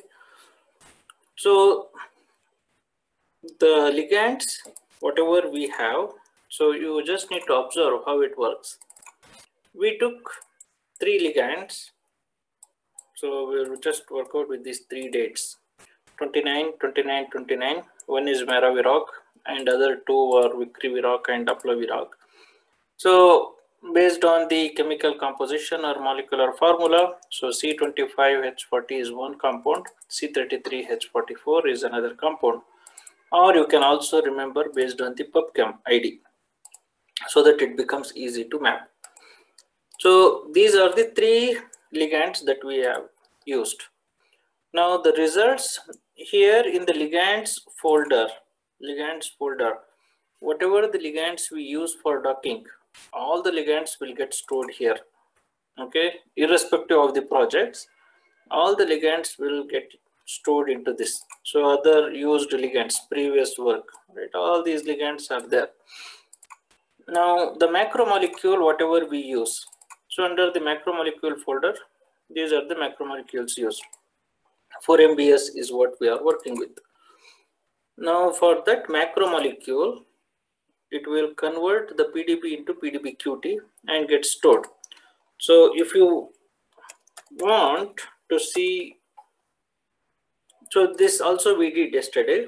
The moment we upload the PDB, right? So the PDB gets converted into PDB-QT, okay? So the Q refers to the charge and T refers to the structure. PDB is our tertiary or three-dimensional structure format. So PDB-QT, this is the macromolecule structure. And these three are our small molecule output files. If you observe here, we will have it like underscore out dot pdbqt, then this particular ligand out dot pdbqt, and then mrv dot out dot pdbqt. So the moment if you look into the ligands, it is not going to have it like mrv dot out. It is just mrv dot pdbqt or c25 dot pdbqt because it is just the coordinates, not the outputs. Okay. Now within this, if we want to see the interaction or anything, if you right click, uh, say edit with notepad okay, you can see the energy associated. Okay, so you can see that there are nine models. Model one, Venus core. So yesterday also when we performed, we observed this minus 12.2 is the least energy. Then we were we have a second model minus 10.8. Then third model minus 10.3. What is this model 1, 2, 3, 4, 5, 6, 7, 8, 9 refers to is those are the nine conformations. Okay, so one may be like this, like this, like this, like this. So nine conformations the ligand is going to have. So for each conformation, let us say this is the first model or first conformation. So for each atom, whatever we use, it will have x, y, z coordinates and again occupancy B factor and the charge associated to that atom. So it is going to use this x, y, z coordinates to generate the 3D conformation or it is going to using these 3D coordinates we can see the or we can visualize the molecule. Then the second conformation, third conformation like this. Okay, now if we open the C33, again we will have the same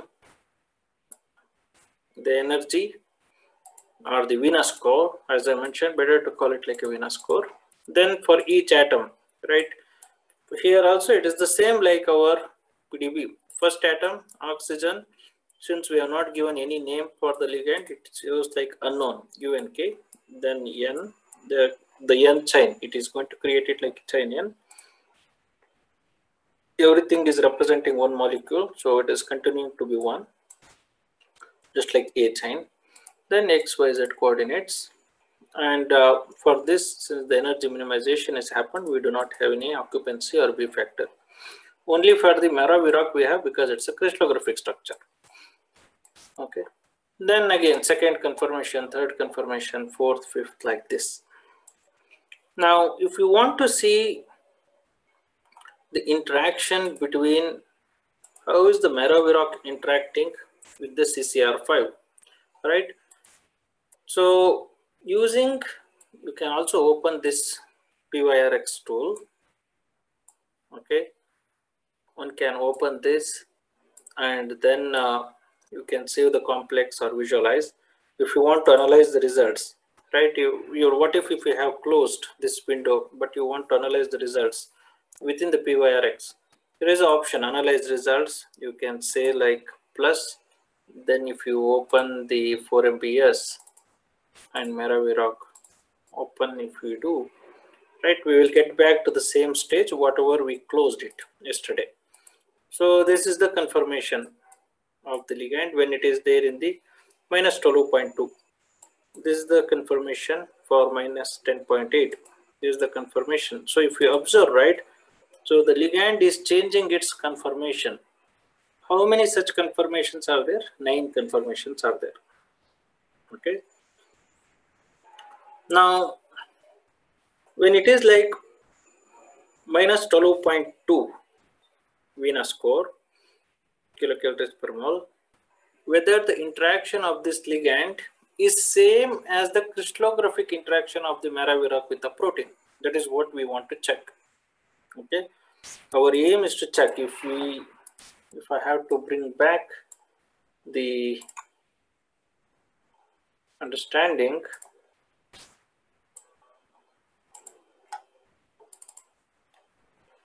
right this is what we discussed yesterday 4mbs which is the complex. Then we created this ccr5 protein only. Then maraviroc which was there within this 4mbs we separated it out. Then we used it as a ligand to do the docking. We wanted the vena score because from the pdb we won't get that one. When we performed the docking we got to know the uh, in MRV is interacting with the human CCR5, this energy minus 12.2 Vena score or energy.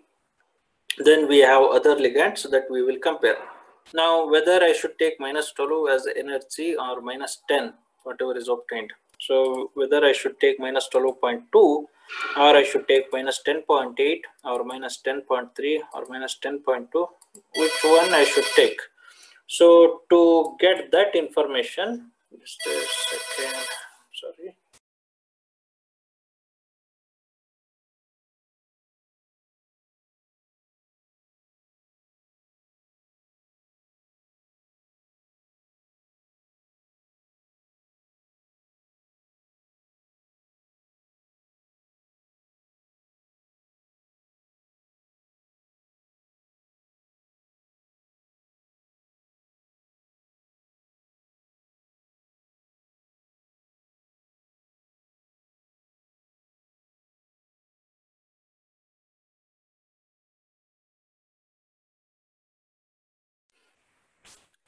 sorry for that. Now which one i should take? Whether minus 10.1 or minus 10 or minus 10.8 or minus 12.2 now why it has generated nine conformations it is because all nine are the possible conf- uh, conformations of this Maravi rock to interact with human CCR5 okay? So if i load the 4mbs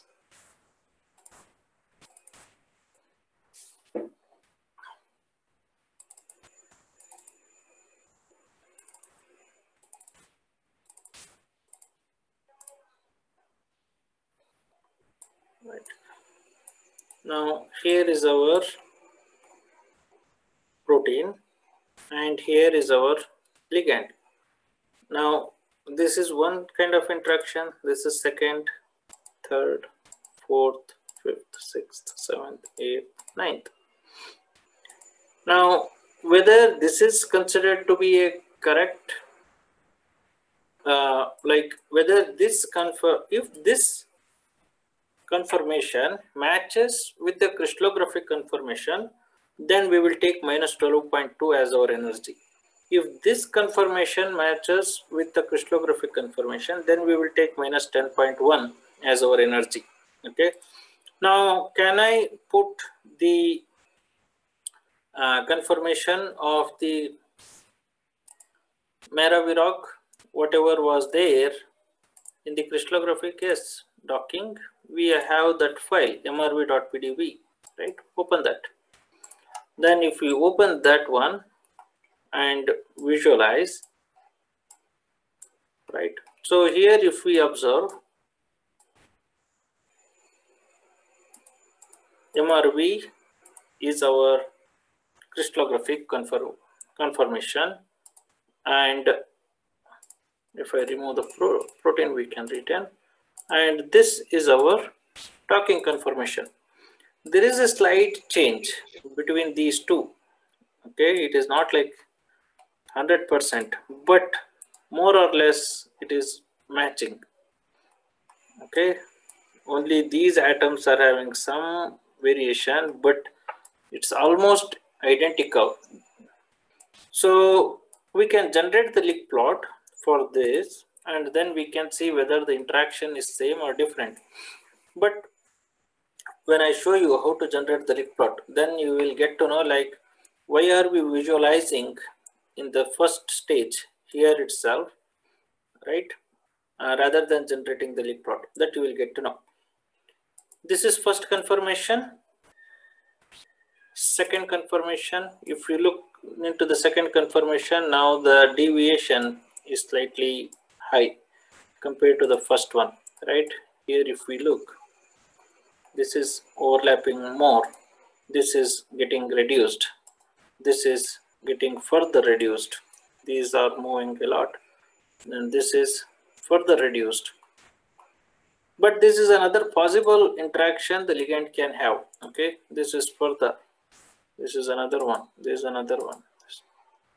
This is another one. Right now, if we look into the atoms are there in a completely different orientation. So this is not the right conformation, which is matching with the crystallographic. This is not matching with the crystallographic. This is not matching with the crystallographic. Not matching, not matching, not matching. Somehow matching, but between these two, minus 12.2 is matching a lot than minus 10.8. Okay. In your research, when you are doing, we may have a situation like the least energy may not be matching accurately. So if it is minus 10.8, which is matching, so go ahead with the minus 10.8. No, you don't need to take this minus 12.2. Okay. In few cases, even in many of my docking when I performed, these conformations will have a better uh, interaction than this. That means minus 12.2 may be having only hydrophobic interaction, but minus 10.1 may be having one or two hydrogen bonds. So if you want to consider even with hydrogen bonds, you will go with this conformation and then go for a study. But what is recommended is we need to analyze all nine conformations. Okay, then look in all nine conformations how many times to which particular amino acid the ligand is forming a hydrogen bond. In all nine conformations, if there is a fixed amino acid to which the ligand is forming a hydrogen bond, so that is given a highest priority, that it is preference to form hydrogen bond with that particular residue. That is how the interpretation. Now we want to see, right, whether the docked conformation is going to generate the similar kind of a Lick plot since there is small variation in few regions, right, between the crystallographic and this.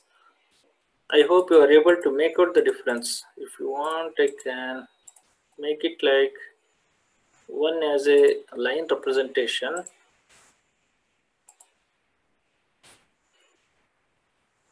I will remove this. Uh,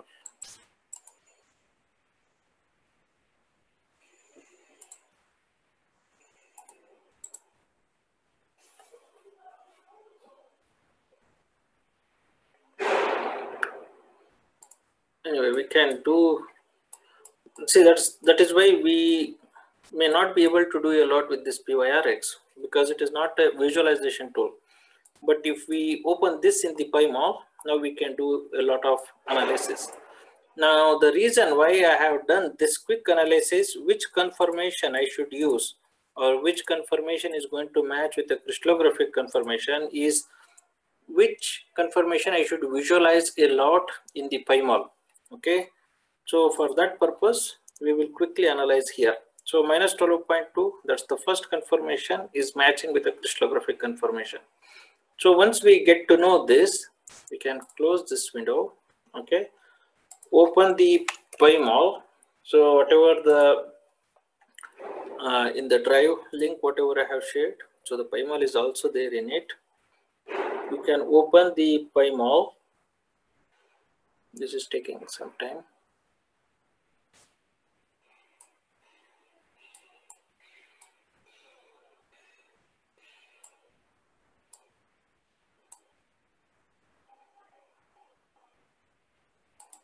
okay.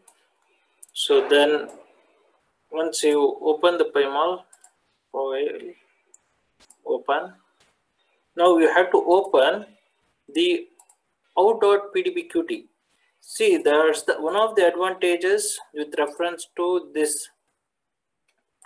new version of PyMol wherein we can read the output file of the VINA directly previously that was not the case. We were using the Autodoc tools, then load the protein, load the ligand, and then make it like one complex, then open in the PyMol or open it for the doc uh, LickProt. So that was a bit tedious process. But now the process is uh, optimized and we are able to open the doc file in the PyMol itself. Then go to users and then files are there within this macromolecules 4 MBS. We want to open MRV out.pdbqt. Open this. Okay, now we have the ligand file present here. If we want to see how is the now in the PyMol, we have an option to see all nine conformations. Right here, if you write, if you see the right bottom, one out of nine, then if you click this, so it will take to the second conformation.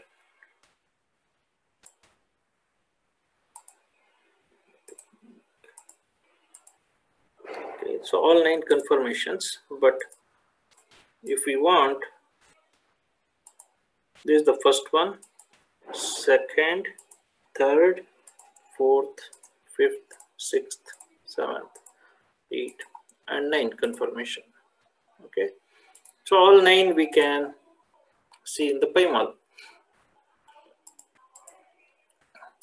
If we want to compare with the MRV, here also we can do.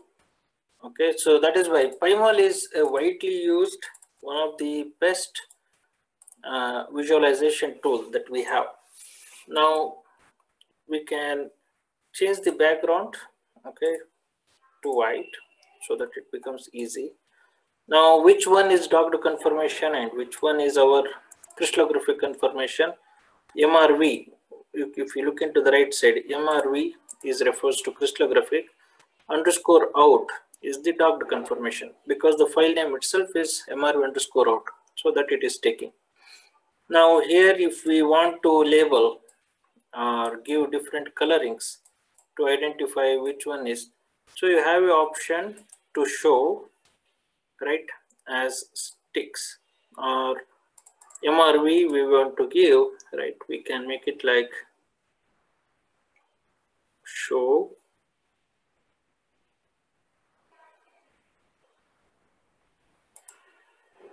dots.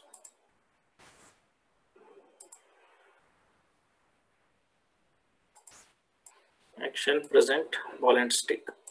So we have made the MRV crystallographic as ball and stick now. And the MRV dot out right we kept it as stick representation. Now which one is coming close to this? This is the first one. Second third fourth fifth sixth seventh eighth ninth. Right? So now we can easily identify. This is the closest one. We can also open the pdb file. So go for open. Okay always file open. And if we want to open the out.pdbqt we can go back to users username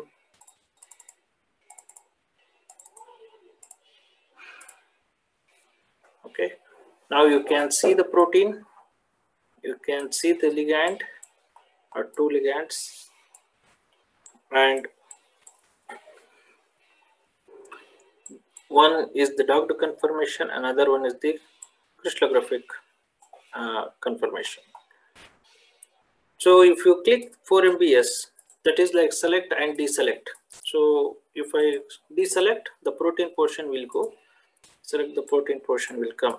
Okay that is how you can make the we will look into how to calculate the distances or energies all those things now. Since i know that the mrv out is close to mrv right? I will deselect the mrv retain only the mrv out and 4 mbs these two here.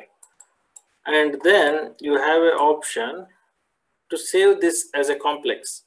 Now if I bring back our understanding, whatever we were doing, right? This is what we did yesterday. For MBS, we split into two files. One as protein.pdb, another one as mrv.pdb. Now to generate the lig plot, something like this, we need to have a single file, okay, single PDB file having a protein and ligand together. Okay, we need to have a single file having protein and ligand together. So to create that complex file, we can generate that complex file using PyMol. Okay, using PyMol itself, we can create that complex. Because from this, it is difficult to know to which amino acid the ligand is forming a hydrogen bond. Okay, to which particular amino acid the ligand is forming a hydrogen bond. There are some options. We can select and then say like uh, find polar contacts to any atoms and if there are hydrogen bonds it is going to show here. But there are, but it is still not clear with the hydrophobic interactions what all the other amino acids where the hydrophobic interaction is there. So one of the easiest method is open the complex in pymol both the protein and the ligand. Then go for file export molecule. Whatever you are seeing right that it is going to save. So my current because i have deselected few portion of the ligands. Like portion means i am not saving the crystallographic mrv i am deselected here. So whatever you select only the ligands or the coordinates it will save. It is not going to save these uh, polar bonds or other stuffs. Then file export molecule save. We want to save it in a pdb format. Then save this one. Either you can save it in your pyrx folder or you can save it in the docking folder that we have created. So here you save it as 4mbs underscore mrv underscore dot complex dot pdb okay so 4mbs mrv dot complex dot pdb if you want to be more specific you can say like first confirmation. Okay dot complex 1 dot pdb save. Because this is one if you want to save the second confirmation right if you go for second now if you want to save this one again you can go for file export molecule save select this PDB and change from 1 to 2. Then save this one. Second confirmation, third confirmation, fourth, fifth, sixth, seventh, eighth, ninth. Right? So let me save one more confirmation, ninth confirmation. So save PDB so that we can get to know how is the interaction variation happening. 9.pdb. Save. So in my our original docking folder, right, we will have now the three folders, three files being created. So when we started yesterday, we had 4mbs.pdb. Then we removed uh, MRV and uh, removed all the heteroatoms. We created this 4mbs underscore A. The MRV we created separately. Then we downloaded the 2D and the 3D of the two ligands. After docking, we saved this CSV file, comma separated file. The advantage of this particular file is if we open, we will get the ligand name and also the energy. Okay, so that is the advantage. This is for one ligand and its binding affinity. This is for the second ligand and its binding energy. This is for the third ligand Maraviroc and its energy. Okay, so we can save it as vinaanalysis.csv from the PORX. Now, the docked complexes, I am saving it. This is the first confirmation, second confirmation, and then the last confirmation or ninth confirmation. Now, I am interested to see the first confirmation, Maraviroc, right? This is MRV, Maraviroc first confirmation, how it is interacting with the protein. So to visualize that, we need the lig plot right? So the link plot I have already shared. So go to, if you have installed, right? So when you have downloaded, it may come something like this, click plus underscore new or whatever. Unzip that one. So you will have the files coming out like this. If in your computer Java is installed, you can see something like this. This is the symbol of the Java. If it is not getting like this, if the Java is installed, you can say like open with then Java platform. Now once you right click and say open in the Java, uh, it says like uh, okay, license has expired. Cannot run. So for others also getting the same error.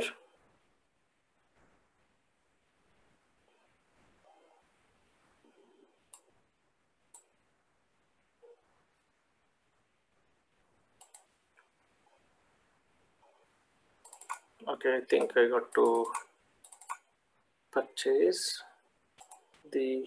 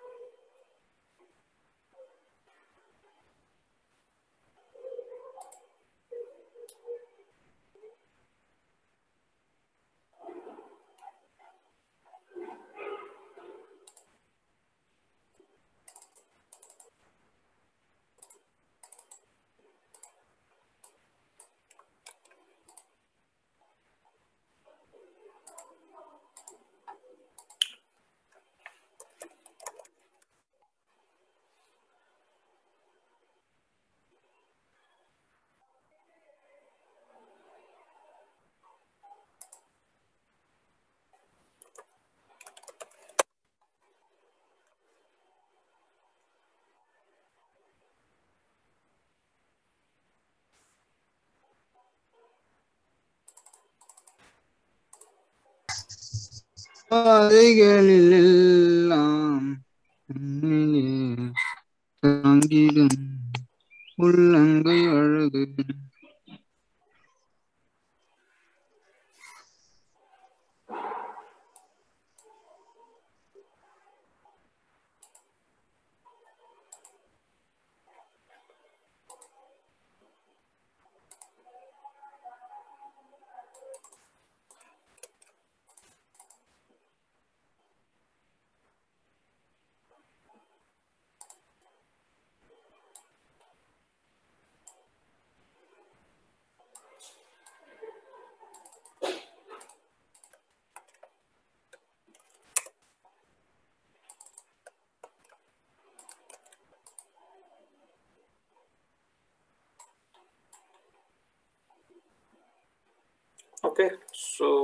I will share maybe can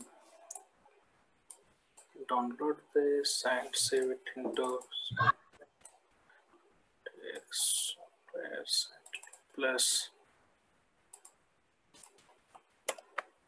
Maybe July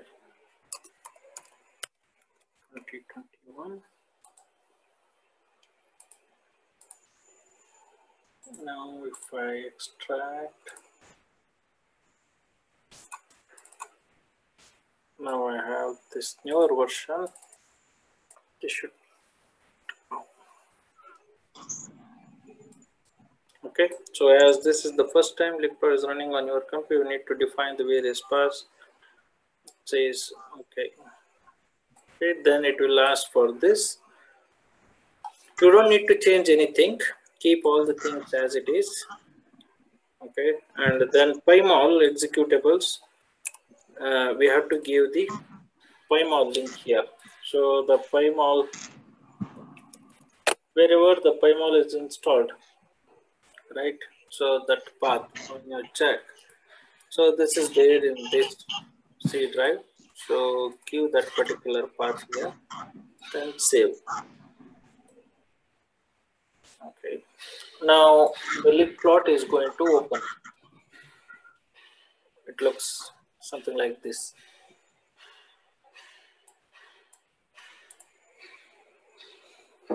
Now, this is how the homepage of the LibPlot looks like. We want we the only file that it accepts is the PDB file. Okay, it is not. Once we create the uh, plot, then we can save it as .drw draw file that file we can open it, open it again later. But the file that it accepts is the PDB. That is why I have created this PDB file, which is a protein ligand complex. First conformation complex, second conformation complex, ninth conformation complex. So if you have it in any other format, the lick plot is not going to identify, is not going to work. Then go for file, open PDB, browse, and all our files we can go to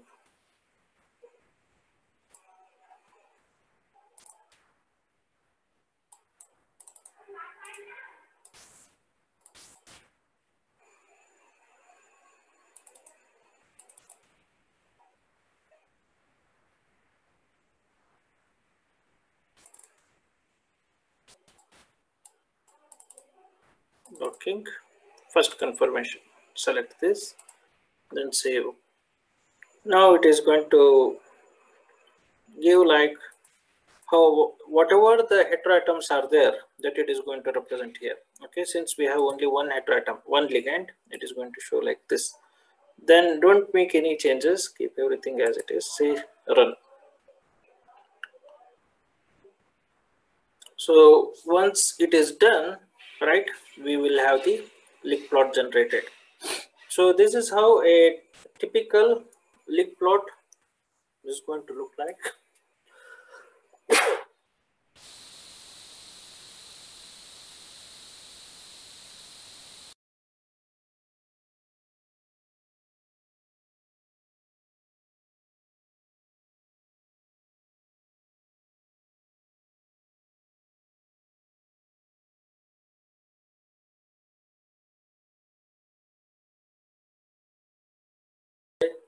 So in this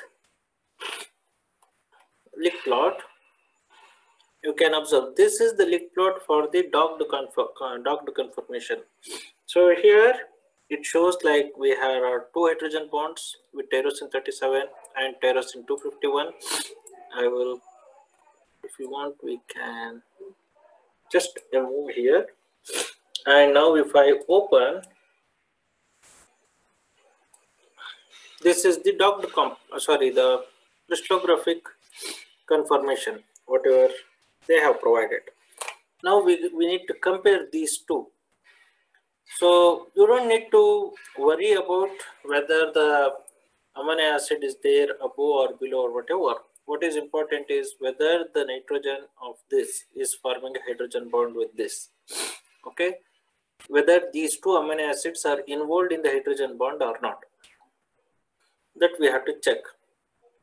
So the tyrosine 37 and tyrosine 37 is there, tyrosine 251 and then tyrosine 241, 251 yes.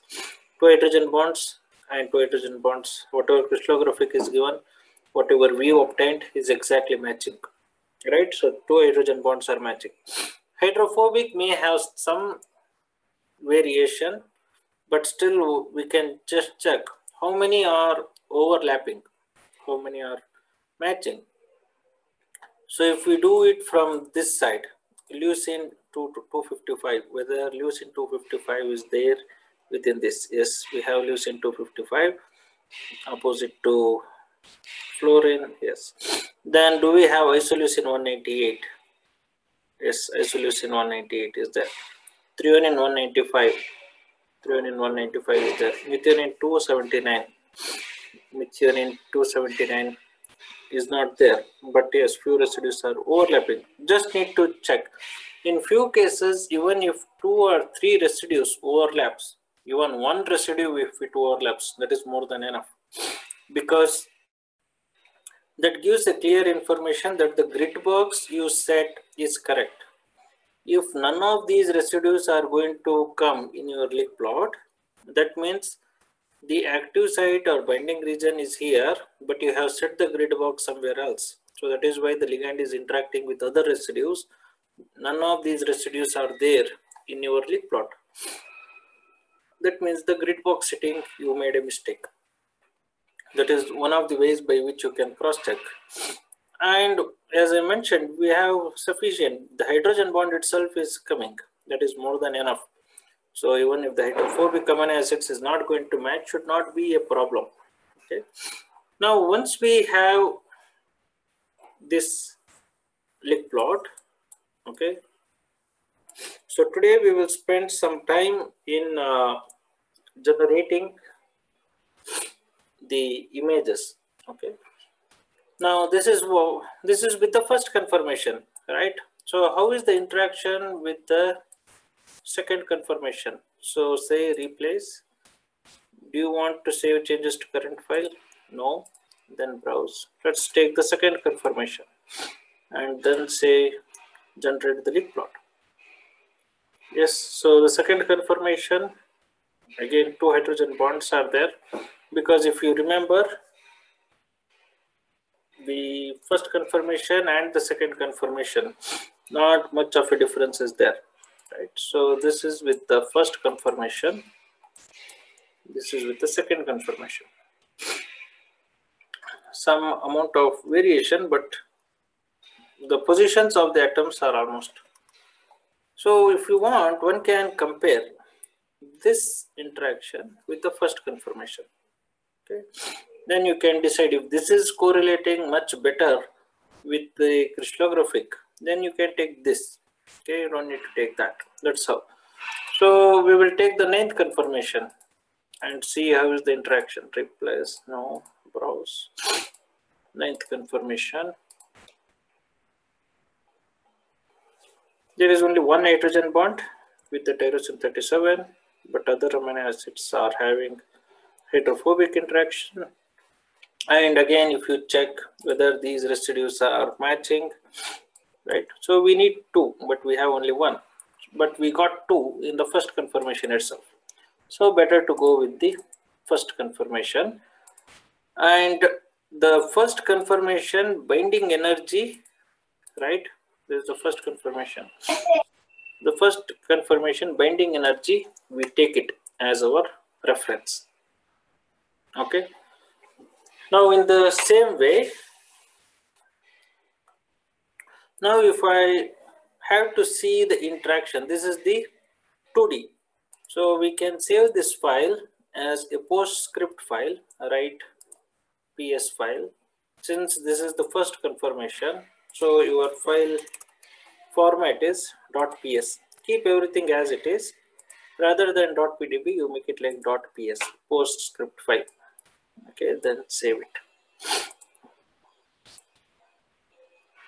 now if we want to see the three dimensionally how is this interaction happening with the protein? Click this pymol on the right side we have option like pymol you click pymol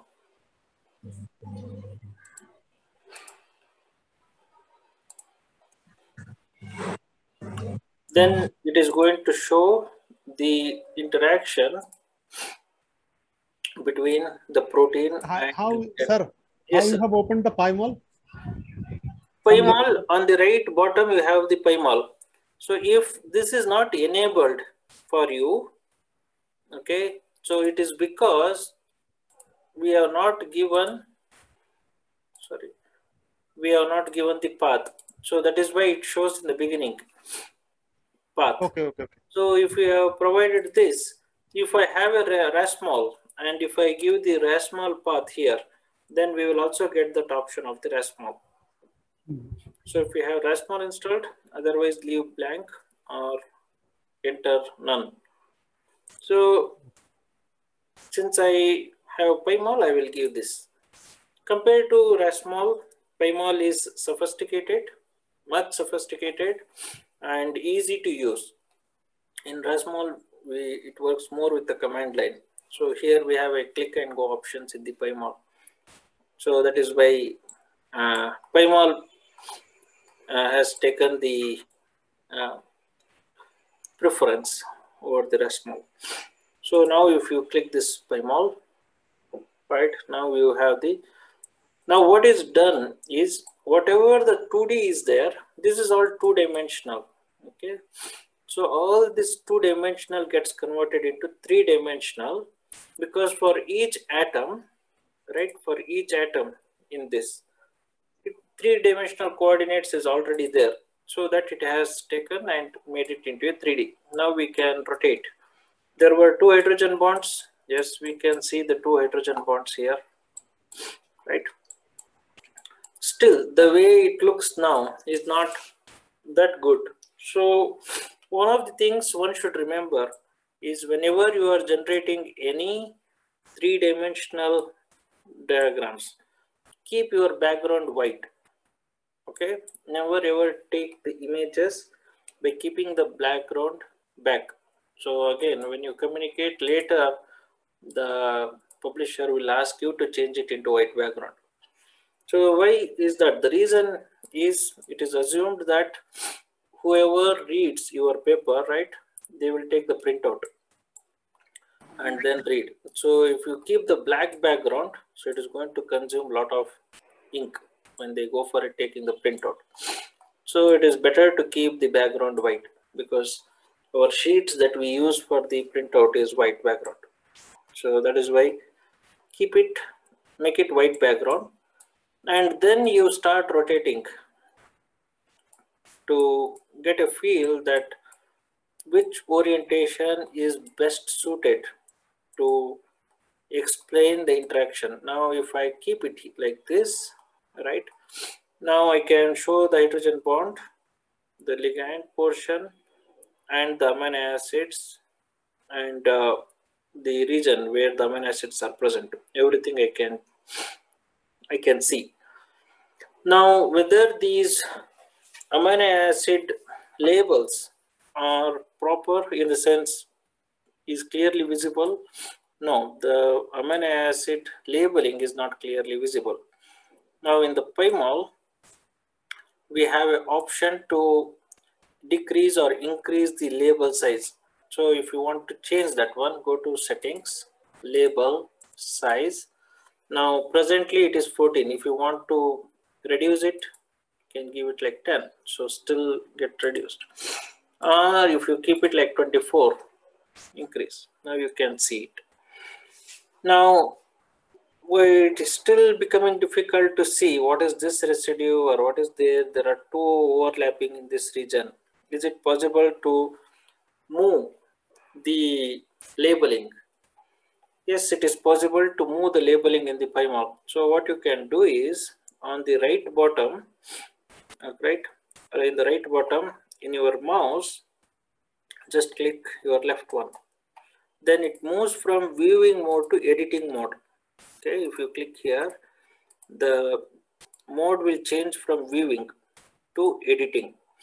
Once we get into editing mode okay so we can always move the labeling. This is solution I will show you how why it is showing so many solutions or the stuffs. Now tryptophan it is also coming out like this. So if you want keep it here. Glutamic acid. Keep it here. Right? This 3.15 make it a move here. This 3.24 you place it here whatever the redundancy is there right you you can move that residue so that the reader can easily identify or should be able to get to know which amino acid it is. Okay. Again, the PyMol itself is a wonderful tool. Okay, it takes a lot of time to uh, get familiar with this. But if you know what is the what are the possibilities, right? and that itself is more than enough you can always as i mentioned you can contact a person who knows with the PyMol and ask him like uh, please generate the image something like this and give it to me So life becomes very easy. You can, for all the amino acids, right, you can place them at a right location where readers can look into and uh, these are all here. I just moved a one fragment. Okay. Now, more or less, most of the amino acids are visible. So you can. This is a this is a long process. Okay.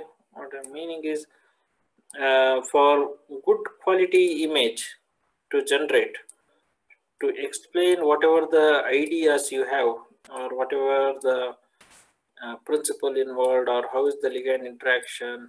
There are so many things you want to explain. So to explain all your concepts, right, whatever you have in a three-dimensional way, you may have to spend sometimes around three to four hours. Okay, so to get a good quality one image. So if you want to, if you want me to show some of such images,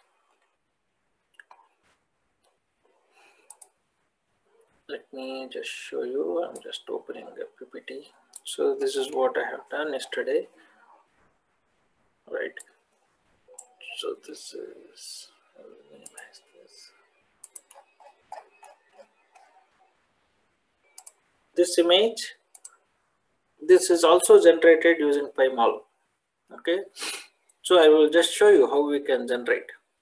Now to generate the this kind of image where what is the what is that I wanted to convince uh, to the readers is the ligand is interacting with these residues in, in the beginning in the dynamic simulation. Then after 5 or 10 nanoseconds of the time, the ligand moved from this portion to this portion. It flipped to this and continues to interact here. So initial interaction here with this histidine91, serine 89, lysine 111, right, aspartic acid or 61 these residues. Then in the loop region, we have methionine 67, which is having a flexibility. Then it moved from this region to another pocket and started interacting with these residues.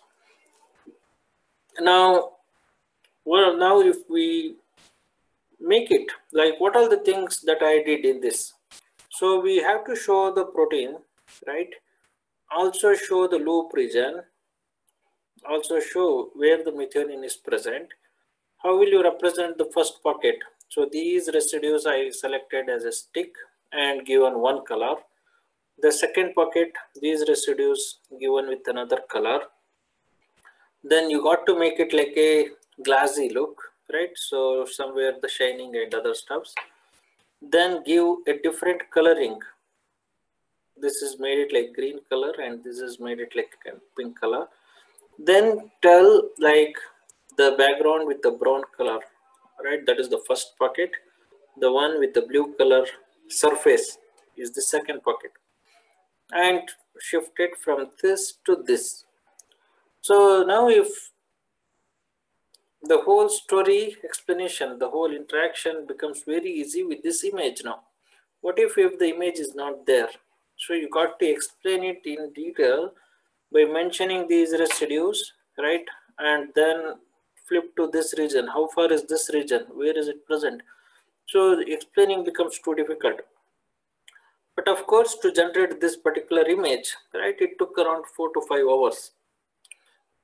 So in the same way, here I am just starting with this, but to have a good quality without having any of these backgrounds, something whatever we can see, right? Here also there are some residues. So to have a clear, uh, good quality image, so it is going to take, this is already there. So this is going to take around four to five hours. So each amino acid we got to look manually and place them in an appropriate place where, as I mentioned, the readers can see don't place it somewhere which is too difficult to and this is the hydrophobic there are two hydrogen bonds. This is first one and the second one right? So hydrophobic regions. Then once we have this okay once we have it like this what is the way by which i can save this file? So 3 is not clearly visible. Place it you can place it over here. Now once we have this then we have an option here on the right top. Draw or ray now what we can observe is these curves are not in a smooth way right? There is something like a cut. Now if i use this ray draw and give it something like usually the papers accepts 600 dpi so you can give that 600 dpi again previously this was a quite challenging task previous versions of the PyMol. We were using the trial and error uh, trial and error method. We are giving the height and the width and then checking. Sometimes this portion was covering, sometimes this portion was getting covered. So the entire protein coverage was a tedious process. But now we have an option here. We can just tell what we want. Previously, this option was not there. This was there. So we used to type this 6800 by 3347 or whatever. How will we get to know whether we should give this or this? That is what the challenge was. Just a second.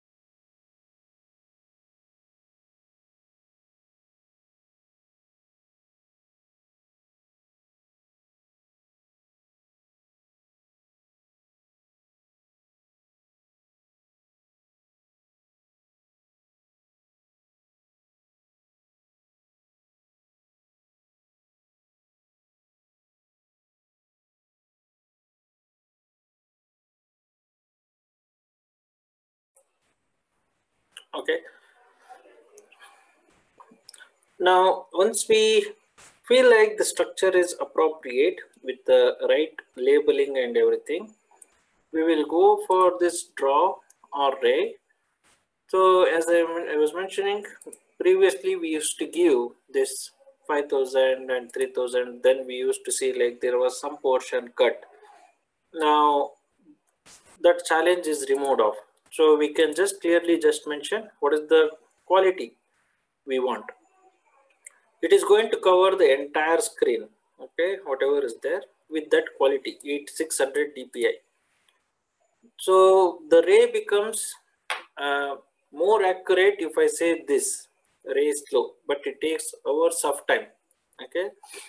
But if i say like draw fast so it is going to do the task bit fast but still the quality will be maintained around 600 dpi so say draw fast okay now it has captured and is showing the image here. Then you got to save save image to file.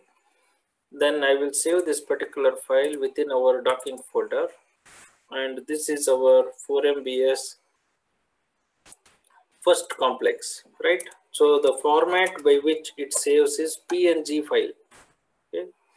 4MBS MRV docked complex 1 dot PNG. Then save. Now in our directory, we will have this PNG file, okay, which is around 2.8 MB. Now if we open this in any of our visualization tools, okay, Windows, photo viewer or whatever, you can see the three-dimensional structure. So why do we do with the 600 dpi is even if you zoom in right see the quality is still maintained. If i save the same image just to show you if i go for saving the same image let's say 90 dpi draw fast save. And i will save this one as underscore 90 dpi png and if we go for comparing the structure right it is just 2 not 1 kb and if i visualize this structure open with right now this is 90 dpi and this is 400 dpi okay. So if we just look into right quickly so the resolution goes bad. Just when we zoom in. But here when we zoom in the resolution is not getting affected so the quality is still well maintained. Okay. So that is why if i zoom in see already the 3.24 has become blurred. But here if i zoom in right so the 3.24 is still intact. So we can increase even the dpi okay. Look at the difference. How is the oxygen atom and how is here so that is why you it is recommended that you always save the file with 600 dpi okay that's the mandatory. If you want with a higher, let's say one can save up to like 1200 dpi also, but it takes more time. Let's say if I give 1200 dpi and draw more space, it is going to take. Let's save this one as 1200 dpi Sir, please repeat the step. Which one, sir? Draw array. Yes, sir. Yeah. Now I have saved it with 1200 dpi. Right now, if you look, the file size is 7 MB, 7.6 MB. 600 dpi is 2.8 MB. 90 dpi is just 200 KB.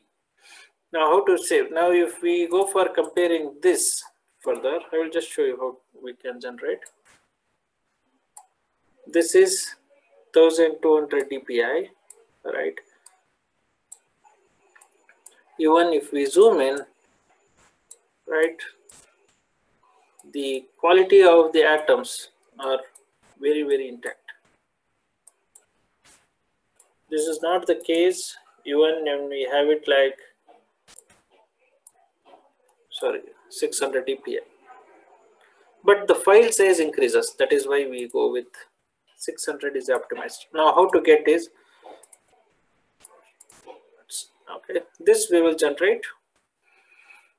And from this go to draw array okay you will get this option then within this option you can type or select if you type 600 sorry if you type 600 your 600 dpi image will be saved draw fast. Now, it's clear, sir, how to get this option? Yes, sir. Okay.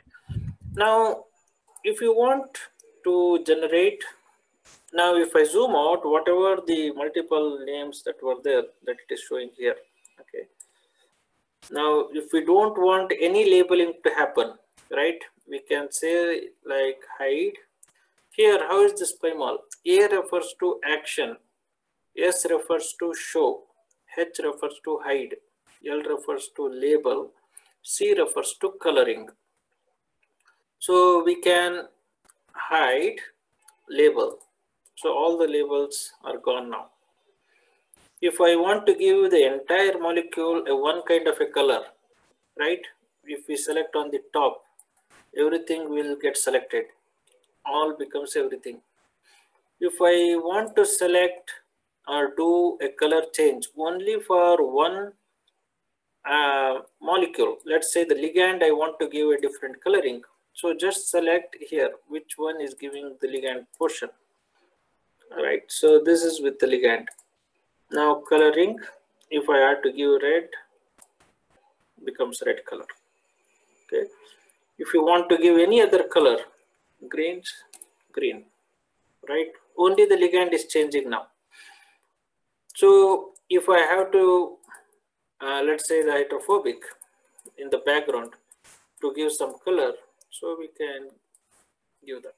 So these hydrophobic residues have become, all these are the hydrophobic residues. These two are the hydrogen bonded residues, right? So this, why we went from LigPlot and then moved it to uh, PyMol is, I don't need to select. So if you recall whatever we did, I can select the ligand even when I opened, then show action and then set like interactions. But it becomes too difficult to know which one is hydrophobic, which one is hydrogen bonded amino acid, all those things. But if we open through this LigPlot and then open the PyMol, so it is clearly differentiating. All these are the hydrophobic amino acids. Tyrosine 251 and tyrosine 37 are the two hydrogen bonded amino acids. These two are the two amino acids. Now, if you want to label, right, I don't want to label the hydrophobic amino acids. I want to label only the um, hydrogen bonded amino acids. So it's easy. You just select this amino acid, right? And you can also select this amino acid. These two are the hydrogen bonded residues. Now I want to give the label because labeling I have removed for everything. Then it shows SELE refers to selected. It has selected these two amino acids. Then I want to label, go for label, then say residues. Okay. Now we got these two residues labeling done. Again, if you want to put these labeling in a particular position, make it into editing mode, hold the control button and then place it. Right? It's very clear now. Now, the if you want to get the hydrogen bonding, right? Hydrogen bond wherever it is there.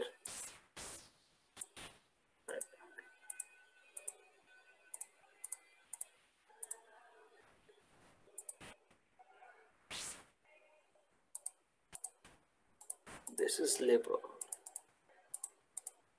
This is one, two, three hydrophobic. Now hydrogen bond label. This, sorry, uh, we should go back to viewing mode for everything. This is one, this is another one. Again, select it. Then say label and uh, if we say like the distance, we can get the distance. And if, if you think that the representation of the hydrogen bond is not proper, okay, right? If we look into, right, the representation of the hydrogen bond is not good or it's not very nice, in fact. So what we can do is we can select this, this we can remove, hide, whatever we have selected, we can say hide everything.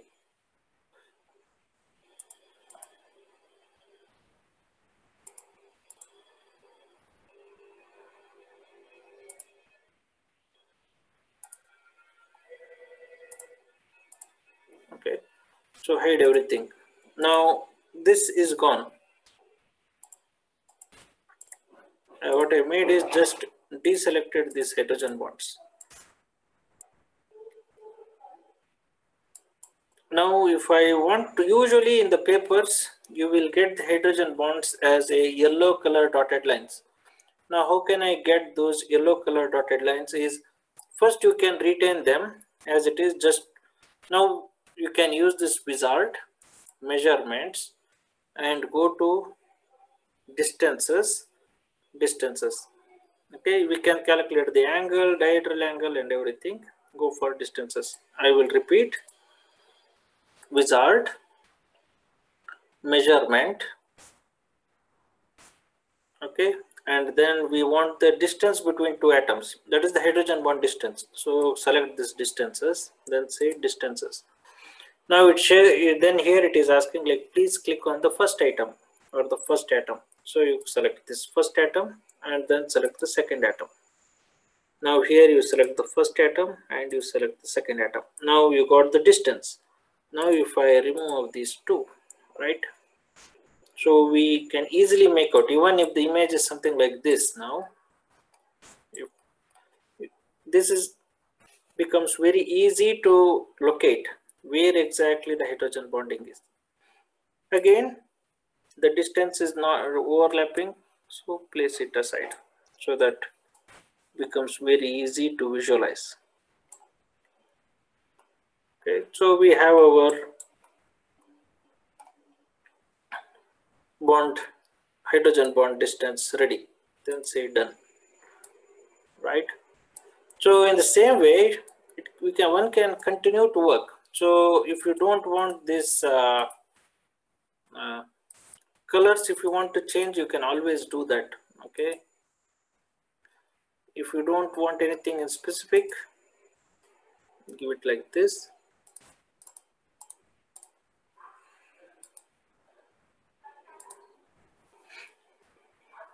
each atom coloring we can change okay? So that's the level by which we can work out.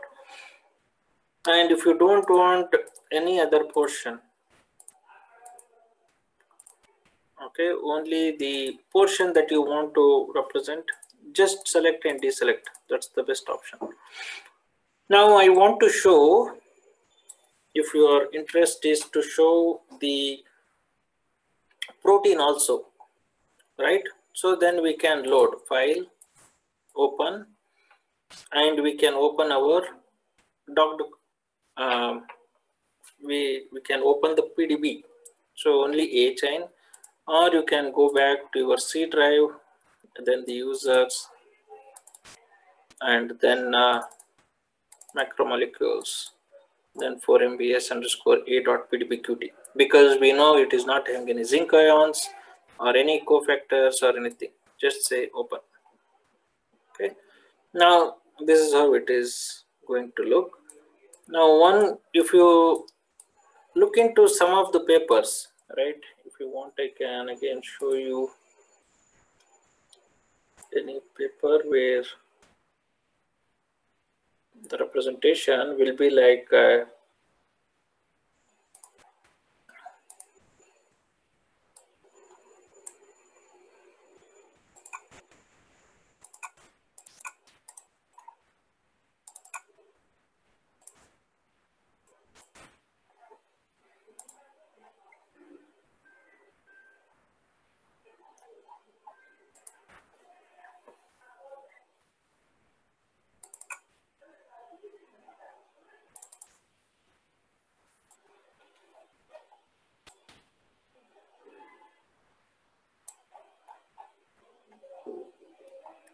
right so in few papers you would have observed something like this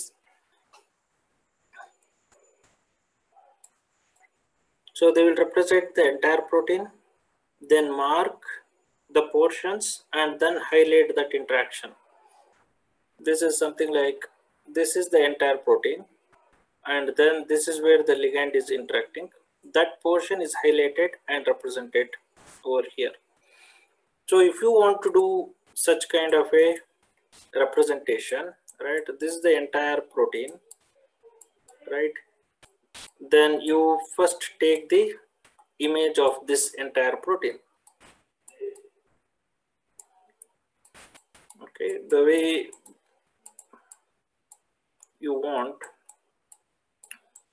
can make it. If you don't want any of these things to be represented in the first instance, you can deselect everything. Okay, you can just select this, showing where the interaction is, where the ligand is present, and where the protein is present. Then you are giving a hint that this is where the ligand is.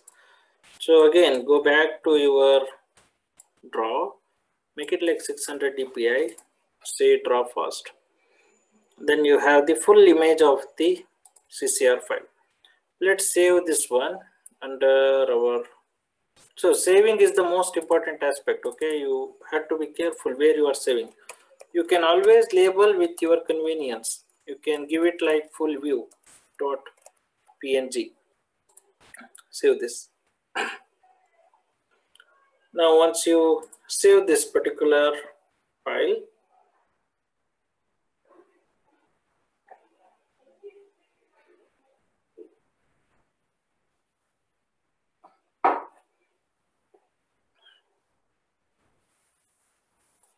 Okay, so once you save this particular file, you can always go back to your folder just to cross check whether the file got saved or not. Okay, just double click. Yes, so we have the full image. If you want, you can copy this. Okay, you can open one. Uh, I will also show you how you can prepare your own such images. Open the PowerPoint make it like a blank and first put this image. Okay then we can crop.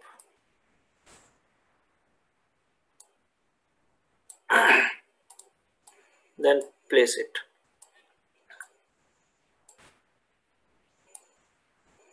Then we want to show this portion right? The interaction. Then you go back to your PyMol then you just select the region which you want to highlight. So deselect the protein. That's what the advantage is. Deselect this and select the entire region, whatever you are interested in. Then zoom this. If you want, you can further zoom in. Okay, so you can further rotate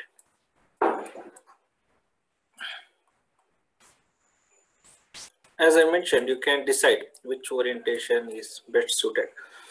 But most of the time, the thing is care should be taken that whatever the initial uh, image you generate, right, if it is something like this. So even when we deselect, we should continue just zooming in, okay? But if it is not possible by any of the means to zoom in and see, you can rotate, okay? That is not a problem then these two are highlighted deselect. Okay now we have a clear information. We have the residues representing and if you don't want this green color for the ligand right you can keep it like this or you can give like this. Okay so that if you keep it like green or one color we may not be able to know what kind of a atom is interacting. So usually in uh, nitrogen is given with the blue color oxygen red color okay? So if the coloring is not made this is how it will be. So the nitrogen to oxygen nitrogen to oxygen hydrogen bonding is there you can if you want to represent the ligand alone in a different representations okay? So you can always make it like present ball and stick okay when should we use such situations? Right, if you have that particular question, so maybe I will just show you another uh, situation where we had that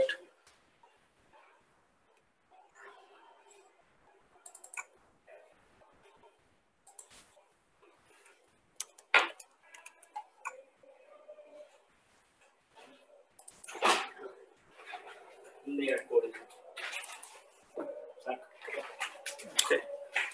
Yeah. So here in this particular paper, okay. So we generated this. I, have generated this one. Now, when will we have such situation? Or what I am explaining here is why I should make the ligand as a different different representation. Okay, I would have kept it as a stick representation only. But what if if you keep it as a stick representation, okay, and if you want, if you are asking the readers to take a color printout, okay, because your explanation, you are making it like the pink color represents the hydrophobic amino acids and the one with the silver color is the hydrogen bonded amino acids. And then in the center, the ligand is made it as a green color. So if this is the case, if you are telling, right, then the journal will ask you to pay for that color image. Okay, you got to pay for that. Now, one of the ways to get rid of that particular problem is use the representations. Okay, use the different representation options that are available. Rather than explaining it in the green color, you change this into a ball and stick model. Okay, make it into a ball and stick model. Then if you want, okay, specifically if you want, you change the, sorry, you change the ligands with a different representation, hide everything, make it like show lines, okay? Or make it like a line representation, for example. Then hydrophobic is stick, hydrogen bonded is line, ligand, ball and stick. Now, the reader is not required to take a color printout because he can easily identify the difference with reference to symbols. That is the ball and stick, you are made it like for the ligand. So you can easily make out where the ball and stick is, where the stick is, where the line is. So that was the problem. When we first generated this image, right, everything was there in a one type. Then they asked us to pay for the processing, pay for the coloring. Then we changed it. So what is that I made is, again, if you look, right, hydrogen bonded with the different. So then we have interaction of this ligand, naphthalidine, represented by stick. That is this stick representation for one ligand, after naphthalidine. And phylanthinin is another one, is represented by ball and stick at the active site of this protein using pymol. Hydrogen bond formation between the serine 280, right? So you can one can easily see where the serine amino acid is. Serine 280 of the protein ALK5 with phylanthinin because phylanthinin is a ball and stick.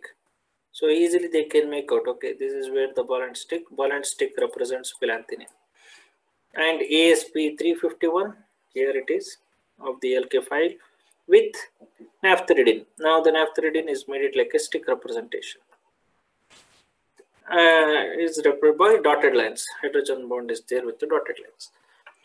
Now, if the if we do not use these options, ball and stick, stick, line, dot, then we may need to pay a huge amount basically in few of the cases to generate. So if we do not know that option of using the options, you got to pay.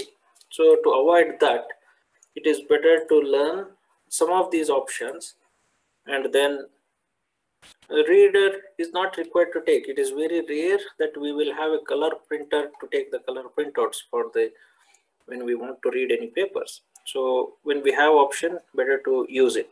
so that it makes life easy for the readers and also saves some of our money okay then you can highlight this now if you want to show the entire interaction like this but now i am not able to if you feel like this ribbon this is ribbon representation is covering a lot we have an option here to give a transparency for the ribbon itself. Okay. So transparency cartoon 80 percent. Okay. Now if i give you can see still the ribbon is present or the cartoon is still there highlighting the region where it is present. So you can again you can go back. See for one uh, good image you got to take multiple uh, images like this. Then one will decide which one is good. Okay then you can say like again uh, this is with the 600 dpi so interaction. You can give it like now the 600 if you are you familiar you just type 600 then type like with protein. Okay save this. Now the way it looks here in the PyMol and the way it looks when you open will be small difference. Okay? That is why you need to open every time. Now you are representing the entire protein in the background. You are representing the sticks where the hydrogen bond is there. Then these are the hydrophobic and here is the ball and stick representation with the hydrogen bond everything right? So it goes with the what do you if you feel like i don't want the ribbon to be there i want to make it like a surface just go for this and say surface. Okay now you can see the entire protein in the surface. I don't want any other things to represent. Deselect everything. Right? And the transparency is more for this uh, surface. Remove of the transparency for the surface. Make it like off. Now you can see the entire thing. Right? So this if you want you can rotate. Now you can see the hollow space where it is.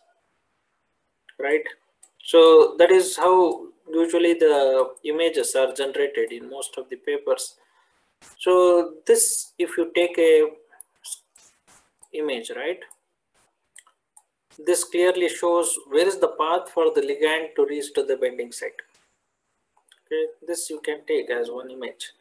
This becomes like one view then rotate 90 degrees and then take another image.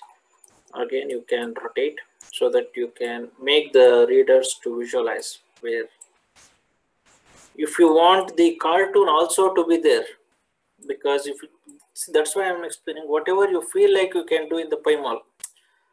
Uh, if somebody asks like what is the proof that this is the ccr5 so i will accept only if the seven transmembrane helices are there right? Then you make it like show cartoon right? And then setting transparency for the cartoon you make it like uh, 20% and give transparency for the surface 80% right? Now you can easily explain them. This is the molecular right if we want to remove the transparency for the surface make it 60 percent okay? Now now you can easily explain them. 1, 2, 3, 4, 5, 6, 7. 7 LSS are there. This is where the ligand is present right?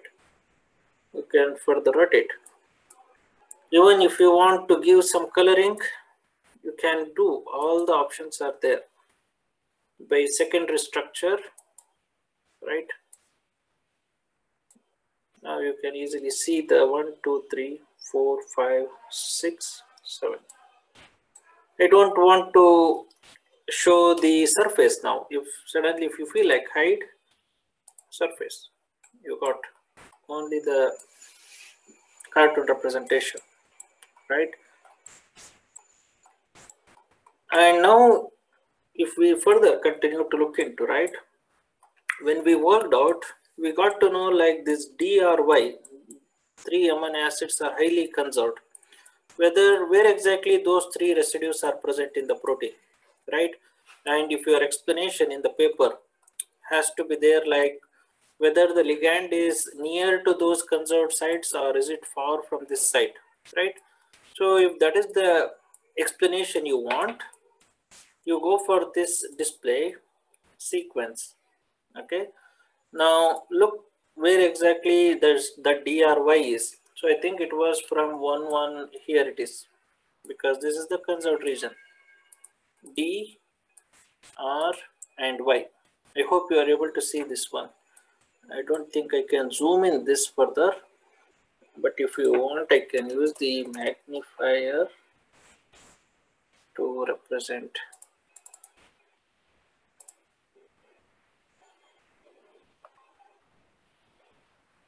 Right, so the magnifier, if I use, right, so this is the DRY, which is there in the position um, 122, 3, 4, 5, 6, 7.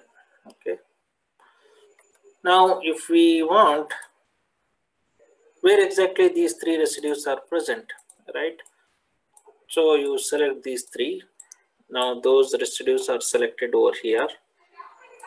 Make it like right click, show sticks, right? So the sticks representation happened. Now these three residues are present in this end and you can label them also. Label residues, right? Then this is where those three residues. A, R, Y, that is the A is the, sorry, DRY, aspartic acid, arginine and tyrosine. Y represents the tyrosine and their corresponding positions. Again if you if we look into this right so these three residues we are not able to explain it properly because the ribbon is overtaking. So transparency we cartoon give the 60 transparency. Now this is where the ligand is. This is where the three residues are. Right? Again if you don't the if you feel like the labeling is high go for label reduce the size to like 14 right and then if you feel like the labeling is not appropriate go for editing. Move these residues move the labeling so that uh, sorry. We can mutate the residues also okay? So that is also whatever i'm doing right? I'm changing the conformations i can do that okay? If it requires the optimization to happen that is also possible in the PyMol. so now if i zoom out right then we can see the ligand is interacting there the highly conserved portion is somewhere around here so that's the distance between these if we want to calculate the distance, we can calculate the distance also. So these are like this, whatever you want to explain with reference to the interaction, right? You can do. I'm just demonstrating some of the options. If your interest is to show the distance, again, go back to this wizard, make the measurements, go for distances, distance. If somebody asks like, or if you are interested to explain them, what is the distance between the atom and the arginine, right? So you can select this atom and then zoom in. What he wants is with the arginine, right? Select this. 25.9 angstrom is the distance. How far is the ligand from this arginine residue? Right, we can easily do this. And if if you want to check the angle, right, you can always calculate the angle also. So distances, just select like angles. And to calculate the angles, we need three atoms. Okay, so let us just, I will just show you as option here. what is the angle between these three atoms? So if that is the question, select this one, two, and three. 114.5 degrees is the angle between this. So if you do not want, delete last object. If you do not want this, select delete all measurements. Then everything gets deleted. So for whatever you want to explain, right?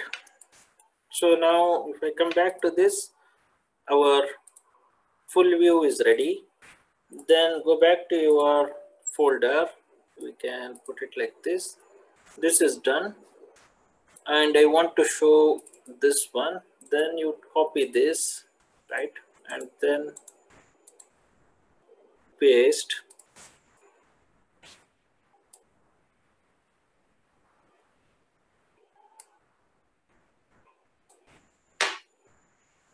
See, this image generation is a kind of a, skill only, okay? And uh, what all the things that is possible.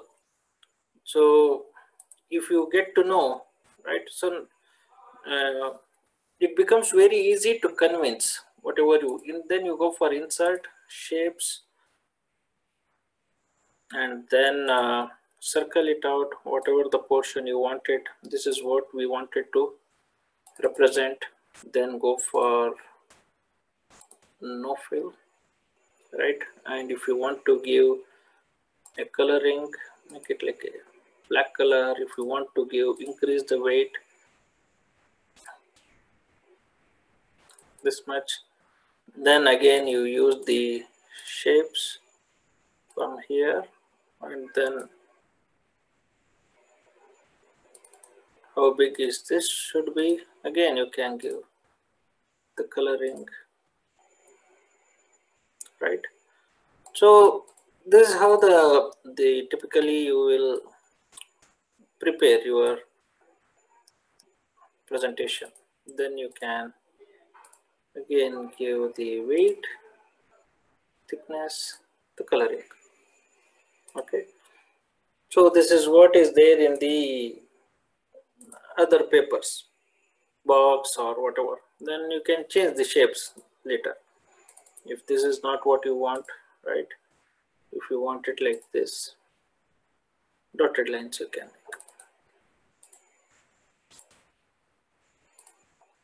even this i don't want uh, change the shapes. That's all that is all easy to do. Right if you want to put a box these things are fine actually. So you can put some box for this. If the ligand is interacting here right if uh, if we take another image then further zoomed position if you want to use then select another image. Again paste that one because the residue labeling is not there in this one but here we have residue labeling done. Again crop this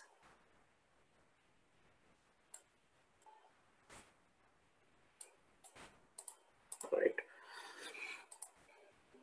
and then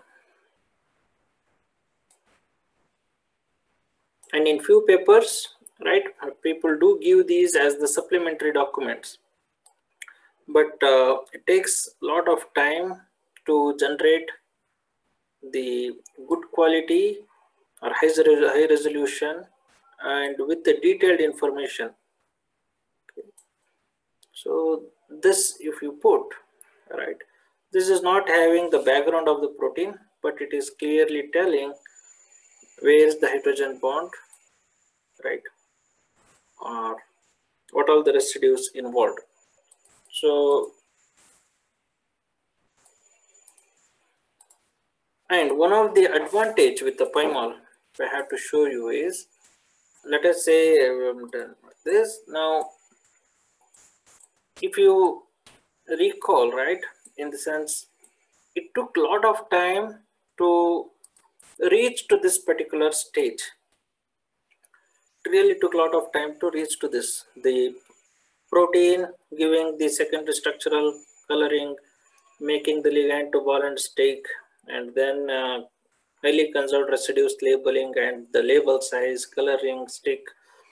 And if I close this, and if you ask me to come back to the same stage, right? What if if somebody asks, I have like, I will just come back to this. Okay. What if if the journal people ask, like, please don't give the structure with the labeling. Okay, that is what happened even in one of the cases. So you just give us the labeling because the font type that we have used is not supporting or is not what we usually use in our publication. So they said like, don't give me the structure with these labels, just give me without labeled stick representation. We will put the labeling with our own font, whatever they, uh, they have their uh, fixed font size for these residues. Then it is impossible to come back to the same representation because we have rotated multiple times. So in which direction I rotated and coming back to the same like this TRP86 to be there in this position, all those things or the orientation of these amino acids. So that becomes too difficult. So what one of the advantage that is there in the PyMol is let us say if I done this one, I have an option to save the session, save session, okay. And then let's say I will just save this one as 4 MBS full view, okay. And we will save it as .psc, by PyMol session file. Okay, 4 MBS, this is the full view. If you want to give anything specific like conserved residues, any- anything. Conserved residues information is also there. So your description can be as detailed as possible as long as you are able to identify what content is there in that particular file. Okay, so that is 4 MBS full view. But what if if I'm using with another protein, another ligand? So this is with 4 MBS, Maraviroc, full view with the conserved residue.pse. Save this. The moment you save this PSE, right, even if I close this by any chance, okay, I have this PSE file ready. So if I, but if I go for PyMol again, without this PSE file saved, if I open the PyMol, we will be from the beginning. Again, you have to start loading. That takes lot of lot of amount of time. So what is that usually recommended is the moment you feel like you have done some work and generated a quality of the images, and if you think this image may be required at a later point of time, save it as a .pse. Okay, make it like 10 or 15 PSE files, no issues. But only generating an image. The moment you generate an image, the best practice is the moment you generate the image, save the same file name .pse. Okay, because you will be communicating this to a journal and he will ask like make it the same representation but give the coloring as a secondary structure. Then if you have that PSE file, if I, if I open this again in the PyMol, right, I will get back to the same stage where I stopped. And if he asks like, don't give me with this uh, red color for the helices, please give me a different coloring, right? It is not difficult now. I can just change this one to like green and give. But generating or getting back to this stage is too difficult. So always save the file in .pse format. And for each protein ligand interaction, have as many images as possible like this. And then whatever you want to convey the message, put that one in the PPT like this. Then you can save this as an image and share it or in, in many cases, uh, even they can, the publishing house will do the other aspects like CorelDRAW or Photoshop or enhancing the quality, few of the aspects. But the resolution, they cannot do anything. So you have to have a high resolution image. That's the constraint. once you have a good resolution image, anybody can help you. But if the quality of the image is poor, nobody can enhance the quality of the image. That uh, that is why 600 dpi acts like a standard.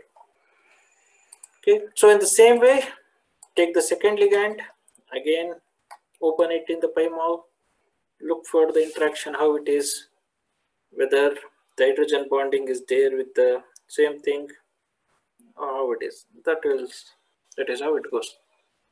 So any doubts with whatever we discussed so far?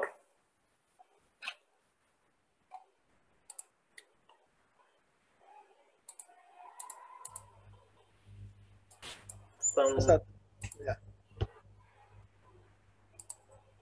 Singh sir, please ask. yes, sir. No, no, Singh sir, what? Yes, sir. No, sir, there is no doubt. You have Okay. explained very nicely. Just I have to practice it more. Yes, sir. So that, yes, yes, yes. so so- I will be- Yeah.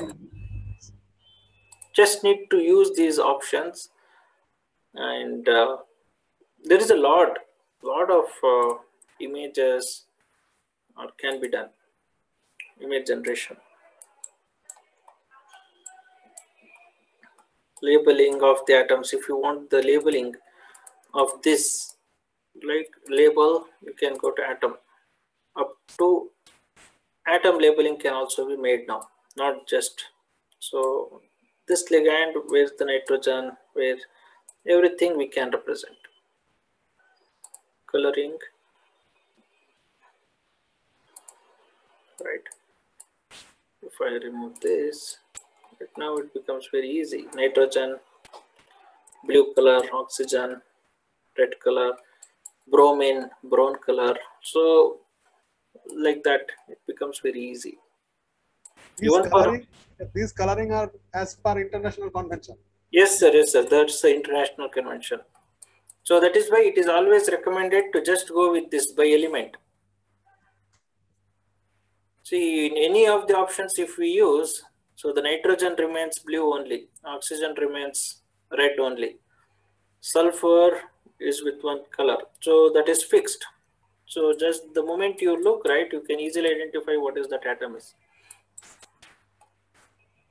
Thank you, sir.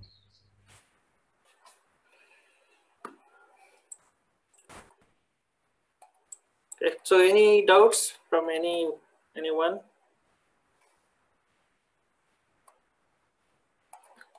So this is the post docking analysis, what I discussed. So to do all these analysis, right, uh, it is required to understand about the protein first. Since we have discussed from the beginning about the human CCR5, right, we know why we selected these three residues because prosite we did. So where we got to know like arginine is highly, highly conserved. So if we do not know about the protein, then we may not be able to do any analysis. Okay. So the moment we know where is the extracellular, where is the intracellular, where is this residue, where it is interacting, how many helices, all those things we know now. So it becomes very easy to generate the image and convince the message. Sir, can we use UCSF Chimera with leak plot or not? In the leak plot, uh, they are not given the option. Only Rasmol or Pymol? Yes, Yes, the smaller payment. Once we have the complex, right, that complex we can use it in the VMD or Chimera or uh, uh, Discovery Studio, and we can see the different uh, pi-pi interactions or whatever. But uh, again, taking into consideration of different programs, uh, Pymol again is the good one. In most of the publications, uh, you can see it generated through Pymol.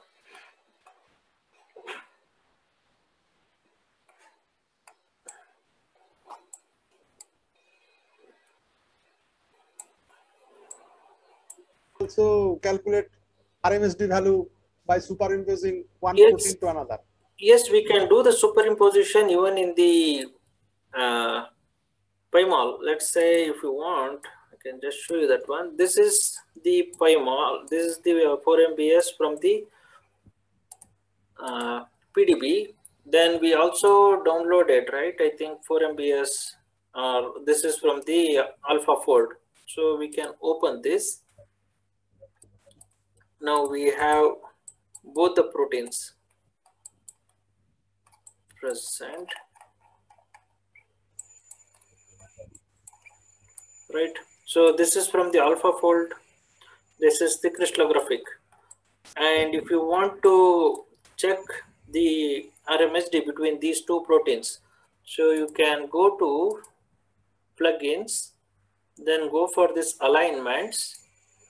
And then in this alignment, what do you want to compare? If I keep it like, keep it default and then say, okay, both the molecules will get compared. Okay, so the superimposition happened between these two proteins. You can make it right, both joined together. Now, this is how the superimposed structure looks like. If you want, uh, again, you can give one the crystallographic as green and the alpha fold structure as red. Since uh, the transparency is given, so if we remove off the cartoon transparency off, right? Now you can easily see the difference that is there between. What is the RMSD between these two from the alpha fold and uh, we will have it here. So the RMSD between the AlphaFold structure and our model structure for MBS is 7.45. 7 angstrom deviation is there between these two. That Now why? Yes. geometrical difference. Yes. So why it is because this region is full is not folded. The red is the alpha fold, and uh, this portion is further extended in the alpha fold, but here it got stopped. Why it got stopped? Because it is not completely crystallized, right? So even if you want to know the position, right? If you just click over here on that, it is going to tell this is the 313 position glycine 313 position but it is sorry but here it got extended and generated entirely that is the 352 residue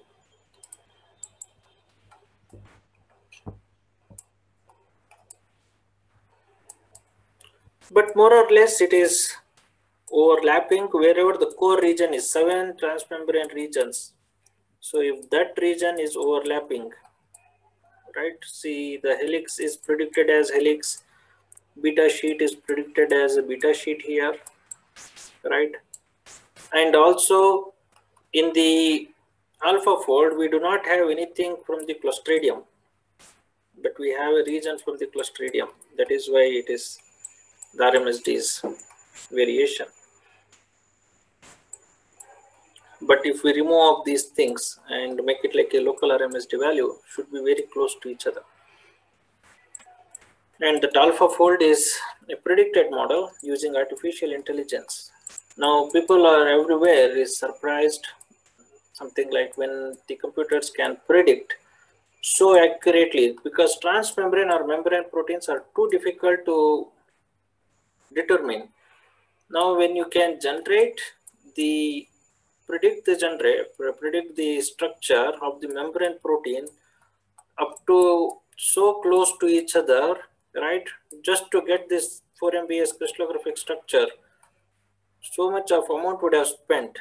Cloning expression purification crystallization determination synchrotron usage all those things if you think. But AlphaFold which is just predicting the structure so close to each other just with 7 angstrom variation right? So and for all the proteins we are getting now for almost all the proteins we are getting the 3d structure. So there is a huge discussion that is there with the structural biologists whether the crystallography will retain or whether that becomes like an absolute field, right? Because when you can predict so close to the experimental, right? So why should you go for, see the folding, everything that it is making. Even now in the UniProt, if we type, right?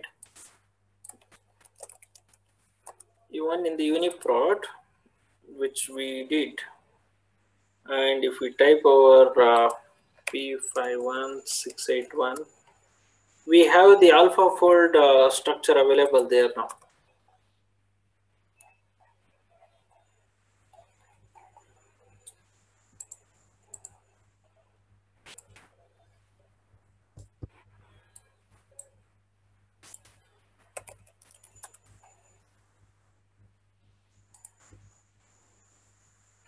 So that means it is accepted.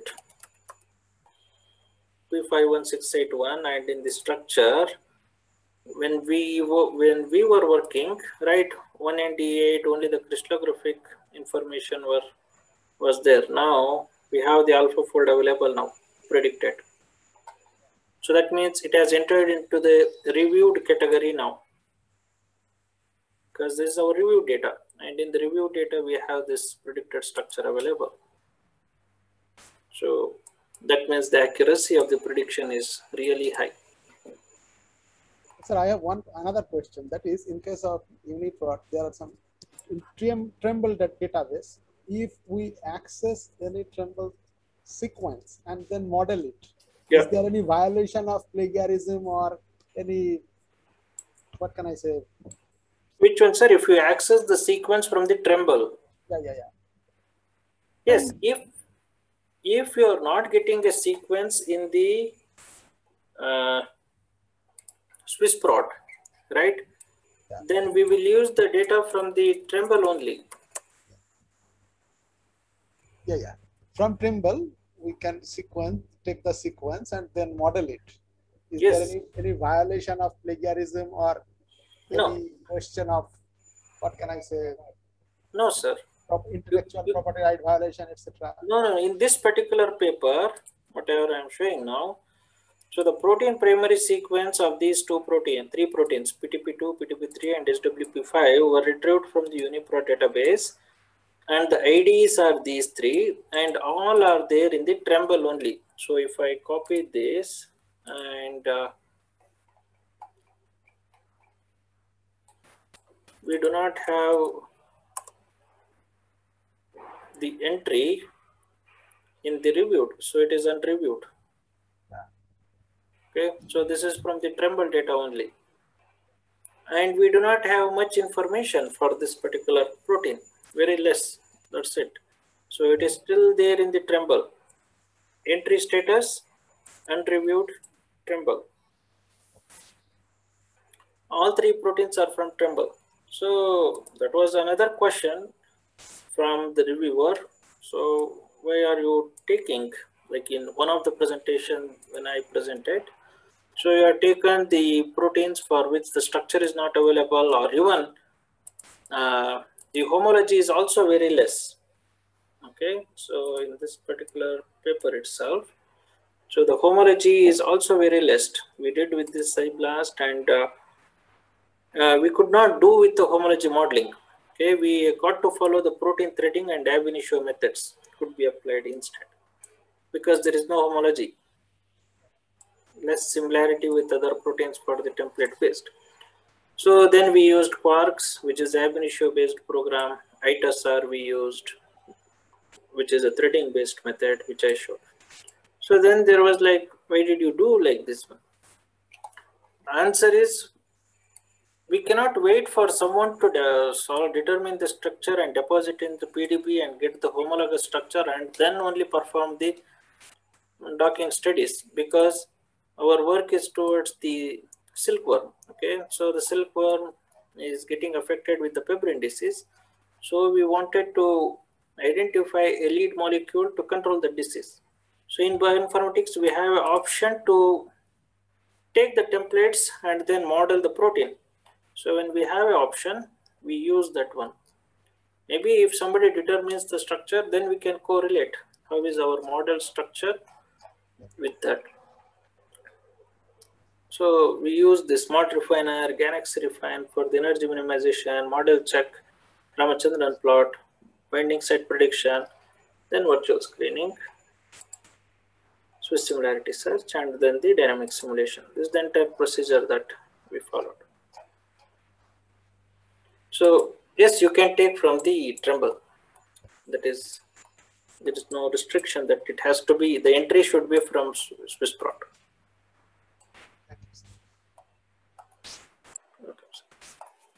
Any, if there are no doubts, uh, then maybe we will stop it here and then uh, uh, we will do with the protein protein interaction maybe tomorrow.